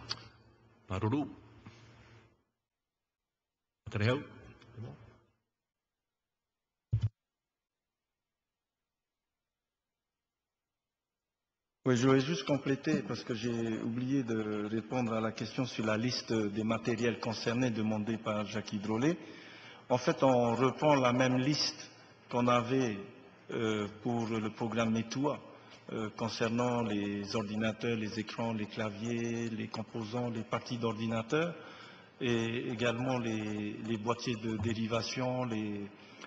Maintenant, il y a un tas de produits nouveaux qui touchent tout le secteur euh, des NTIC, euh, comme les, boîtiers wi- Wi-Fi et autres. Donc on a besoin d'identifier, parce que le marché bouge tellement. Euh, la seule question qui se pose aujourd'hui pour nous, en dehors de tous ces produits qui existent dans ce secteur-là, c'est faut-il introduire dans la liste des exonérations euh, le câble euh, à fibre optique, d'une manière générale? Euh, puisqu'aux États-Unis, lorsque je suis allé à Hawaï dans le cadre du dossier Honotua et lorsque j'avais rencontré la douane américaine, j'ai appris que les États-Unis ont pris une option de développement de tout ce qui est Internet, multimédia, NTIC, et tout ce qui est à fibre optique, c'est exonéré de droits et taxes, quelle que soit l'origine y compris euh, un câble comme le nôtre qui arrive chez eux, c'est exonéré de droits et taxes, pour favoriser le développement euh, de la communication électronique. Donc pour l'instant, nous n'avons pas pris de décision. euh, si... Alors c'est pas propre à Honotua, quoi, hein, tout ce qui est câble fibre optique, euh, rentre là- là-dedans, tout- toutes les importations de câbles à fibre optique rentreraient dedans. Et dans le futur, et de plus en plus, c'est ce qu'on conseille maintenant aux promoteurs immobiliers, enfin aux constructeurs, c'est que d'emblée, au lieu de mettre euh, la, paire de, de cuivre, c'est de penser fibre optique maintenant. Et les spécialistes de France qui sont venus conseillaient également, même dans les logements sociaux, euh, de réfléchir la mise en place des fibres optiques. On leur dit, mais c'est trop cher, pour l'instant, on n'a peut-être pas les moyens.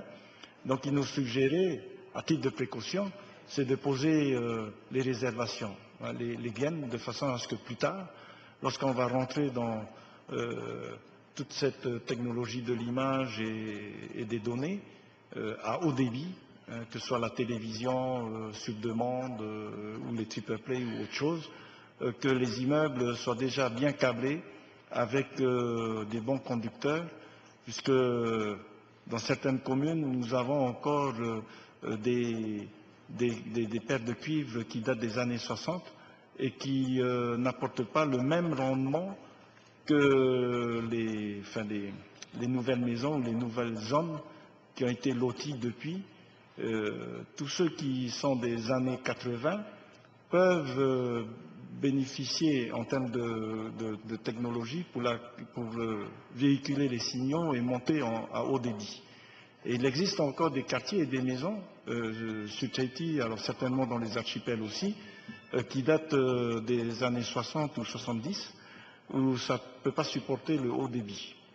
Donc, bon, ça c'est un problème qui se pose. En France, alors même que par le passé, certains spécialistes critiquaient les Américains parce que les Américains avaient opté pour de la fibre optique partout, même dans les maisons, dans des maisons particulières, Maintenant, en France, euh, un nouveau programme vient d'être lancé de passer euh, en tout à fibre optique. Dans même les vieux immeubles, ils commencent maintenant euh, les investissements dans le recablage des immeubles. Et dans les maisons, c'est ce qui est conseillé. Voilà. Donc ça fait partie des, questions concernant la liste des matériels qui rentreraient dans cette exonération. Est-ce qu'il faut intégrer ou pas? Ça peut effectivement conditionner les infrastructures futures en termes de développement des TIC euh, C'est une, vraie question. Ensuite, est-ce que le FIC peut participer au financement des cyberbases? Euh, Certainement, parce que ça a un côté euh, qui touche la citoyenneté des communes et aussi l'aide sociale. Hein, donc, c'est un investissement. je pense que le FIC peut participer. Maintenant, reste à savoir si on peut avoir un soutien de ce côté ou pas. Les communes pourraient en solliciter. Euh, pour la TNT, euh, j'ai bien entendu le message. Euh, jusqu'ici, le problème, c'est le coût de transport de Paris à, la Polynésie pour amener la tête de réseau en Polynésie. Monsieur Drolet dit que puisque c'est une obligation de l'État, donc c'est à l'État de payer. Bon, ça c'est peut-être une négociation à mener, mais en tout cas, pour l'instant, ce n'est pas, prévu euh, ni par le texte, ni par les discussions actuelles que j'ai pu entendre, mais probablement euh, il faudra voir parce qu'aujourd'hui c'est à la charge euh, des éditeurs l'obligation de faire transporter en tout lieu de la République, y compris en Outre-mer. Voilà. voilà ce que je voulais dire. Donc probablement il y a peut-être des discussions à mener de ce côté-là.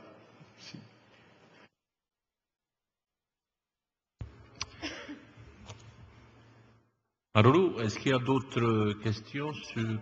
Bon, nous passons au vote de l'amendement numéro 1 qui est pour. À l'unanimité, on passe à l'amendement numéro 2, Monsieur le ministre.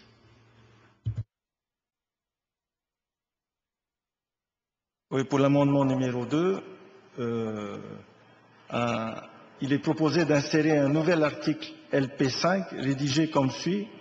Article LP5, 1 la délibération numéro 93-168 AT du 30 décembre 1993 portant modification de la fiscalité perlière à l'exportation. Alors ici, au lieu de est abrogé, c'est est suspendu.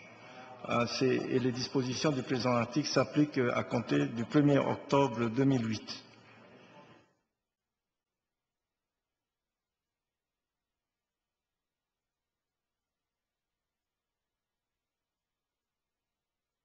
Conseil de l'Assemblée sur la recevabilité de ce deuxième amendement qui est pour. À l'unanimité, la discussion est ouverte sur l'amendement. Euh, monsieur le ministre, vous pouvez passer à l'exposé sommaire. Oui, nous, avons déjà beaucoup discuté sur ce dossier, donc je ne vais pas relire, c'est juste résumer que de la nécessité, euh, en attendant d'avoir euh, la table ronde avec les pelliculteurs et également le gouvernement et les élus euh, sur le devenir et la réforme nécessaire à mener dans ce secteur pour redresser la barre.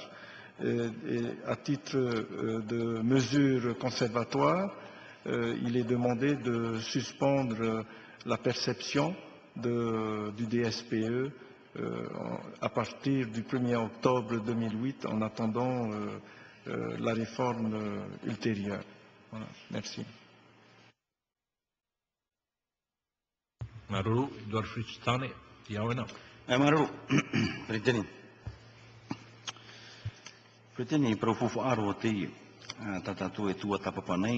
non e te tutte DSPE.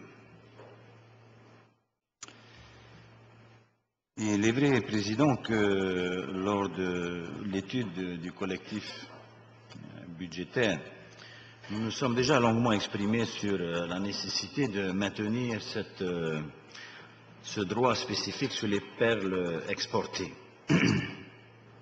Il est vrai aussi que le secteur de la perliculture est aujourd'hui confronté à une grave crise. Mais il n'apparaît pas, en tous les cas en notre sens, que la suspension du DSPE tel qu'on nous la propose soit une mesure adaptée pour répondre à cette crise.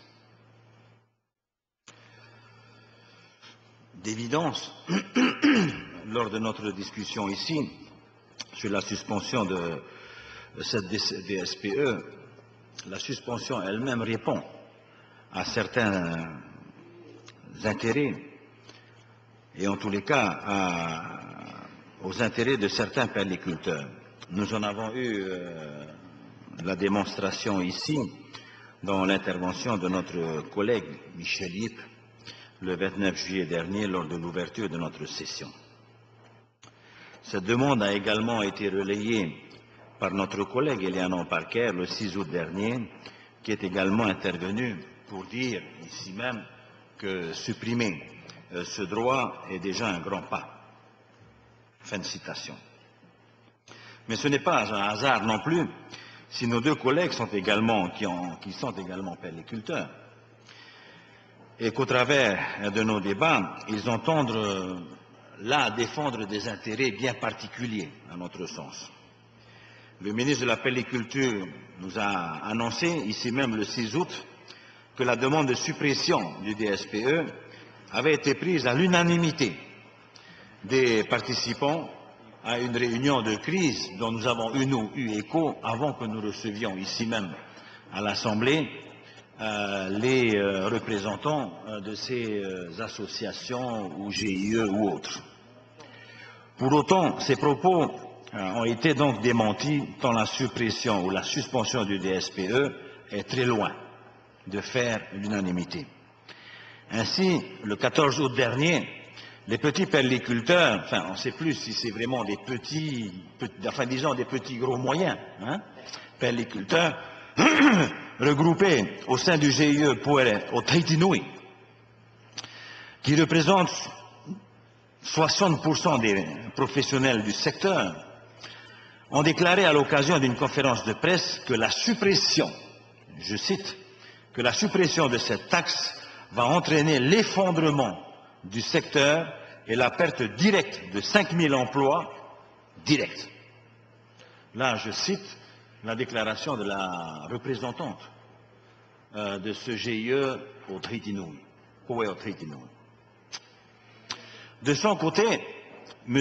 François Polpon, conseiller du GIE Pelle de Triti en charge de la promotion, a affirmé dans les nouvelles du 6 août dernier que la suppression du DSPE, là je le cite aussi, serait une erreur stratégique.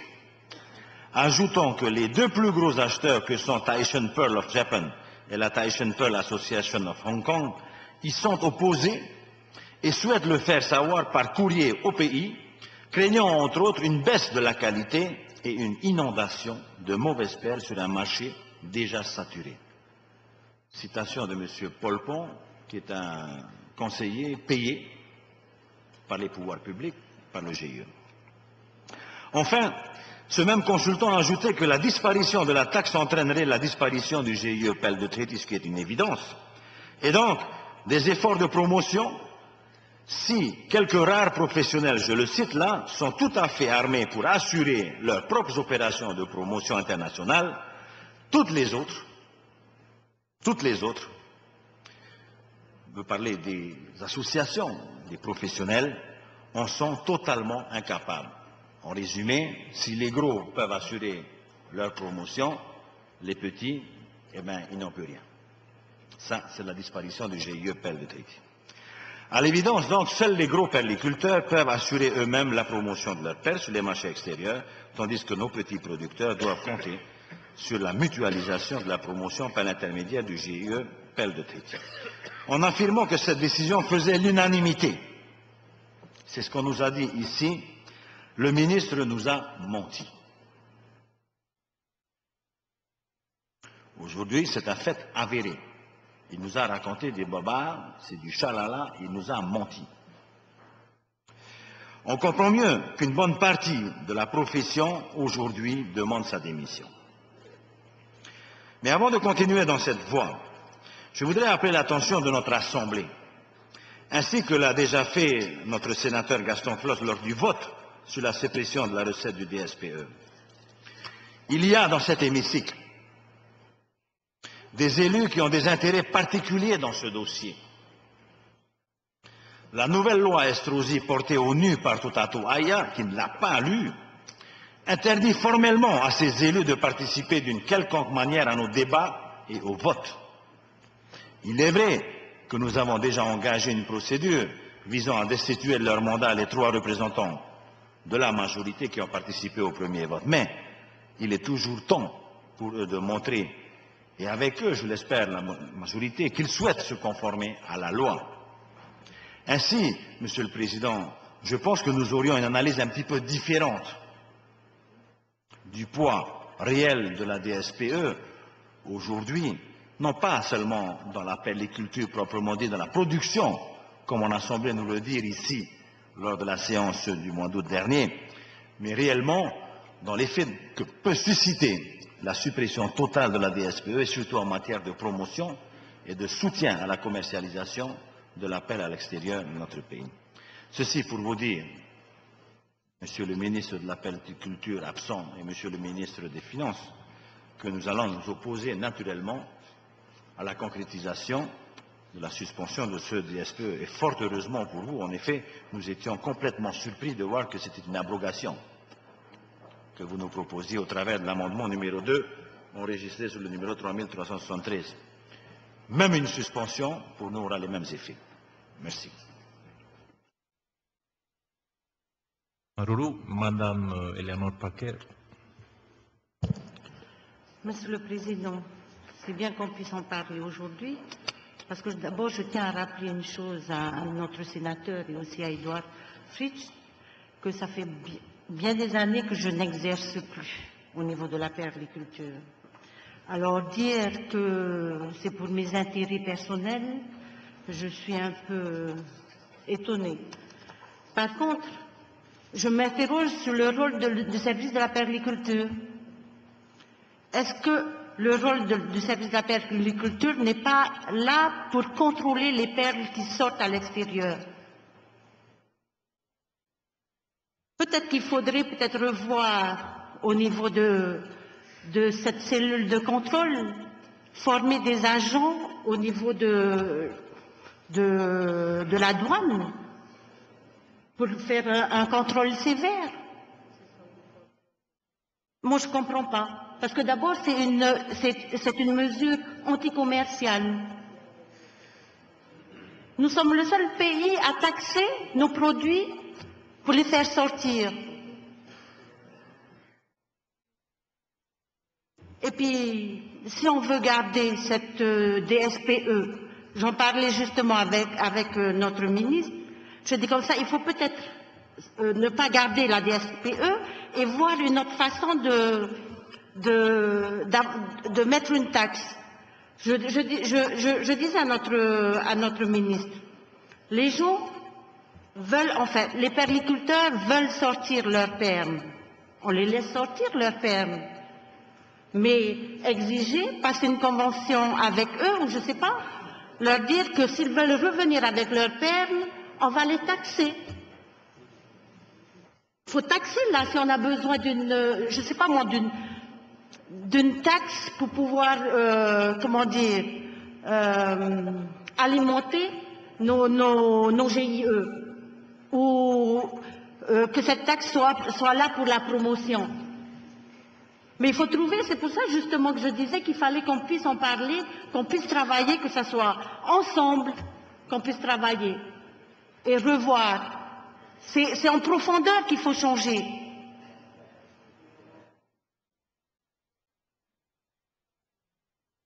Voilà, Monsieur le Président, peut-être que j'aurai d'autres choses à dire. Maruru, uh,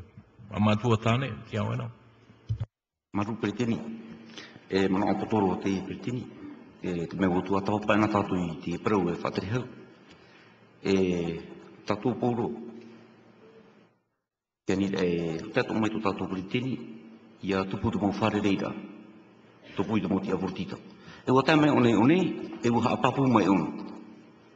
te uhiro to ti na oe e e tatu papapu me one te huru mamahano a tete e tuku tu whare reira no te tua tapapa hohonu rai te parau o mairi te huru mamahano a tete e aita te parau i tua tapapa heru te hohonu ra e te hui maira te parau aita tone tua tapapa hia a te haware hi ara nei tatu arera te whariro hi ara tatu te moti au te pia apora arhei e i paraira kamsi kamsa. Horo ano atu e mai di nonga te whei ara.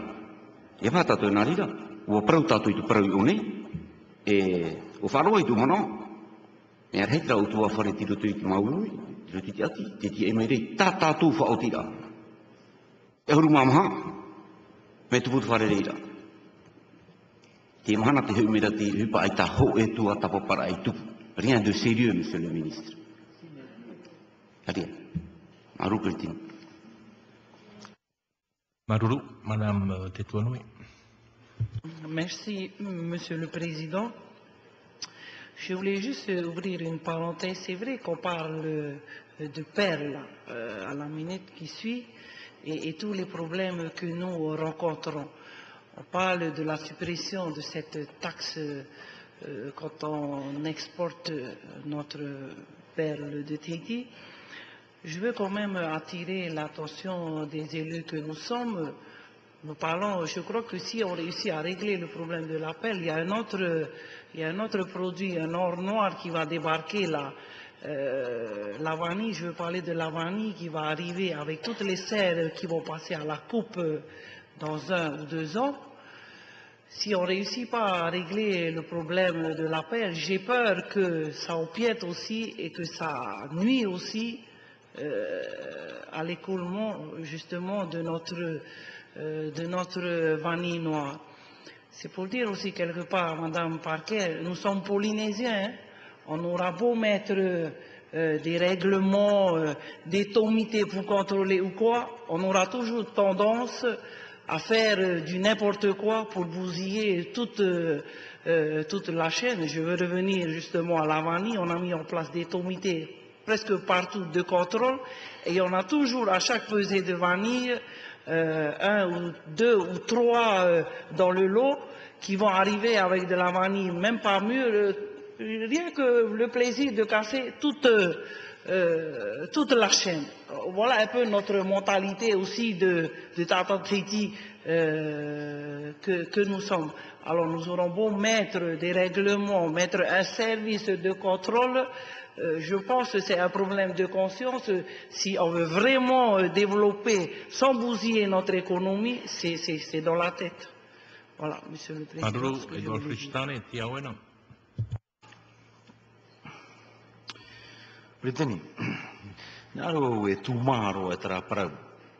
E parau pini pini hiara e tera amu tata no to tātou aia. Te ie tute de SPE,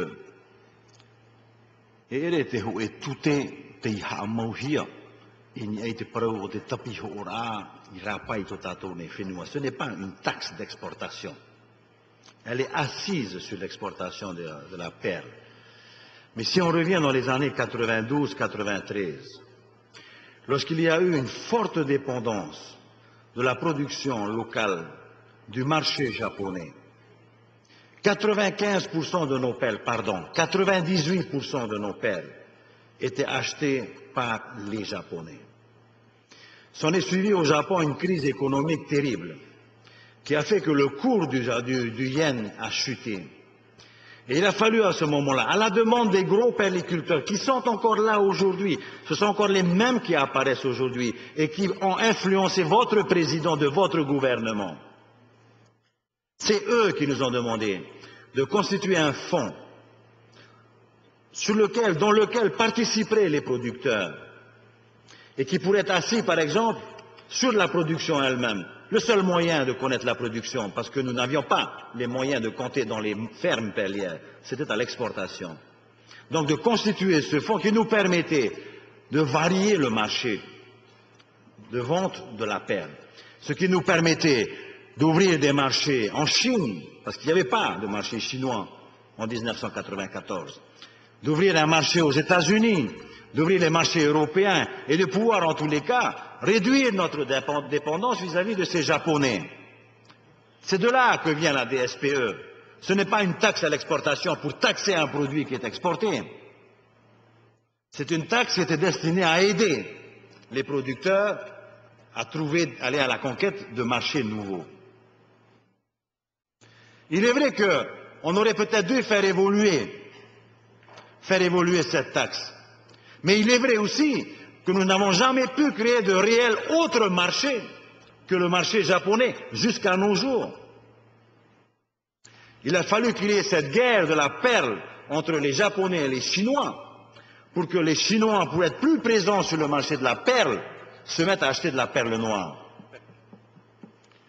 Donc, elle est là, l'histoire de notre DSPE. Ce n'est pas un problème, ce n'est pas un problème du service de la pelliculture, on en a déjà parlé ici, puisqu'on a mis en place des moyens qui nous ont permis, des moyens extraordinaires, chers, très chers même, qui nous ont permis de contrôler la qualité à l'export de nos perles. Mais malheureusement, derrière, et dans les lieux de production, et nous en parlions encore ici il n'y a pas très longtemps, et je prends l'exemple de Takaroa, où c'est le véritable bazar. Où nous pendant nous des réglementations ici, où on autorise à un pelliculteur de lancer que cinq collecteurs, alors que sur le terrain, il en lance 500. Si ce n'est pas 5000.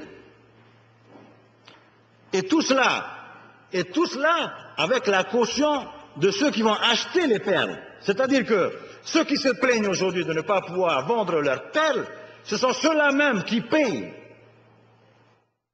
ces fameux pomutu à lancer un peu plus, à collecter un peu plus.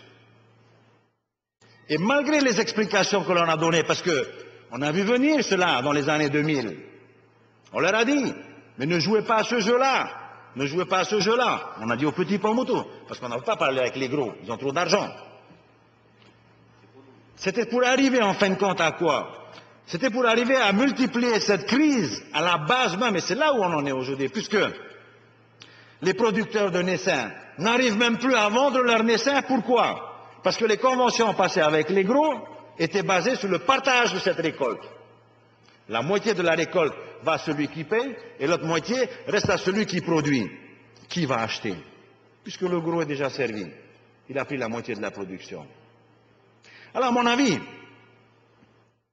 c'est la raison pour laquelle nous nous sommes élevés contre, la position de votre gouvernement. Parce que M. Thompson, avant même qu'il voie les pelliculteurs, avait déjà annoncé la suppression de la DSPE. Il avait déjà annoncé la suppression de la DSPE. Et quand nous avons rencontré, nous, à l'Assemblée, certains d'entre vous étaient là, vous avez bien vu qu'en face de nous, mais ils n'étaient pas du tout d'accord, mais pas du tout d'accord. Parce qu'en effet, si les gros perliculteurs, les milliardaires comme euh, Michel Yip, peuvent se, permettre de supporter leur promotion et de faire comme il fait aujourd'hui, d'aller au Japon, d'aller en Chine, faire sa promotion lui-même avec les moyens qu'il a, les autres, comment ils font? Et c'est là, c'est là, à mon avis, où la DSPE, sous une autre forme, semblablement, vous a dit ici, mettez à 50 francs, mettez à 20 francs, mais ne cassez pas cet outil. Parce que, quelque part, les Pomotou et les petits producteurs y trouvent leur intérêt.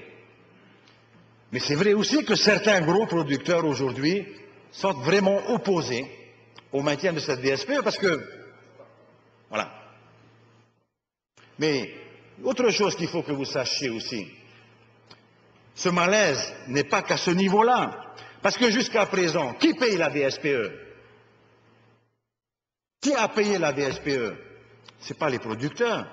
Ça n'a jamais été les producteurs. Ce sont les acheteurs qui payent la DSPE. Et aujourd'hui, ils en sont à nous mettre à genoux. Ils vont nous mettre à genoux si on arrive à faire sauter cette DSPE, c'est-à-dire, en fin de compte, à satisfaire la volonté de ces gens. Mais les gars, on est mal. On est très mal. Et je suis persuadé, c'est la raison pour laquelle je suis vraiment très réservé là-dessus, je suis persuadé que ce sera au contraire un signe de faiblesse de notre part. Ça ne va pas faire augmenter le prix du gramme, ça va le conforter au niveau où il est aujourd'hui. Et c'est la raison pour laquelle je vous avais repris, Monsieur le ministre, puisque nous avions en une journée trois niveaux de prix ici. Quel est le vrai prix? Quel est le vrai prix de ce gramme de perles? Au moment où nous allons prendre une décision aussi importante, connaissons-nous le vrai prix du gramme? D'autre part, nous allons retirer la DSPE, parce que vous allez le faire. Et derrière, vous le savez déjà, ces gens-là ont déjà des projets, nos pelliculteurs. Ils ont des projets, c'est la création de ces fameuses centrales d'achat. Et comme vous le savez, les gros auront leur centrale d'achat, les moyens auront le leur, les petits auront le leur. Et déjà, ils ont annoncé qu'ils allaient faire appel au pays pour acheter les perles. C'est-à-dire qu'on va leur retirer cette petite fortune que nous accumulons au travers de la DSP, mais en plus, il va falloir que vous payiez. C'est ce qui va se passer. Vous n'allez jamais pouvoir passer outre cette exigence des pelliculteurs aujourd'hui. Parce que j'ai reconnu vos amis dans ces pelliculteurs qui ont parlé l'autre soir et qui appartiennent à ce GIE. Regardez bien comment se présente l'avenir. Et c'est la raison pour laquelle je pense que, moi, cette discussion, c'est ici qu'il faut avoir. Moi, je n'ai pas à la présidence discuter parce que je sais ce que pense votre président. Il l'a déjà dit. Il a donné son accord déjà. Cette discussion, elle doit se faire ici et on voudrait le faire avec des techniciens pour qu'on sache exactement et qu'on fasse le point de la pelliculture ici à l'Assemblée. Voilà, je vous remercie, Monsieur le Président. Monsieur le Président, merci. Euh, je voudrais revenir sur euh, trois points de la déclaration de Madame Parker. Lorsque l'on veut insinuer euh, que le service de la perliculture euh, ne nous perd pas de contrôle sur la qualité de la perle, ça c'est absolument faux. Il y a un contrôle rigoureux. Vous avez un premier contrôle sur l'aspect extérieur de la perle, ils, étaient six agents à effectuer euh, ce contrôle. Et ensuite, il y avait un second contrôle euh, grâce à des appareils que nous avons fait fabriquer spécialement euh, aux États-Unis qui pouvaient mesurer l'épaisseur de la couche nacrière que l'on ne peut pas déceler à vue d'œil. Donc, toutes les perles exportées sont contrôlées. Seules les perles euh, sur le marché local, et là il y a vraiment de grosses difficultés, euh, ne sont pas euh, contrôlées. Et ce qui est important également, c'est que jusqu'à présent, nous ne pouvions pas réquisitionner les perles de mauvaise qualité. Euh, tandis que avec euh, la loi, euh, avec notre statut, la loi de 2004, eh bien, les agents du service de, la perliculture peuvent réquisitionner et prendre ces perles qui ne répondent pas aux exigences de notre délibération sur la qualité de la perle. Donc il y a un contrôle rigoureux et le service de la perliculture fait bien euh, son travail. Je peux vous dire que euh, au début, ça n'a pas été facile et euh, vous l'avez peut-être appris, nous avons même dû limoger un chef de service qui, par deux fois, n'avait pas ou avait négligé le contrôle des perles exportées par un pelliculteur important de la place. Et puis ensuite, il y a un deuxième contrôle euh, qui est fait par le service des douanes. Et là, euh, il faut reconnaître euh, vraiment un partenariat total entre le service de la perliculture et le service des douanes, qui donc, à la sortie de la perle, vérifie si ces perles ont été contrôlées par le service de la perliculture. Donc sur ce point-là, il n'y a rien à redire. Sur la DSEP, euh, sur la DSP, il faut, est également inexact de dire on taxe un produit, euh, avez-vous vu ça dans le monde? Il, faut, bien euh, aller jusqu'au bout de l'explication et dire que euh, une partie euh, du produit de cette taxe est reversée aux perliculteurs. Il ne faut pas le cacher, ça. Alors, maintenant, cette partie a varié, c'est 60 euh, pour les perliculteurs, 50 pour le service, et puis ensuite ça a été 50-50. À nous de réfléchir et de définir la véritable euh, répartition. Mais euh, à mon avis, il faut absolument maintenir euh, cette taxe-là.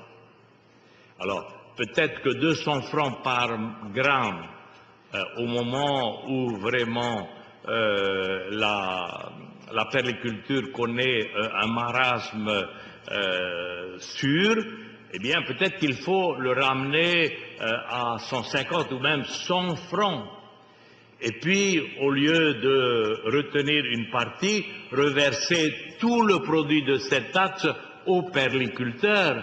Mais il faut garder euh, une taxe qui va servir aux perliculteurs, mais surtout aux perliculteurs, aux petits perliculteurs qui n'ont pas les moyens euh, d'assurer la promotion de leur production. Ça va servir à cela. Ensuite, Madame Barker, vous nous dites, ben, il faut qu'on se réunisse, qu'on en discute ensemble. Alors, pourquoi prenez-vous ces mesures-là avant même qu'on en ait discuté? Discutons, euh, réunissons-nous avant de prendre cette mesure-là, et puis nous verrons ensemble. Euh, Monsieur Fritz nous a dit tantôt euh, que 60% des perliculteurs étaient favorables euh, au maintien de cette taxe. Alors pourquoi la supprimer?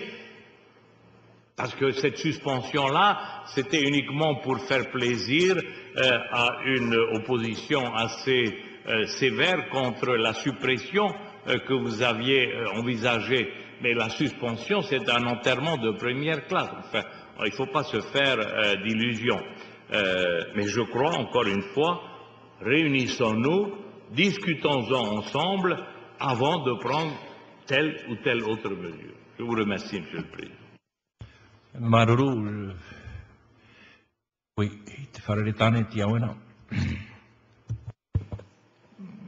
Merci, Monsieur le Président.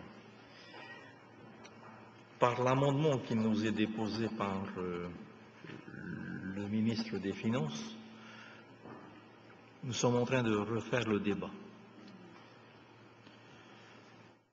Alors d'abord, plusieurs, plusieurs observations, Monsieur le Président.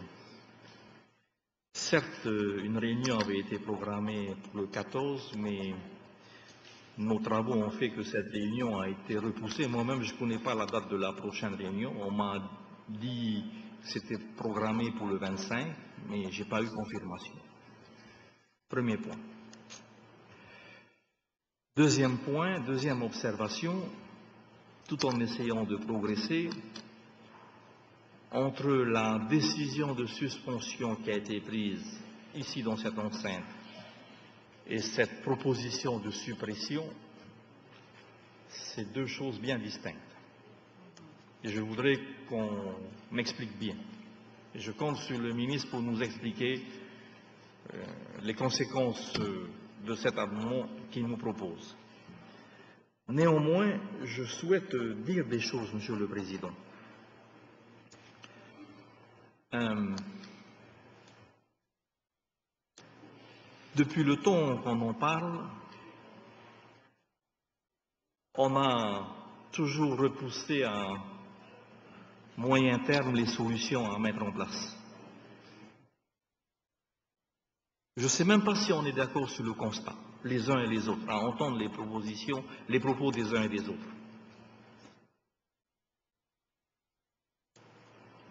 C'est lorsque les autorités du pays ont cherché à démocratiser la perle que nous avons été confrontés à ce problème. C'est comme si en Italie, on allait démocratiser la Ferrari. C'est comme si on allait démocratiser le diamant. La question de fond qu'il nous faut nous poser, est-ce que notre pays peut se permettre d'avoir plus de 2000 perliculteurs, ou plus de 3000, ou plus de 4000, ou plus de 5000, comme ça a été le cas à un moment donné? Et ça a été l'anarchie. Il faut dire les choses. Des mesures ont été faites qui ont été valables à un moment donné quand le prix du gramme de la pelle était au plus haut. M. Frisch a raison quand il dit aujourd'hui on ne connaît pas le prix véritable du gramme de la perle. Raison de plus pour voir comment débattre. Alors il y a deux manières. Ou effectivement on accepte de participer au débat qui est organisé par la présidence du gouvernement, ou ici, dans cette enceinte, nous organisons nos propres débats. Moi, je me souviens à un moment donné, en matière d'emploi, quand M. Frisch était vice-président et ministre de l'Emploi, il avait eu le courage à l'époque d'organiser ce débat ici. Et Mme Théa Huchon m'avait accompagné à cette époque-là, sur l'emploi. Et on avait discuté toute une journée. Mais c'est vrai qu'après, les mesures n'ont pas suivi. C'est une autre paire de manches. Non, ça c'était le petit rappel. petit rappel. Il n'y a rien de mesquin, Monsieur le Président. Voilà la question de fond. Est-ce que notre pays peut continuer à supporter cette mesure de démocratisation qui avait été prise à un moment donné? Quand on entend les explications de ceux qui ont participé à cette initiative, des perliculteurs eux-mêmes qui sont confrontés maintenant à cette difficulté, il est clair, il est clair, comme pour la TDL, qu'il faut avoir le courage de réformer. Peut-être sur le montant, mais à entendre tout le monde et si on faisait une synthèse, pas sur la suppression. L'autre drame, Monsieur le Président, et là je rejoins l'analyse de M. Fritsch également, c'est que dans ce domaine, c'est l'acheteur étranger qui nous impose ces conditions ou qui va nous imposer nous dicter sa loi. Et dans la vie de tous les jours, c'est là que nous sommes faibles. Le consommateur polynésien n'est pas capable de peser de tout son poids sur l'économie, sur l'échiquier local et dans tous les domaines. Sacré paradoxe.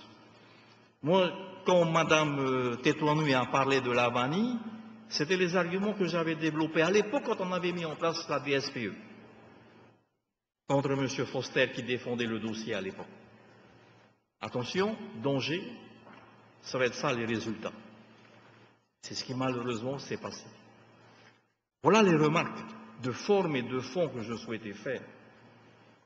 Vous seul, avec compétence, Monsieur le Président, vous lancez ce débat ici dans cette enceinte, au niveau de la commission compétente, commission des affaires économiques, pour que l'Assemblée puisse s'autosaisir de ce domaine.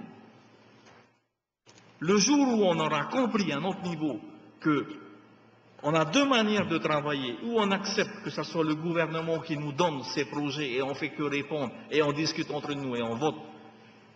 Mais qu'il y a également une autre possibilité, c'est que l'Assemblée, par ses représentants, prend l'initiative d'organiser des débats, dépose, les représentants déposent des propositions de loi de pays ou de délibération, là on aura gagné en maturité et en efficacité économique derrière. C'est ça l'intérêt de cette démarche que je vous propose. Merci, Monsieur le Président.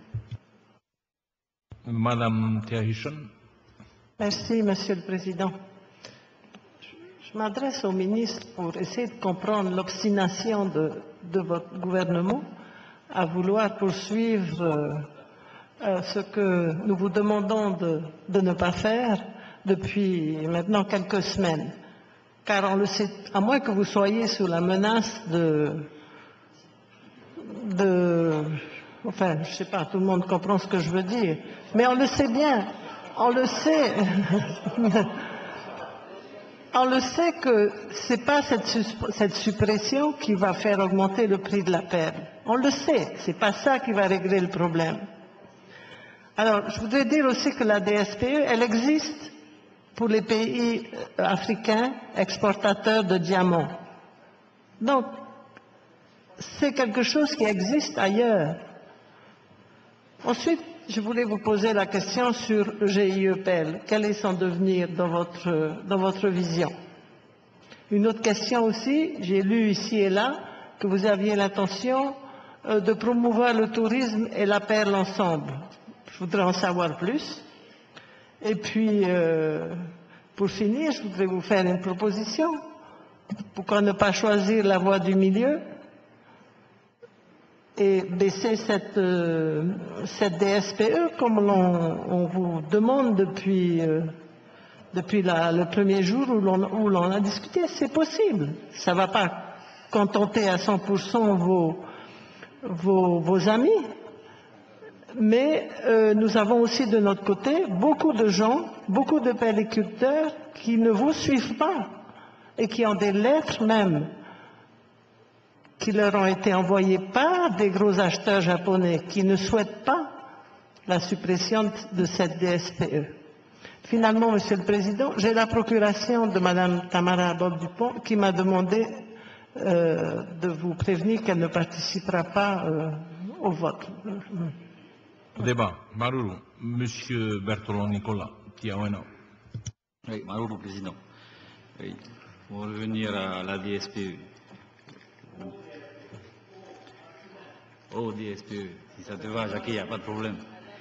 En tout cas, non, c'est un droit, c'est le droit à l'exportation. Et le truc, c'est que faut pas exagérer, il y a 15 jours, on nous a dit qu'on était unanime par rapport, à par rapport à la suspension à côté de la, du retrait de la DSPE. Maintenant qu'on dépose l'écrit, ah, on n'est plus d'accord sur la suspension, il faut aller chercher une situation intermédiaire. Eh, enfin bref, toujours est-il que sur les 200 francs de la DSPE, hein, du DSPE. Il y a 40% qui va à la promotion et 60% qui va au budget du territoire. Alors, de venir nous dire de maintenir à tout prix les 200 francs, hein, parce que ça va mettre en péril la promotion, ah, peut-être qu'effectivement on peut réfléchir sur une situation intermédiaire, hein, mettre en place euh, un DSPE de 100 francs et ne pas le suspendre totalement. Il n'en demeure pas moins que la notion de suspension, elle s'inscrit à travers quoi? À travers le cadre d'une réflexion qu'on doit mener hein, pour finalement réfléchir. Parce que quand vous dites, ah, quand vous dites que ah, euh, tous les pelliculteurs, eh il n'y a rien, tous les pelliculteurs, vous avez rencontré tous les pelliculteurs hein? Moi je vous dis quelque chose, à la donne quand on contrôle à l'exportation les pelles. Hein? Il fut un temps encore, la notion de DSPE, la taxe, le droit de DSPE s'appliquait sur quoi? Sur les perles brutes, mais pas sur les autres ouvrages. Qu'est-ce qu'on voyait, nous, à la douane? On voyait les perliculteurs qui exportaient des colliers de 5 mètres de long. Parce qu'à partir du moment où les perles étaient perforées, il n'y avait pas de DSPE. On a fini par se rendre compte que quoi? Qui contournait donc la réglementation avec ces ouvrages de 5 mètres de long. Alors qu'est-ce qu'on a fait? On a légiféré pour mettre en place quoi?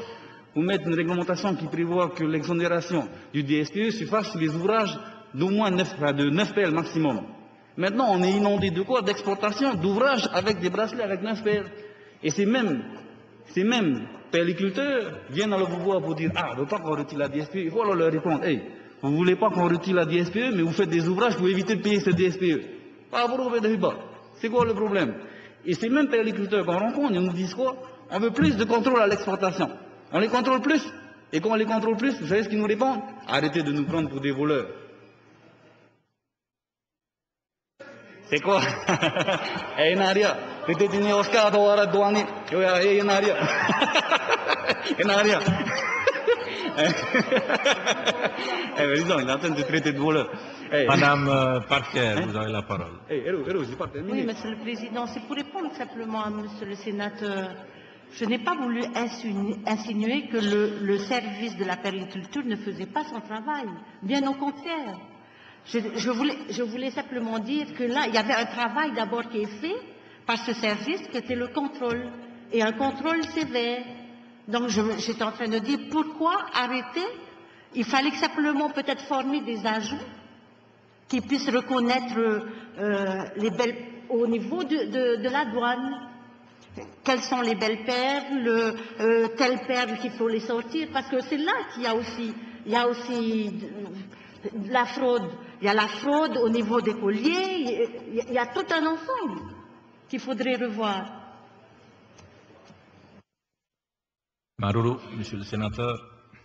Président, ce n'est pas aux douaniers à, à- à contrôler la qualité de la perle. Je ne dis pas qu'ils sont incapables de le faire, euh, mais ce travail est celui du service de la perliculture. Euh, le travail des douaniers, c'est euh, de vérifier que toutes les perles qui sortent euh, de la Polynésie ont été contrôlées par le service de la perliculture. Lorsque ces perles sont contrôlées, elles sont euh, mises dans des poches en plastique avec euh, un, un certificat de contrôle euh, à l'intérieur, visible de l'extérieur, et un autre porté par l'exportateur. Les choses sont simples, mais c'est vrai qu'il y a euh, de la fraude. Nous, nous avons euh, surpris, euh, c'est une anecdote, on s'est aperçu qu'il y avait exportation de canards. Mais il n'y a jamais eu d'élevage de canards, qu'est-ce qui se passe là? Une fois, deux fois, la troisième fois, on a dit, il y a un problème là. Et donc, on a dépioté ces canards, et bien, ces canards étaient bourrés de perles. Et donc, euh, euh, comme quoi les, les douaniers font bien, font bien leur travail. Euh. souris. Euh, Vous voyez que tout s'explique, hein C'est pas tout, vous, hein Mais hein euh, en ce qui concerne les, euh, les perles enfilées, effectivement, euh, sur une longueur interminable euh, de fil, euh, il suffit de prendre des mesures et ces mesures ont été prises euh, pour éviter euh, cette, euh, cette espèce de fraude euh, déguisée. Et je crois, encore une fois, euh, comme le dit euh, Monsieur le douanier, maintenant euh, ce droit, euh, le ramener peut-être à son franc et reverser la totalité aux perliculteurs de telle sorte que cet argent serve à la promotion des perliculteurs pour le bénéfice des petits perliculteurs qui n'ont pas les moyens de faire la promotion de leurs perles. Voilà. Maruru, euh, monsieur Bertolon.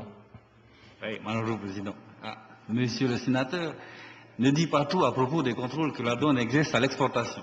Parce qu'effectivement, on doit vérifier qu'il y a présence du certificat du service de la perliculture concernant la qualité de la mais le contrôle que nous portons, hein, si vous dites qu'il ne s'agit que de ça, vous ne voyez pas l'autre aspect des missions de la douane qui concerne les missions fiscales. Et vu que c'est nous qui sommes chargés de récupérer cette fiscalité, hein, et que cette fiscalité s'assoit sur quoi? Sur le poids en gramme net de la nous sommes censés aller vérifier le poids de ces perles. Donc, pour être plus exact, effectivement, nous vérifions la présence du certificat concernant la qualité, mais nous vérifions aussi euh, le poids des perles en question. Hein. C'est ce que je voulais juste apporter comme, comme... Mais bon, pour le coup des canards, j'étais pas au courant. Maroulou, euh, je pense qu'on a déjà débattu très longuement hein, sur ce... Monsieur Edouard Fritz. Ah, Monsieur le Président, je voudrais remercier Monsieur Bertolon, parce que depuis tout à l'heure, je cherchais à savoir ce que c'est qu'une perle perforée. Maintenant qu'il nous explique que c'est un problème de poids, je vois la différence entre la perforation et le perçage. Président, tout ça pour vous dire, tout, ça pour vous dire, Président, que on est un certain nombre d'amateurs ici qui allons prendre une décision grave. Cette histoire de DSPE, je ne veux veux pas noircir le tableau, mais c'est vrai qu'on est ici un certain nombre d'amateurs qui allons prendre une décision grave sur l'avenir de notre perle. Car comme on le disait, nous, dans l'opposition, nous ne sommes pas certains qu'en touchant la DSPE, on relèvera la perliculture. Nous estimons qu'il faut peut-être d'autres mesures, peut-être beaucoup plus urgentes. Euh, nous sommes là, c'est nous qui faisons les règlements à l'Assemblée. Est-ce qu'au niveau de la réglementation, par exemple, n'y a-t-il pas autre chose de plus urgent à faire pour qu'enfin nous puissions contrôler notre production? Le contrôle de cette production, le contrôle de la qualité peut peut-être sauver un certain nombre de producteurs. D'autre part, arrêtons aussi de réfléchir qu'aux perliculteurs. Parce que lorsqu'on pense perliculteur, on pense à un certain nombre de personnes. Mais nous, ce qui nous inquiète, Monsieur le Président, c'est en effet toute cette population des Tuamotu qui aujourd'hui, depuis un certain temps déjà, ne voyaient passer les choses sous leur nez. Je me rappelle très bien parce que nous avions essayé de protéger la production de naissins, laisser au Paumutu l'exclusivité de cela et ne pas et empêcher que les perliculteurs proprement dit, les éleveurs et le reste fassent de cette production. Mais aujourd'hui, est-ce que notre décision ne devra pas passer par une obligation de ce type? C'est vrai que ça va être difficile de la prendre cette décision. Ça va peut-être être contraignant pour nous. Il faudra peut-être multiplier les contrôles sur le terrain. Mais c'est vrai que si les pelliculteurs aujourd'hui ont froid ou ont, hein, commencent à tousser, je suis sûr que le petit Paumotu qui est en train de, dans, dans les lagons des Tuamotu, a déjà la tuberculose. Eux, ils sont complètement HS, ils sont nazes. Donc, à mon avis, c'est peut-être l'occasion pour nous, ici, de prendre des décisions qui ne sont pas simplement liées à un problème commercial, à un problème de taxes. Est-ce qu'il ne faut pas revoir complètement et mettre chacun à sa place dans cet échiquier Parce que je reste persuadé que la pelliculture, nous sommes les seuls encore aujourd'hui. On est les seuls. Les cooks, le reste, c'est, du bricolage. Nous sommes les seuls à produire cette perle noire. C'est notre responsabilité à nous ici à l'Assemblée. Et je pense qu'il faut peut-être euh, agir autrement. Voilà, Président pour être court. Maruru,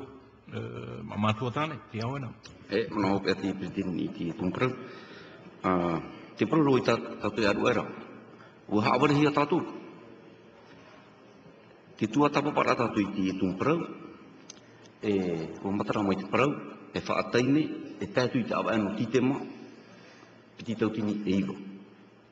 Suspension du DSPE jusqu'au 12 jusqu'en décembre 2009. Dans cet amendement numéro 2, il n'y a plus de date. On nous roule dans la farine, Monsieur le Président. Et alors, il y a un tatou. Et il y a un tatou. Il y a un tatou. Il y a pas. Promo, tena ora te pai tatu puro di matira tena ora tu tatu duani aru tatu aita mau tu maiti Me e pro fifi pai pro pro tatu. E hi ona o te rawa no i ki hupa ma te feruri ore. L'impact, monsieur le ministre, l'impact sur toutes les familles qui vivent de nous. Il ne s'agit pas d'un monsieur qui va faire ou défaire une majorité. Il s'agit de, de milliers de personnes et nous allons prendre cette décision-là comme ça. Moi, je dis que c'est grave. Pourquoi ne pas retirer cet amendement et faire cette réunion, faire ce débat de fond avant? Nous sommes tous, nous sommes tous pour sauver le secteur de la permaculture. Nous sommes tous pour sauver ces familles-là, pour aider ces familles-là, pour aider ces permaculteurs. Mais pas dans ces conditions. Du jour au lendemain, on nous présente des, textes qui n'ont plus, qui se ressemblent pas. Voilà, le dénouement.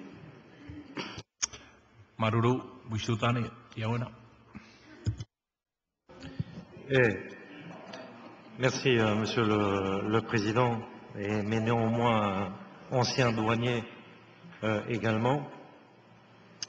Et euh, je suis navré, je n'ai pas pu être avec vous sur ce débat puisque j'étais dans une autre commission avec notre collègue Pierre Frébault sur le DAS.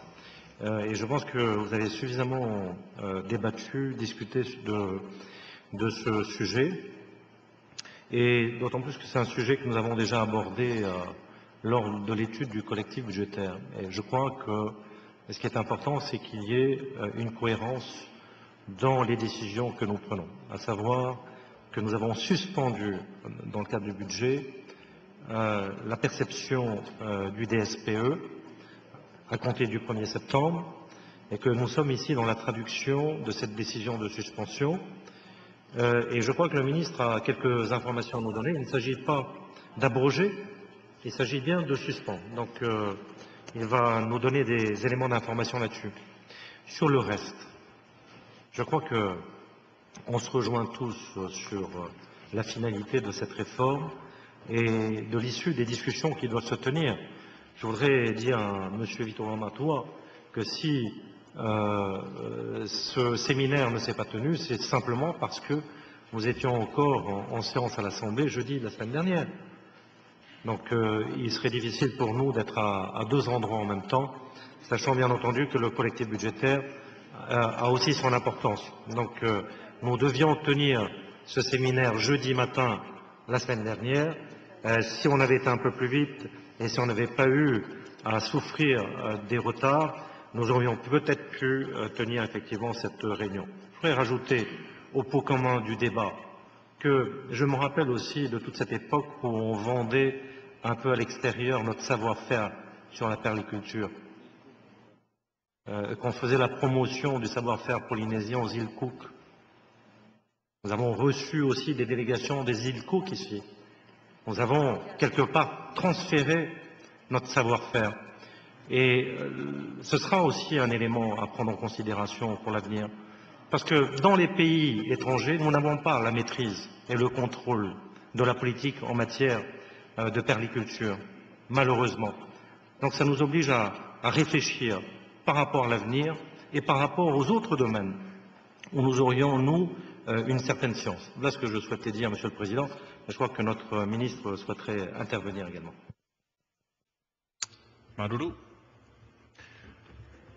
Je- J'aimerais, avant de passer la parole au ministre de- des Finances, dire également que je suis plutôt pour augmenter cette taxe.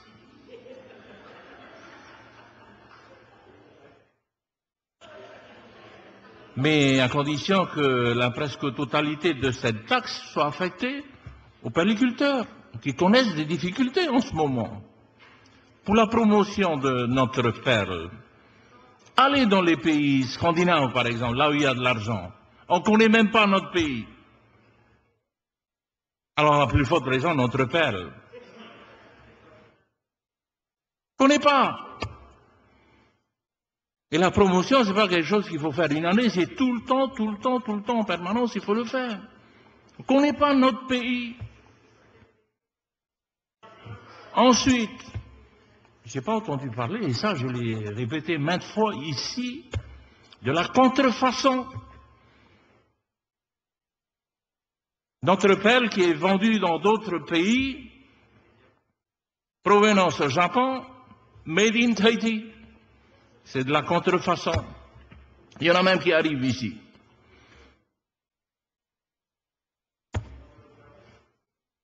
Ah, c'est aussi le douanier qui vous parle. Il y a aussi tout ça. Monsieur le ministre, Yawan.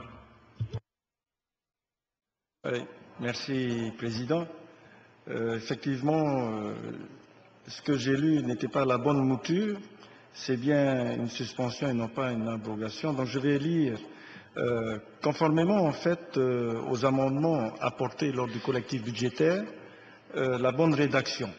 Donc un nouvel article LP5 est rédigé comme suit. Article LP5, 1.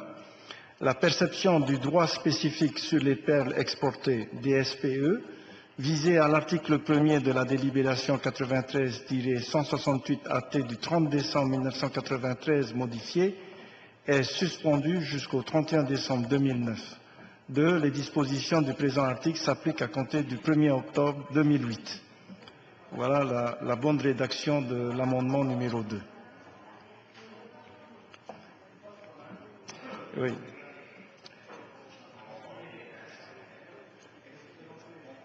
Ouais, parce qu'il y a eu une modification. Monsieur le Président, je voudrais euh, humblement demander au ministre si c'était possible de retirer cet amendement, non pas pour le supprimer complètement, mais pour nous permettre de travailler sur des documents qui soient des documents réels. Parce que jusqu'à maintenant, ça a toujours été à géométrie variable. Donc, ce que je proposerai, Monsieur le Président, et je rappelle à la majorité qu'il s'agit d'un article sur une loi de pays. Et je ne suis pas persuadé que les représentants de la majorité, ce soir, soient tous d'accord pour voter cet article sur la loi de pays. Auquel cas, elle ne recueillera pas 29 voix. Et si elle ne recueille pas 29 voix, elle n'est pas euh, retenue. Donc il est préférable, me semble-t-il, de retirer l'amendement pour qu'on puisse la mettre en forme ensemble et vous la voter ensuite. Qu'est-ce que ça nous coûte? Qu'est-ce que ça nous coûte d'attendre le débat dont on nous parle à la, à la présidence Pourquoi se précipiter sur cette décision ce soir? C'est la troisième version que j'entends de cet euh, article LP5. La première, elle était abrogée. La deuxième, elle était suspendue. La troisième, elle avait une, une date limite. Donc, à mon sens, il vaudrait mieux, et la sagesse commande, Monsieur le Président, à ce que cet amendement soit retiré, de façon à le représenter après que le débat ait eu lieu entre les uns et les autres. Et là, il va y avoir une décision unanime. J'en appelle à la sagesse de mes collègues de la majorité. Monsieur le ministre.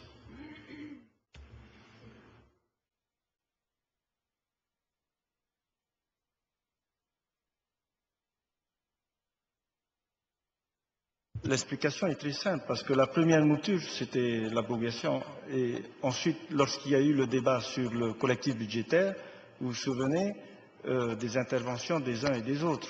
Il y a eu ensuite des suspensions de séance. Donc j'ai dû faire des amendements pour prendre en compte euh, la demande des uns et des autres, pour concilier euh, certains d'entre vous, pour arriver à une suspension de la perception du DSPE. D'où les amendements effectués sur le collectif budgétaire et ensuite, il fallait euh, corriger l'amendement qui était déjà déposé, l'amendement numéro 2, au lieu d'une abrogation, mais d'une suspension de la perception euh, du droit spécifique sur les perles exportées. Voilà, voilà pourquoi il y a eu euh, cette évolution de la présentation. C'est tout simple. C'est suite aux interventions et aux amendements intervenus lors du collectif budgétaire en tenant compte des interventions et des débats euh, tenus euh, dans l'hémicycle. Voilà, Monsieur le Président.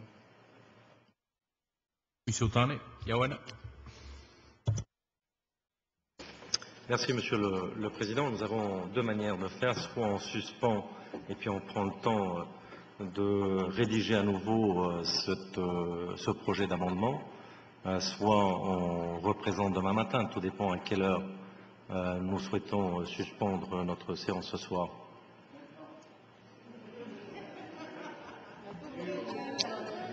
Euh, à mon avis, pour reprendre ce qui a été dit par Jacques Hidrolet tout à l'heure, qui semblait s'inquiéter euh, sur notre position au niveau de la majorité, il n'a pas besoin de s'inquiéter. Euh, en ce qui nous concerne, nous savons exactement ce que nous allons faire. Nous n'avons pas besoin forcément de plus de temps. Alors nous pouvons éventuellement suspendre pour cinq minutes, ou alors laisser au service euh, le temps suffisant pour que demain matin nous ayons la proposition d'amendement. Et puis, je vais vous demander simplement, Monsieur le Président, nous n'avons même pas étudié un texte aujourd'hui. Oui, ah, d'accord, oui, c'est vrai. D'accord. Mais, mais je, je, voilà, j'appelle à la sagesse aussi de l'opposition pour que demain, nous puissions traiter les trois dossiers qui restent le plus rapidement possible. On fait comme ça C'est un engagement euh, de Jacques Hidrolet pris devant le public et devant notre président de l'Assemblée et notre ministre. Il y a d'autres amendements, Monsieur le, le, Président, qui sont soumis. Euh, Est-ce que vous souhaitez qu'on voit ces amendements maintenant également? Monsieur le Président, bah, il reste deux amendements. Je souhaiterais qu'on voit ces deux amendements et ensuite on suspend, on reprend le travaux demain. Président, le deuxième, le troisième amendement est relatif toujours au DSPE, donc ah oui, ne faut pas le donc prendre. on reporte tout Par à contre, demain. si vous voulez maintenant parler des lampes euh, fluorescentes ou à, incandescence, euh, on peut éventuellement. Mais euh, c'est absurde de prendre la- d'abord le cinquième, puis de revenir sur le deuxième et ensuite sur le troisième. La Le- logique le- voudrait qu'on se sépare Le maintenant quatrième amendement n'a rien à voir avec le euh, DSPE. Le quatrième n'a rien à voir avec le DSPE. Je pense qu'on peut l'étudier maintenant et puis on arrête. Oui, on passe au quatrième euh, amendement, si vous êtes d'accord, oui. Rien. Monsieur le ministre, Bien, merci, Président. Donc, je vous propose euh, le quatrième amendement. Donc, il est proposé euh, d'insérer un article LP6 rédigé comme suit. Article LP6. Les importations de lampes fluorescentes compactes, communément appelées lampes basse consommation, sont exonérées de tous les droits et taxes dont la liquidation incombe au service des douanes, y compris la taxe pour l'environnement, l'agriculture et la pêche, à l'exclusion de la taxe de péage, de la redevance aéroportuaire et de la participation informatique douanière. consulte l'Assemblée sur la recevabilité. À l'unanimité, Maruru, euh, la discussion est ouverte sur l'amendement. Monsieur le ministre, oui, vous pouvez faire Oui, en exposé sommaire. Dans la présente mesure s'inscrit dans la nouvelle politique énergétique du pays. En effet, le gouvernement envisage à court terme d'insérer les lampes basse consommation dans la liste des produits de première nécessité. Cette mesure a pour but de favoriser les bonnes pratiques visant à l'économie d'énergie et au développement durable. L'éclairage constitue en effet un poste important de la consommation d'électricité. Ainsi, on estime que la consommation annuelle d'électricité li- liée à l'éclairage d'une habitation représente de 10 à 15% de la facture d'électricité. Or, bien qu'elle soit plus chère à l'achat, le fait d'opter pour une lampe basse consommation présente à l'usage des avantages économes et performants. Une durée de vie de 6 à 8 fois plus longue qu'une ampoule classique à incandescence, 3 à 5 fois moins d'électricité consommée, une sécurité accrue, une lampe basse consommation dégage peu de chaleur et réduit ainsi considérablement les risques de brûlures graves, notamment chez les plus jeunes. La différence de coût à l'achat est ainsi compensée en quelques mois d'utilisation. Ah, Monsieur le Président. Monsieur le Président, nous sommes favorables à cet amendement et nous allons le voter. Nous aurions apprécié que également la société distributrice d'énergie puisse participer à cet effort. Parce que là, ça va être euh, un manque à gagner pour le budget du pays. Mais est-ce qu'au niveau de l'électricité de Tahiti, on ne peut pas imaginer une forte participation pour faire la promotion de ces lampes basse consommation? Ça, c'est la première question. La deuxième question, Monsieur le ministre, et je tiens cette information de la bouche même d'un importateur revendeur de lamp- lampes basse consommation, il y a lampe basse consommation et lampe basse consommation. J'ai cru comprendre qu'il était plus astucieux d'acheter une lampe basse consommation faite en Pologne qu'une lampe basse consommation faite en Chine. Parce qu'il se trouve que ces lampes basse consommation fa- faites en Chine grillent plus vite que les autres. Et j'en ai fait l'amère expérience. Alors, est-ce que nous avons ici dans notre pays des organismes ou des gens capables de tester la qualité de ces lampes basse consommation et je voudrais euh, vous renvoyer au débat que nous avons eu euh, avec euh, le rapporteur Pierre Frébault sur la fameuse loi de pays sur la conformité. Ce serait peut-être l'occasion de demander au service des affaires économiques de faire le tri de façon à ce qu'on ne soit pas l'objet de fraudeurs à la longue basse consommation. Donc une fois de plus, Monsieur le ministre, nous sommes d'accord et nous allons voter pour cet amendement, mais nous aimerions avoir un certain nombre de précisions quant à la possibilité de fraude sur ces longues basses consommations. J'ai rien contre les Chinois et rien pour les Polonais, mais c'est cet importateur qui m'en a parlé. Donc je vous traduis son avis comme étant un avis éclairé, bien évidemment. Madame euh, Thierry-Hichon. Merci, euh, ben, tout d'abord, je voudrais euh, remercier Madame Mainassa. Je sais qu'elle était à l'initiative euh, de cette disposition, mais je voudrais dire en même temps que je trouve que nous sommes trop timides dans ce que nous faisons, car bon, il y a urgence en la matière et je voudrais vous parler de pays autour de nous tels que la Nouvelle-Zélande par exemple, qui euh, ont donné une date butoir, je crois que c'est 2011, où toutes les ampoules ordinaires, les ampoules incandescentes seront interdites à la vente et à l'importation. Donc, euh, je pense qu'il faut qu'on aille, aille plus loin. Euh, sinon, ce sera des mesures qui auront très peu d'effet. Je pense qu'il est temps aussi que nous nous engagions avec des dates butoirs sur, les origines de notre consommation euh, énergétique. En France, ça se fait, on fait partout, où on donne une date butoir, où on décide qu'un certain pourcentage de l'électricité sera euh, fabriqué à partir d'énergies renouvelables. Il n'y a que comme ça que l'on va, va avancer. Donc, bien sûr, je suis pour cet euh, amendement, mais je trouve qu'on est un peu timide quand même. Merci, Monsieur le Président.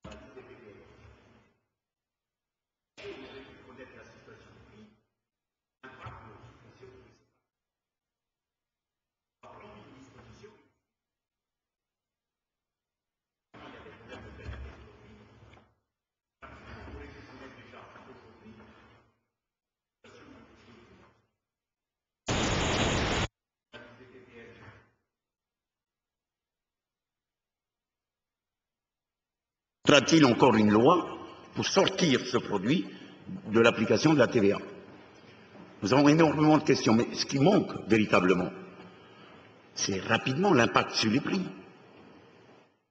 Et ça, ça pouvait se faire très rapidement. Il suffit d'envoyer euh, quelqu'un récolter les niveaux de prix pratiqués, le poids des taxes, et dire, ben voilà, à minima l'impact. Sans même ensuite définir au niveau des PPM quelle serait la marge.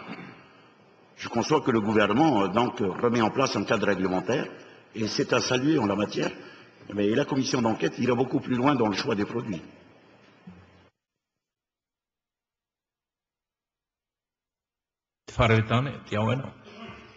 Eh, c'est pour aller dans le sens de l'interrogation de M. Jacques Hidrolet, parce que il y a lampe basse consommation et lampe baisse couillon.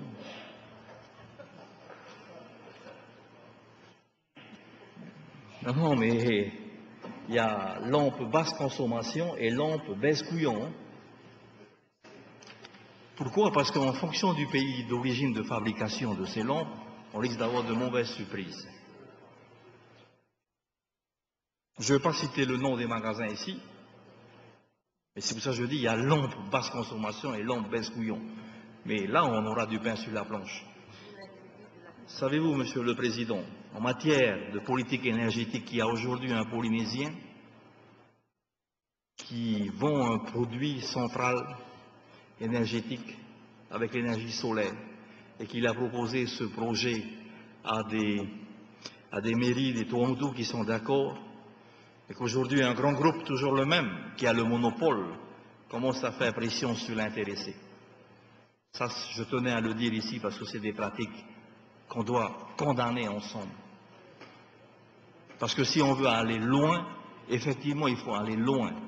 Le monde évolue plus vite qu'on ne le pense. Il y a autour de nous des experts qui savent quoi faire, mais en laissant faire toujours les mêmes, avec les mêmes monopoles, c'est pas en mettant ce produit PPN qu'on va être très efficace dans ce domaine, c'est en allant plus loin.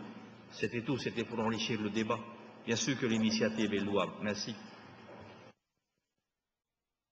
Maruru, Fatarihau. Oui, merci, Président. Euh, concernant la participation de, l'EDT, euh, un effort de, sa part à la promotion et au développement de, cette politique euh, d'économie de l'énergie et particulièrement pour les lampes LBC. Je vais transmettre cette question à qui de droit chez nous dans notre gouvernement. Euh, comme je ne suis pas en direct avec l'EDT, ce que je sais, c'est par rapport à l'énergie solaire, il y a bien des discussions en cours pour demander à l'EDT de racheter le surplus d'énergie produite par le solaire et pour le réinjecter dans le réseau. En concernant les différences de qualité des lampes LBC, c'est vrai qu'il y a plusieurs sortes de lampes. Alors je savais que Jackie allait poser cette question-là. Alors j'ai apporté une lampe. Ça c'est General Electric. 15 watts qui donne euh, euh, une équivalence d'éclairage de 75 watts, donc c'est une économie de 5 fois. Durée de vie 6 ans. C'est fabriqué euh, en Hongrie. Hein, et c'est tagué la norme CE pour 990 francs. Alors, une autre lampe de marque Champion, garantie 6 ans, et la fabriquée en Chine. Et là aussi, confirmé, certifié, norme CE, marquée euh, au bas de la lampe, qui coûte moins cher, 785 francs. Voilà, tous les deux sont tagués euh, à la norme CE. Bon, est-ce qu'il y a une qui ne respecte pas la garantie ou pas Mais en tout cas, tous les deux euh, comportent euh, le label garantie 6 ans. Voilà, donc c'est ce que nous avons sous la main.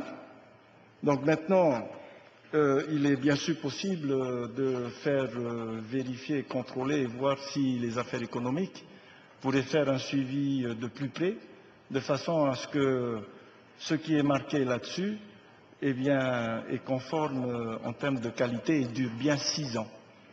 Dans ce cas-là, on ouvrirait un bureau de, réclamation. Alors, pour ce qui concerne l'intervention de Mme Tia Hirschon, euh, qui trouve que ça ne suffit pas, qu'il fallait aller plus loin, euh, c'est une éventualité euh, à examiner. Ce que vous citez là, c'est le cas en Nouvelle-Zélande. Ils ont interdit effectivement les utilisations de lampes classiques incandescentes. Et donc, c'est les lampes à basse consommation qui sont autorisées. Et pour l'instant, nous n'avons pas pu aller plus loin que de faire cette action d'urgence, euh, compte tenu de la mise en œuvre, comme on avait dit, de cette campagne de l'éco-geste et de l'économie d'énergie. Et dans cette campagne, on voudrait déjà lancer euh, euh, la promotion sur ces lampes basse consommation pour expliquer qu'on peut économiser cinq fois la dépense en électricité pour ce qui concerne les lumières dans la maison. Et, aussi parce que euh, bientôt, dans la semaine prochaine certainement, si ce n'est pas reporté, le ministère en charge de l'énergie euh, engage des travaux et des séminaires sur l'énergie. Et donc, euh, tous les aspects qui concernent l'énergie seraient abordés. Alors, certainement, ces questions seront bienvenues et pourraient être débattues. Concernant la demande de Pierre Frébeau sur l'impact des chiffres, les prix, alors là aussi, j'ai pensé à lui. Il n'y a pas de problème. ces chiffres, je les ai. Hein, actuellement, les lampes basse consommation, comme les autres ampoules, sont classées PGC. Mais malheureusement, aujourd'hui, du fait qu'on n'ait pas de codification particulière pour les lampes basse consommation et donc confondues avec les autres lampes, je ne suis pas en mesure de vous donner la quantité importée en lampes basse consommation. Mais je suppose que la culture étant faible encore dans l'usage des lampes basse consommation, il ne doit pas y avoir de grandes quantités. Parce que quand on regarde toutes les nouvelles maisons et comme tous les immeubles, les appartements, comme les bureaux, euh, la plupart des, euh, des usages, ce sont des lampes classiques ou des néons classiques. Donc les néons, comme les lampes classiques ou les lampes basse consommation, sont dans la même classification euh, en, PGC. Et donc en PGC, on a, pour ce qui concerne une autre lampe, mais pas celle-là à 15 watts, euh, on a identifié la structure des prix euh, où, euh, avec les droits et taxes, rendus entrepôt plus droits et taxes, le prix de revient est à 616 francs et la marge globale de commercialisation est à 270 francs, d'où un prix de détail hors taxe 886 francs, plus une TVA à 16%, hein, c'est non alimentaire, 142 francs, ce qui donne un total TTC 1027 francs contre cette lampe à 990 francs fabriquée en Hongrie.